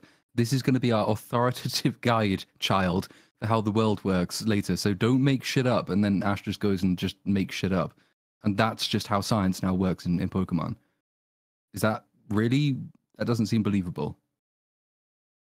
I got nothing. There's a lot of things about that. Yeah, it's I feel like the Pokemon universe started out as a fun little idea for kids and it had its games and its cards and then yet there wasn't a lot of planning ahead in terms of how does this world actually function. It just kind of goes as it goes and goes as it goes and that's just, you know, that's just kind of it. And I don't know, in a way it's it's just kind of funky and there you go. Something it's just a funky world. The funky nightmare nightmare realm the Pokemon world is.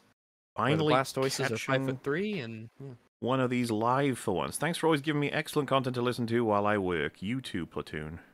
No oh problem. yeah, glad you enjoy it. You bet, absolutely. Mm-hmm. Yeah. Uh, Suchet's Poirot evolves through the seasons, starts as a cozy whodunit. The final stories are dark and challenging, and the OG actors nailed the tone shift. Good example of modern audience adaptations. Hmm. All right. I'd be interested to check out maybe some of what I consider the best episodes of the show. Cool. Uh, yeah, yeah could do likewise. That. Could do that. Funny how what we discuss as writing refers to more than what's written on the script. Uh, improv, directing choices, etc. It all adds to the story. That is true. We do often try to talk about small things outside of it, including performance, but we usually try and conceptualize it as like how it's assisting the story, as opposed to simply a flair of the dramatic or, or some kind of you know element that we just think is kind of neat that they did, we usually try and talk about why it's assisting whatever storytelling choice they're going for. Uh, the Dutch angles, for example, like I said, some people have complained about them, but I feel like there's a lot of purpose to them in this story to make you feel off center, uneased whenever we're uh, in the spookier parts of the atmosphere uh, atmosphere of the film. You know, and that's a that's not in the script. Well, I guess it could be in the script as a note, um, but it's not. like a script and writing is often used kind of as a bit yeah. of an umbrella catch-all term for you know the creative decisions of the movie visual and oral and spiritual does that mean it could just have been a really happy accident that he uses the Dutch angles all the time, and it just so happens that in well, this film they make sense, but they weren't many in, um, in uh, Murder on the Orient Express. Nope. Yeah, so I, I, think it is something he does deliberately. I remember in Thor, people talked about how the the, the, Dutch angles were yeah. for times where Thor was confused or when Thor was, uh, you know, not like like. I'd have to rewatch it to give a better assessment of this, but Branagh definitely likes Dutch angles, and that's okay. I think that they have a lot of use. Yeah, I I, I do think though that if uh, Ariadne was the one who directed the film, they wouldn't be Dutch angles; they'd be Finnish angles. That's uh that's one for the real fans. Funny. Oh wait, that's the one I read. Uh, at Little Platoon, I can't believe you spoiled the end of Poirot, you bastard. Oh my goodness.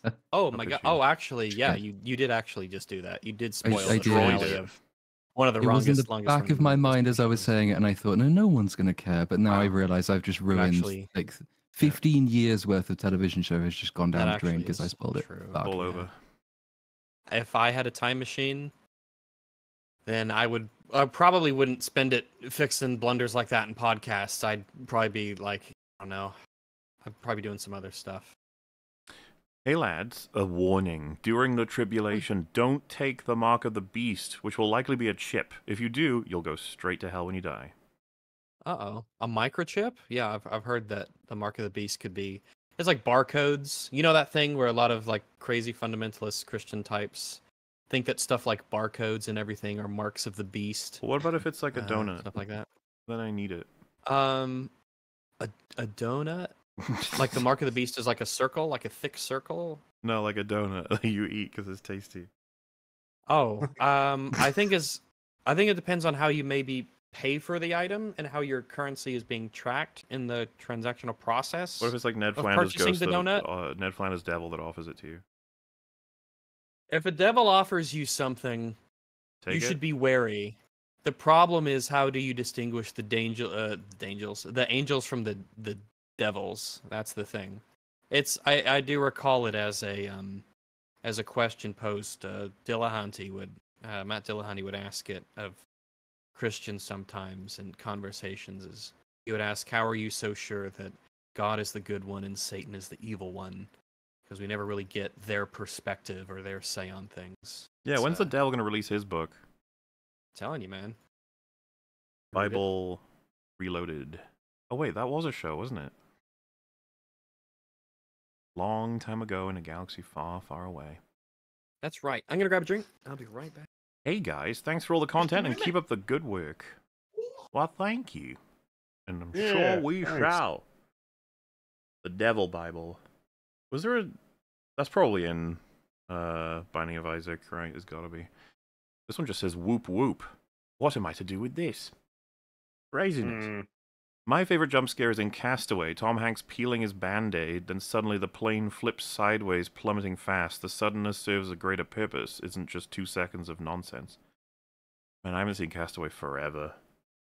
yeah, likewise. It's been a long So, like, time. my memory's wiped of that film. I should see it again someday. I remember being neat. Who doesn't love Wilson? Best character. That was the bull, right? Yeah, well, I said best character, so I figured, yeah. Was- Uh, And this one says Major Look. Truly, you got me. Uh, I'm always loving your steamages. Steamages? Steamages?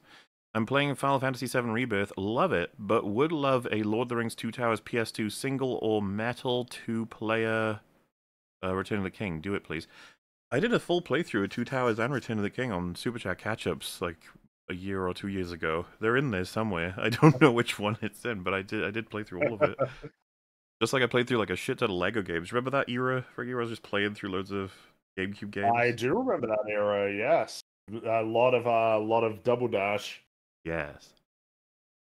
Random Film Talks video on Arcane is amazing, even more in depth than the Arcane coverage. If you have seven hours, you should give it a watch. Hearing his take on Huma Duba raise it to an 8.5, from an 8.5 to a 9. Huma Duba.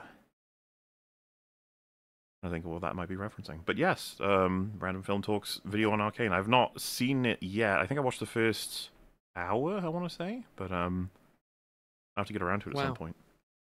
Have you seen it, Rags? I've not seen them yet. Wow. You know who Huma That's Duber right. is? Huma Duber? Mm-hmm. No. Okay. All right. Well. Uh, best jump scares for me was RE2, and just open the door and I see Mr. X about 20 feet away from me, and he turns, sees me, and starts chasing. Yeah, that Yeah, can work. Es- you know, like, like that. Especially, I always think like stuff like that works better without music. Yeah, because it's just the the disconcerting with the silence rather than needing the big musical cue to shock you. Yeah. If it's a really good jump scare, I'll provide all the sound effects. Okay. That's right. Uh, I like when Fringy says point being. My late best friend said it in a mocking way that sounded like the monarch. Now I say it when the frog says it. Oh, well, uh, yeah. I From uh, Venture Bros, the Monarch. Like, right, it, it just happens. There's a, a a turn of phrase that gets in my brain for like a couple of months, and then it'll get replaced with something else once I start to notice I do it too much.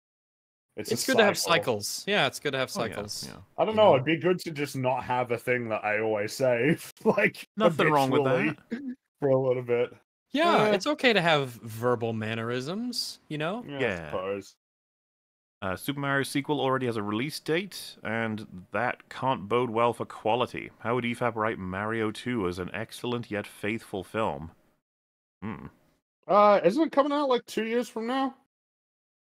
Yeah, and I imagine they plug in a hell of a lot of three effort years- into it. It's three probably years gonna. removed. Shrek Two came out three years before, three years after, rather the first Shrek. So you know, Going forward with these big franchises, we are doing so in a post quote unquote Disney collapse. So I wonder if that will color a lot of things going forward for these big IPs. my because it very well might. Uh, yeah, I, I I certainly hope it does. I hope that all these big companies, big projects do so in an environment where they're like, oh shit, you know, I remember when Disney, you know, was king of the world and they had everything going great, and look at them now. We need to avoid the mistakes they did. yeah. Well, what would your broad story be for Mario 2?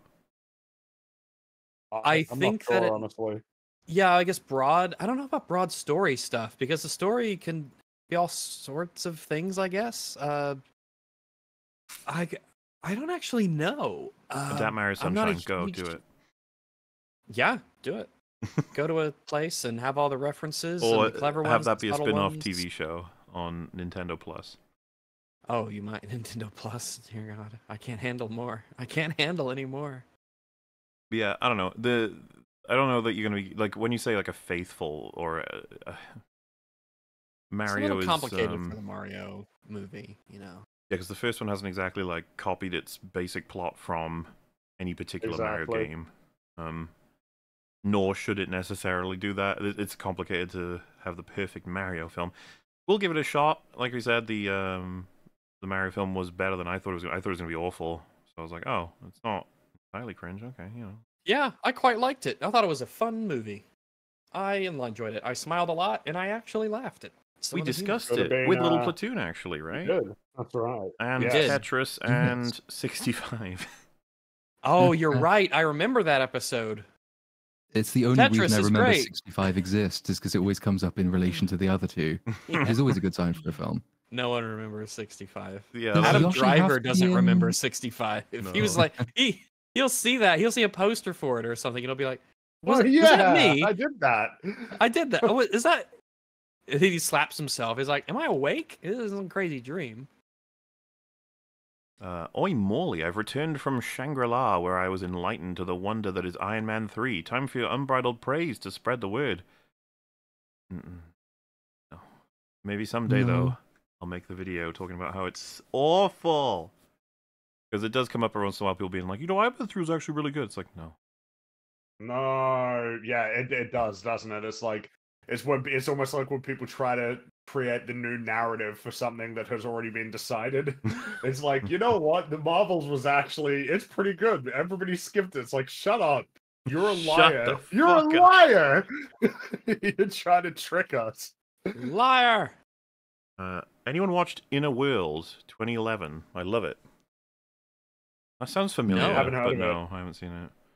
I do not know of this inner world.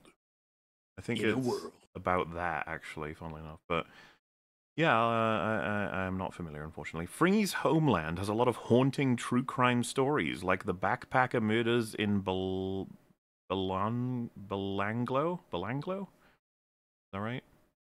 I, Belanglo. I don't know. There, there's towns I haven't heard of. And the Beaumont country. children in Adelaide. This stuff scares me more than any movie.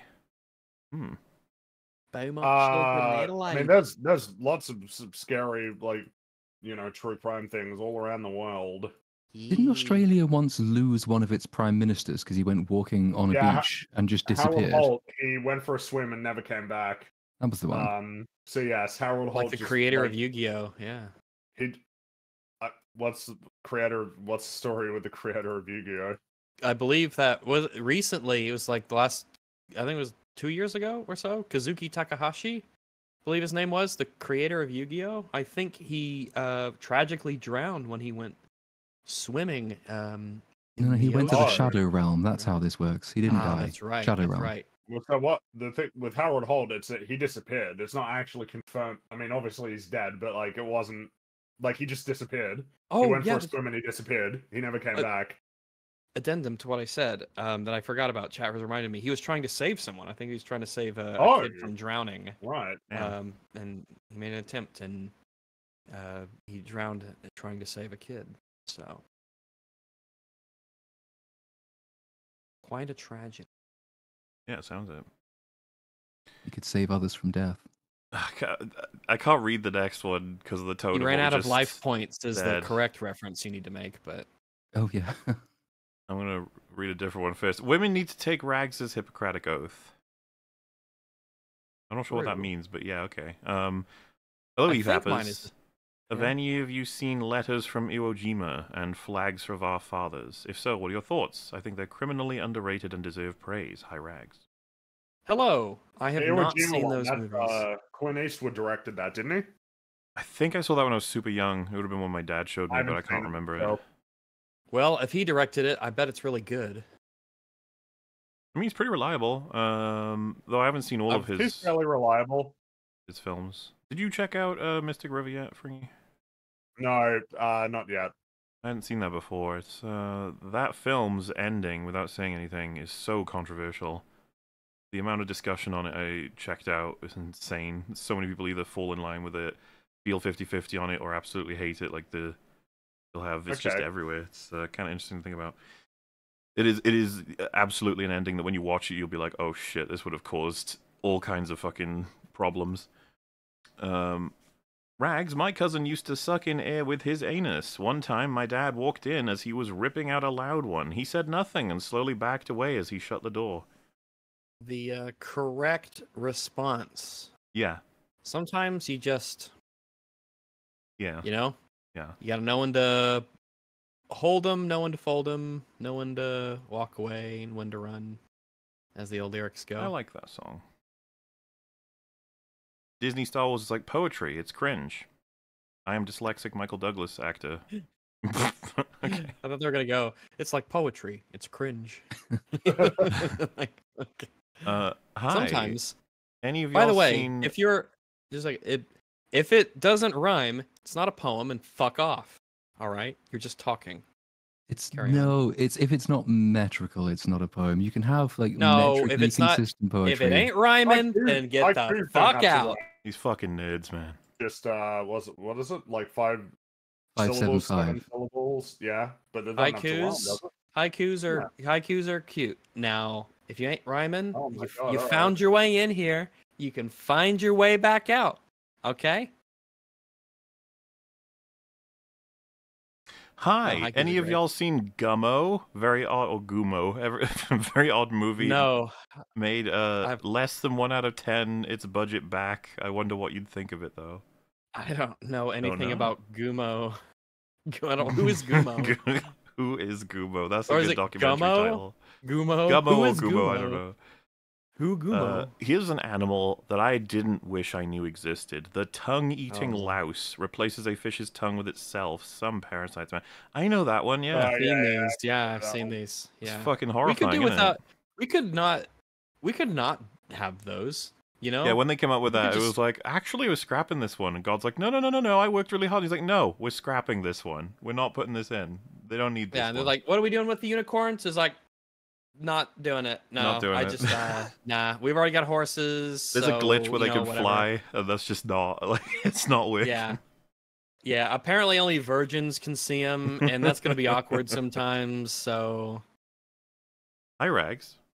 oh, that would be if if that if if unicorns were actually a thing and only virgins could see them. You could, like, if you passed by a farm that was like a unicorn ranch, right? A unicorn ranch, and if you were a virgin, so you could see them, you could no. How'd you how'd you trick someone? You'd say, "Oh yeah," you would just you could just point to an empty field and be like, "Oh, it's a unicorn ranch," and just look at the other person and see if they'd call you out on it or not. Yeah, I guess so. Yeah. But wouldn't they know in that culture to never react to anything that could be construed as a unicorn? Maybe. But what they would also do is they could use that as an objective line, uh, a standard for what does and does not constitute losing virginity. Like if you if you have if you Oh, like you know what, Rags? that constitute? Put a fake Yeah? horn on a horse, they'd be like, "You can't see Oh, that, can yeah. you?" And then if they Yeah. go, I, I, "I can't see that," you'd be like, "Oh, why are you lying, bro?" like, what? or that guy would be called Gumo, and he would have been screwed over. Gumo. Oh, there's Gumo. Story He's Gumo. he's oh he's a trickster. That Gumo. Uh, hi Rags. What makes a good doggo? Um, often, really, first off, hello. But what makes a good doggo is often what makes a good person. Uh, you need to have, you know, good, solid moral foundations. You need to be honest, and you need to be, you know, have uphold the, you know, pillars of kindness and responsibility. You shouldn't be selfish. You should look out for other people when you can. You should consider what your talents are and how to use them well, how to make the world a better place. Uh, you know, a lot of the stuff that you'd expect makes a good person uh, makes a good doggo. Pissing on things to mark your territory. Mhm. That's true. I know many Like people who an do that, and all of them are good. A lot of them are alcoholics, but you know, just because you you know got your issues doesn't mean you're a bad person. So Um, I would go so far as to say this movie is better than the book it was loosely based on. Halloween Party is one of Agatha Christie's weakest novels, IMO. Ooh. Oh, wow. interesting. Well, I haven't read the book, but I really like the movie, so that's a solid maybe. Mm-hmm. Interesting, yeah. Uh, Monkey Man is the Indian John Wick 4, aka real shit. I've seen people mentioning Monkey Man. So a film is coming out. I, uh, I think it's uh, Monkey just Man? come out, so Oh, yeah, okay, I'm yeah. interested in watching it. I mean, eventually we'll uh, hopefully not too long we'll get Extraction three, right? At some point, yeah, yeah. yeah, yeah. So Well, I'll be excited to see that. if reality is anything to go by, it's probably going to get more and more silly. Um, it's Mm. unfortunate. That's just how it goes. Yeah. Luckily, they they haven't jumped the shark. The transition from Extraction One to Extraction Two felt like, all right, we are things are ramping up, but we're not it's not crazy yet. So, by the way, I'd recommend both Extraction One and Extraction Two. As would I. I would recommend them. Sorry to go back to Pokemon, but I must know your thoughts on the wonderful boy that is Sphale. Sphale? Sphale? Sphale? Uh, Svale. S P H E A L. If you want to go have a Is look. that see for the one. seal thing that just it's like a beach ball, but it has like a seal's tail? I think that sounds familiar. Oh, yeah. Let me get you a picture. I got a picture of him here. Beautiful. Yeah, I'll get a picture of all. The Isn't there a. Gen 1 one which looks like a seal and its name is just Seel? I think You kind of ran out of ran out of ideas for that one, didn't you? It's Dewgong and Oh yeah, look um, at him. I like him. Yeah.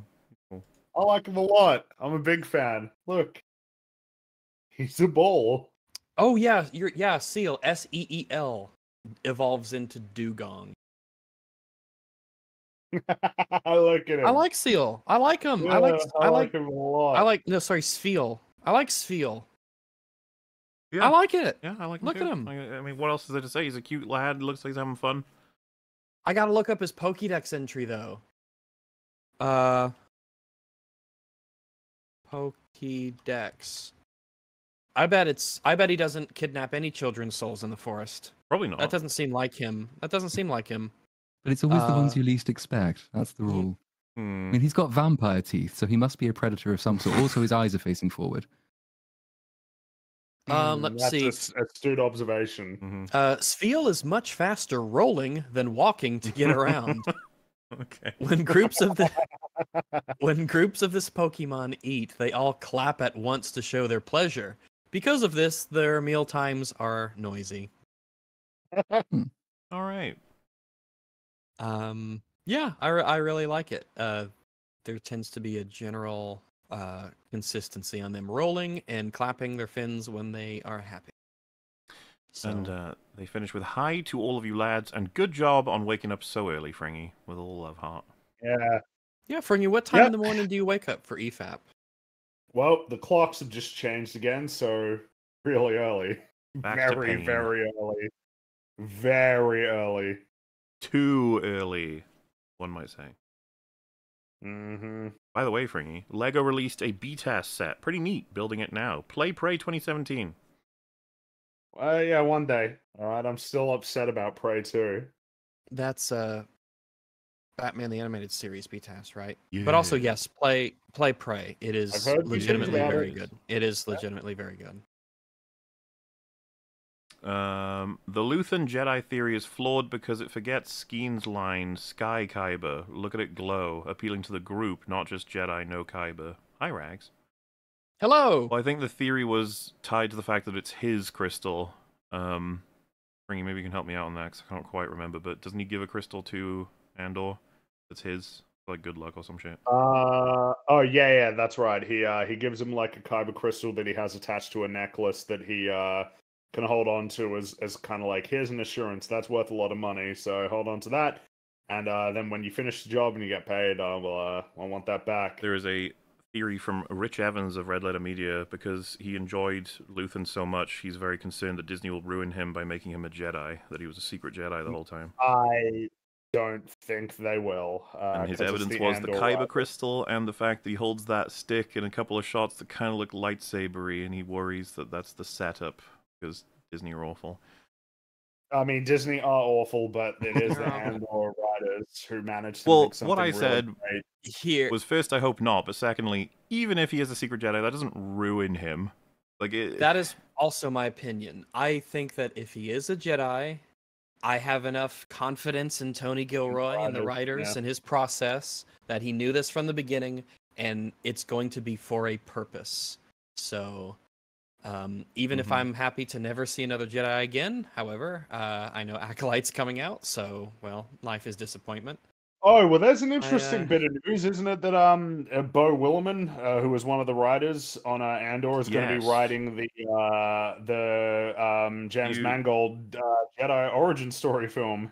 do you like how it was like said in that post that the guy who wrote And people, yeah, he Yeah. wrote that. He wrote the Narkina Five uh, prison arc. yeah one way out Yeah. and Luthen's speed like you know, it's I love how yeah. universally known it is that those are just well written.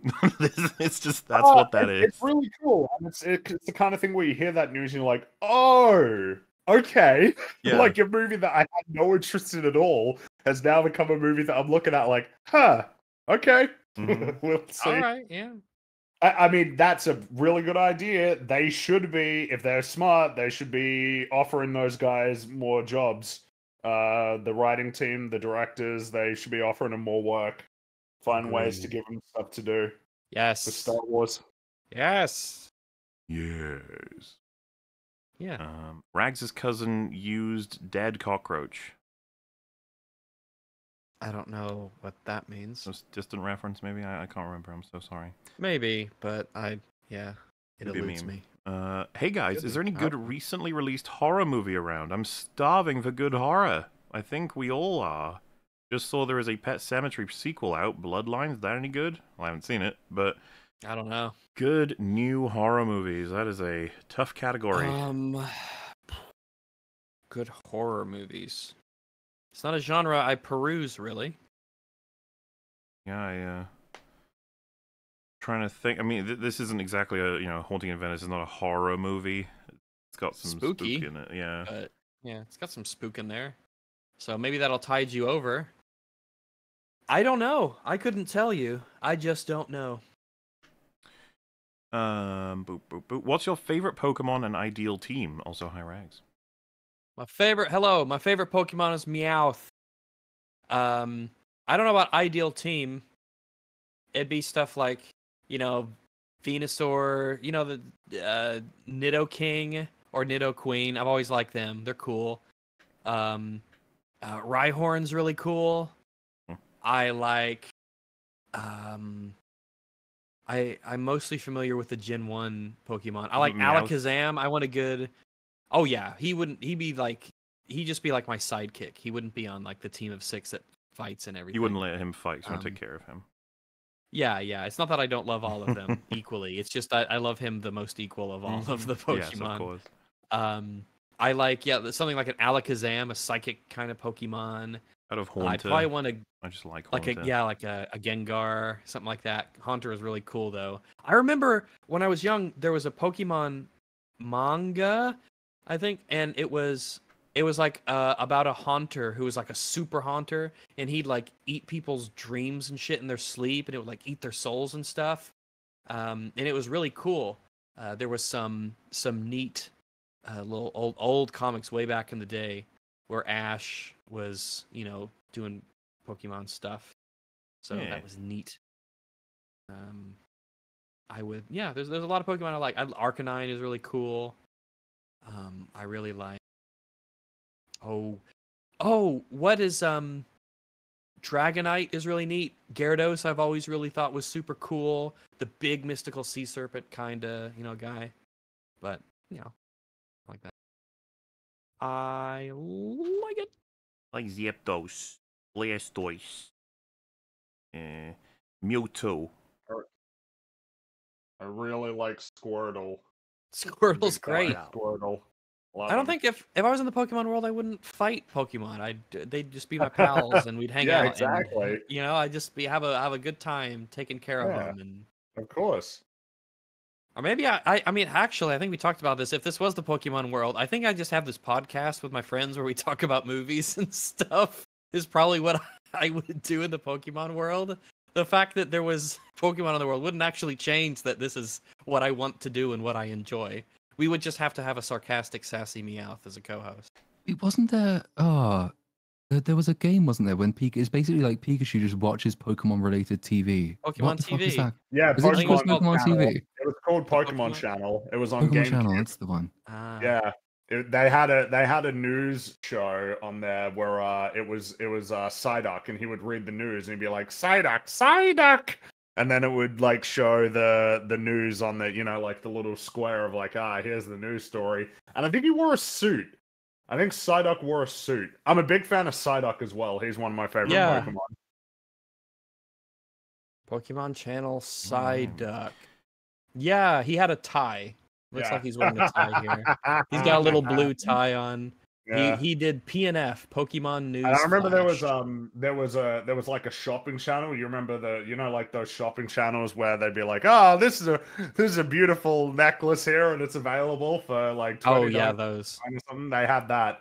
Is that uh, a but- thing? That's one of the things I can't imagine that people actually watch. Well, it was South Park made jokes about it. It was uh, for the the Cash for Gold like episode where it was about Oh, all the people watching it and then Stan calling in to Kill yourself, shit yeah. on. Uh, there's a swimming school named after Harold Holt because we here in Australia think we're funny. yeah, it's, I mean, it's kind of a meme, um, which is, it's, you know, so it's a tragedy. A man like went out for swimming and, and died, but people still make jokes about it. Well, don't worry, Fringy. He could have died on the way there or been murdered on the way back. You know. It's just one Possible. of those bizarre instances of like the leader of the country just disappeared. That's crazy. That's wild. It is crazy. Nowadays, you expect them to be watched 24 7 constantly with like security Low-jacked. personnel. I can Oh. actually imagine, um, like, uh, like if the president goes to the beach, he just has people in full suits and sunglasses on the beach there with him, like running Yeah. to chase after him as he's running around. Well, I could just imagine like Joe Biden plays golf, right? Like if he was playing golf and then like a tree branch started to fall down, that the Secret Service guys would whip out like a rocket launcher and blow it up. I thought you were gonna say they him. tackle him out of the way, then he just turns to dust. they just go, and like, oh shit. Fastest Oh he's no, I, moved, uh, I he just like the idea of uh I I actually in my head I was like, is it funnier if it's a rocket launcher or if they just fire so many bullets at the tree branch that it disintegrates into nothing? It's They funnier with the whip out a bullets, bunch I of- think. Yeah, a bunch of They just rifles and shoot pistols, to yeah. They just- Mhm. He just shoot everything, regardless of context. Uh, boop, boop, boop. I can haiku, dude. Barely an inconvenience. I just did that shit. Do you see what he did there? He just made a haiku. That was pretty cool. That is cool. Yeah. That's really that's really clever. Most of the Good time, job. people say that they were introduced to the little platoon via MauLer, but it was actually the opposite for me. Thanks to Platoon, I now know MauLer, Nerdrotic, and Drinker, and I I Oh. believe I am for it. Cheers. Hooray! Beautiful. The wonderful circle of life where we share each other's fleams and then everyone gets splashed with fleam juice. Uh, thoughts on the it's supposed to be slash always has been silly slash dumb you're wrong to compare it to minus one argument about the Godzilla franchise re Godzilla X Kong. I was actually speaking to Platoon about this. Um, what they think is happening is a bunch of new fans are coming into their culture without realizing the history of it But what's actually happening is that they, as a mini culture of movies, is entering a huge, well established culture of we laugh at the shit movies while calling them shit movies. They don't get the pass because you really, really like memeing with them. In the same way that The Room, no matter how much people love it, still shit. Okay? Like that's as long as we're clear on this. Like I'm more than happy to join with the Godzilla fans in laughing. But if you remember, we went through this with King of the Monsters. People were like, "You fools! You don't even know what you're talking about." It's like it's a shit movie. It is a really I bad don't- movie. It sucks. Tom. It sucks. I don't care if you've got a history of saying they're not shit. They're still shit. And then I've seen notions like, you can't say that we can't love this. It's like, go ahead and love it. I don't care if you love it. That's not the point. I'm just talking about how, like, because I know the uh, movie cynic has received quite a bit of heat for saying that Godzilla X Kong or whatever the fuck it's called is bad. Which is funny because it's so much worse than King of the Monsters, and we got a bunch of shit for saying that was bad back in the day. And the Godzilla fans are especially annoyed because people are comparing to minus one, an actually very well written Well, Godzilla It's movie. really, it's been fascinating to watch because I, I sorry, I keep bringing it up, but it, it blows my mind that like I distinctly remember when King of the Monsters came out that people said that that was what they wanted a Godzilla film to be, and then. You know, Godzilla minus one comes out, and then that gets pointed to as what a Godzilla film should be, which I think is more apt, obviously. But like, this is erect. Like, they are fundamentally contradictory as being like what Godzilla should be. One of them's a story. The other one was no, we don't want a story. We want the big big lizard to fight the monsters. That's what we wanted to see. Which I, I barely listen got to any the fucking monster of fights, anyway. That's like fifteen percent of the film is the monsters It's fighting, and the ba- rest of it's it's the human shit. I'm actually doing a video on it because, like, I, I'm a sadomasochist and I like bullying bad films and I like being hated for it. But like equally, it's kind of erotic. So like, I'm doing a Godzilla X Kong video and making the point specifically that I'm deliberately not going to compare this to minus one because I don't want to have You to deal with all to. the people saying, "Oh, you can't compare the films." No, it's it's bullying. It's too much bullying to compare minus one to Godzilla X Kong. But like, you don't need to compare it with a really, really good particular type of film to be able to say that just on every conceivable metric, this is a terrible, terrible movie. It's just shit. You, and if you love the thing, you should probably demand that it's better. Like, no one would suffer if you made this thing not shit. I don't really understand why so many that's people are so very angry about it. That's the really big, like, almost lie that's getting told. Like the, the idea that we can't maintain the fun of monster fights while also making it good. That's not Oh, possible. Those two are at odds The with each other. The only kind of Godzilla film is like one of the worst Transformers films. Exa- exactly have your- this. your Transformers fans uh, like who really enjoyed the Michael Bay Transformers will probably feel the same way when they hit like the eighth fucking one, where they were like, oh, "I love the good." Fast and the Furious is gonna go through this all the time too. Like people coming in being like, "Good God, what a terribly constructed movie." They'll be like, "No, it, it's it's fun. You're not. Why are you treating this like this? It's fun, okay? Stop stop being a dick to the movie. The movie is not." I think another notion is like you're saying they shouldn't exist this way when I love them, and it's like, well. They could be so much better. Why are you They so could be upset by better. this? There's no reason why you can't have the film that has the big lizard fight, but also has characters. Absolutely. It's, I don't it's entirely possible. You could have better films, and you would be happier, and we would be happier, and everybody would be happier. Yeah, like if they say something, no, what I love is watching Thanos Gauntlet, uh, big spiny like swords flying through the air. Everything is absolutely absurd. I love that. It's like we can still do that better. Still. But yeah, it's very hard to do the Thanos Gauntlet worse than the way they did it in that film. I mean, that that's some yeah. absolutely special nonsense that goes on there. But yeah, you can you can write the Thanos Gauntlet into the film in any number of ways, but just having a guy say, "Oh, by the way, we happen to have it in the shed," like that's not how this is supposed to work. The biggest impression I've gotten from reading about all of this is Godzilla fans are upset that people are making fun of their shit. It's like your shit is just as stinky as everyone else's. Just because you got Godzilla on it doesn't mean it's immune to criticism. That ain't happening. Yeah, I like the big lizard, but I also like Optimus Prime and shit. That still Exactly, yeah. the There are things I like in the bad. Bayformers movies, maybe. Yeah, there are. I well, I would. I mean, I think that the first Transformers movie is probably Yeah. going to be holding up better than all of these new Godzilla. uh, Obviously, remember Godzilla minus one is not included in that selection. But like, I, I we haven't seen Godzilla uh, Kong yet, but it's probably like shit. It Well, probably yeah, we're saving it all for And an arc. We're gonna go through them again. Too. We're gonna go through them, and we're gonna tell you exactly how we feel, Godzilla fans. Get ready. Mhm. I don't know. I just it's it's uh I, I think something that's become really lame now is it's almost like once the meta sets in enough, it like readjusts the way that the film will be appraised to where, you know, your mainstream critics will like be more kind to it because it's accepted that it's gonna be a piece of shit. So as Yeah. long as it's like got a fun action scene, it's what happened to John Wick, where John Wick gets rated very favorably. It gets rated as being excellent, not just yeah, it's stupid, but it's got fun action. It gets rated like as a very quality action film. Um, obviously, again, two, three, four, not one. One is actually a That's quality. actually another great example of people being like, you know, Yeah. John Wick two, three, four, they're incredible, and it's like, no, they're actually dumb as fuck. And it's like, yeah, dumb as fucking awesome. Oh, you know, he's like, like, oh. um, there was John Wick one that was really cool and had cool action scenes, but was also like a story. It's Jurassic World versus Jurassic Park again. Yeah. It's, I mean, mm-hmm. the same thing happens. You know, you, you criticize Jurassic World Dominion, and they say, no, it's fine. It's a blockbuster, so it's not It's meant to be good. The fact it's not garbage meant to for be good makes it good. My kids really enjoy it. It's like, why the fuck are you taking your kids to see that? Like, I don't know you- what's you happened. Like, I parent. Watch the don't watch original Jurassic Park. That's a really good film. oh yeah. It's available. Just go check it out. You don't need to go spend a whole bunch of money to go to the movie to watch a shit movie when you can watch a good movie on streaming. Ask for better. Demand better. Mm-hmm. Anyway, EFAP of Metal Gear Solid 1 when? I don't know if that's ever going to happen. happening. I don't know about None that. of us are familiar, really. I played five and I kind of liked it, but I didn't understand the story. So Um, yeah, that's all I one of these I'll never go days, I'd like to meet this apparent omniscient, potentially omnipotent wizard MauLer keeps referencing in his hypotheticals.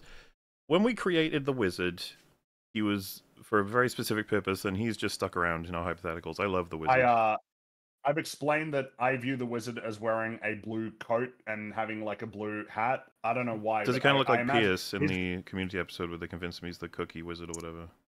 He's got like uh the way that I view the wizard in my head is he's got the big you know like uh Mickey Mouse and Fantasia with the, Mhm. the Sorcerer's Apprentice like that big hat, but he's wearing a blue like coat, kind of like um uh from Mario, uh except he's a person and he's got like a big white uh beard, a big long white beard, and a and a quaint happy little mustache, and he's uh he's a really helpful guy, the wizard. I agree. Like him. Uh, please look up Project X-Ray. It's ridiculous. Familiar to you guys? No, I've never heard of this. Bat No. bombs were an experimental World War II weapon developed by the United States that consisted of a bomb-shaped casing with over a thousand compartments. What is this? This is the if Uh, it does, it, is it like a canister full of bats that fly out? And... each of the thousand compartments yeah. contained a hibernating Mexican free-tailed bat with a small-timed incendiary bomb. What? Imagine being the guys whose job it was to assemble these. yeah, you you get the You have to get a the thousand order, bats, and you're like attach I- incendiary bombs to them, get them to hibernate, like read them bedtime stories. Oh, and you then know get what? Them into the... This should have been like an Austin Powers. They should have had Doctor Evil do this, but never, never explain to the audience it's actually something that happened. Just have it be in the movie like that. Oh my goodness! Wow. How Yeah, would the- how would that work? So they come out of the. I assume these bats are very confused. They jump out of this little canister compartment. They see all of their friends. They have this weird thing stuck to them that they unfortunately are not equipped to deal with in terms of its explosive uh, consequences. What do they do? Do they do they fly into Well, German uh, caves to- and explode? During- Wikipedia says they go and nest in Japanese houses, and then at some point at the predetermined time, they just explode. Jeez. That's that's actually horrific and the most ridiculous. Dude, listen to this. Conceived in 1942 by dental surgeon turned inventor Lytle S. Adams, the bat bomb was envisioned as a means to set fire to Japanese cities by exploiting bats. uh, Bruce Wayne over here.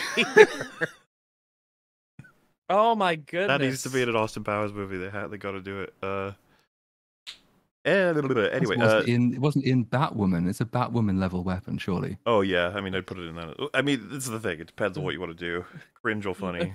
or both. Bats all over Japan randomly exploding into balls of flame. Oh, the Americans! Damn them. then they're exploding bats. Um, Oh. Quote, joy, quote, got into that home shopping network life. What's that a reference to? Who? Joy? That'd be the Blade Runner lady? She was called What, Joy, that right? she like hosts the the channel where they talk about all of these like jewelry that you can get. She hosts it. Maybe. I don't know. But Mm. uh, yeah, maybe. That was the final super chat of the night, which leads Woo! us to the end of the stream. But before we go, Lil Platoon, what are you up to, sir? Where can people find you? What's the newest with the newest of the newest? Newest with new, yeah, it's it's probably going to be Godzilla X Kong, Oh, um, no. just because why not? Yeah. Get ready to piss off the whole Godzilla community. I just yeah, just gonna just prepare myself. It's hopefully it'll be this week, so yeah, that that'll be entertaining as I ignore my comment section entirely. Um, and then then it'll be back to the June video because the, the introduction's done, but the introduction alone is about ninety minutes long. So this is gonna it's a long video. I don't know exactly when it's gonna come out, but eventually it will come out. Um, but yeah, that's that's pretty much it for where I am at the moment. Beautiful. Fun. Um, well, I, uh, is there anything, Rags, Fringy, you guys would like to mention? Um, I don't think there is anything that I would like to mention. I think I think I've said enough today. Uh, well, I mean, you know, just working, but I suppose uh, probably worth noting that uh, the EFAP TV episodes for Halo should start uh, Not rolling Releasing- out. yeah, weekly soon, very soon. Yeah, we're figuring out the timeline on that. Next week's episode will be a Halo Season be the 2 Halo one, yeah. retrospective. I believe. I don't Uh, know if it's yep. confirmed, but I believe we have Woo! Yeah. Halo. ER Patrician TV and John. Good old John. Yes. And then, uh, yeah, the Halo episodes will possibly follow that. It's going to be bizarre 'cause we're going to talk about the whole season and then we're going to show you our episodes, I guess. But uh, we, there's nothing else we can do. Like, that's just how it works. Um, and then following that, I guess will be Rebel Moon, or is it is, is that close enough to that? Like, the week after? Uh, well, there's Rebel Moon, but Fallout I think starts this. Well, not start. I think it all comes out this week because it's uh, Amazon So- Prime. So I think all the episodes are out. Listen, EFAP chat, EFAP audience, we've not figured out exactly what we're covering, where, how, when, and why. All right, we got to get move everything around, get everyone ready to do editing particular things. But uh, work is being done. People are on stuff. You will receive things. The uh, you got the War Arc next installment coming, I think next week or the week after next week, so two weeks ish from now, which will be the Three Musketeers, the W.S. Anderson movie. That'll be exciting for yous. And then, uh, yeah, just you know, you, th- th- there'll be a decent arc with the uh, the Halo stuff. Once that's all over and wrapped up, I think we'll be heading into. We'll be crossing over with Acolyte at that point. Uh, no, Acolyte is in June, so that's June, a okay. little bit away from now. But uh, Rebel Fallout Moon and is Rebel uh, a Moon, couple of weeks yes. from now. Yeah, full uh, Fallout I think is this week. So uh, and there's probably something else that I've forgotten about as well, like it's a upcoming thing. yeah, plenty more on the way. Thank you all for uh, you know hanging out, and um, we appreciate it very Mhm. very You know, thank you for hanging out, MauLer. It's really good to, you know, see you around. It's good that you're here talking to the people. Yeah, You know, it, it's it's really good. You know, it's it's really good stuff. Goes a long way. Oh, we had another message saying major look again, which Oh. you genuinely did. I did look. Did, oh, You I did me. look. I did look at that. That's true. Wow. Do I want to click on that icon that they have, or is that going to Oh be like god, it looks terrifying if I zoom ghastly. into it? Because I could tell. I It could is tell that that's going to be a spooky, weird image by the little tiny preview image. So I like. I don't know if I want to look closer. um, but yes, Just before we go, I, Oh, yeah, go I ahead. just carried on reading because I was very, very fascinated. Do you want it, the pitch? The Bat Bomb guy's pitch for his idea is also contained in the Wikipedia article. go for it. Um, he says that the bat is the lowest form of animal life that until and until now reasons for its creation have remained unexplained. He went Oh my on to say that bats were, and I quote, created by God to await this hour to play their part in the scheme of free human existence and to frustrate any attempt of those who dare desecrate our way of life. Oh And my President Roosevelt responded, This man is not a nut. It sounds like a wild idea, but it's worth looking into. Government, isn't it great? You know what? this so man is instead not we were- a nut. I tell you, if if this worked really well, we might not have developed the atomic bombs. so, in an alternate uh, branch of history, this the guy- bats he destroyed hates Imperial bats, Japan. doesn't he? He This hates guy them. does. I bats really are They serve no fucking That's purpose really- until this day. That's, a, like fascinating. There's No so many purpose for their of what creation. They are. That's like God really, made these bats so America so could that in World War destroy the II, yeah, America can fight Japan. Millions Wow. of years ago, God made bats so that in 1942,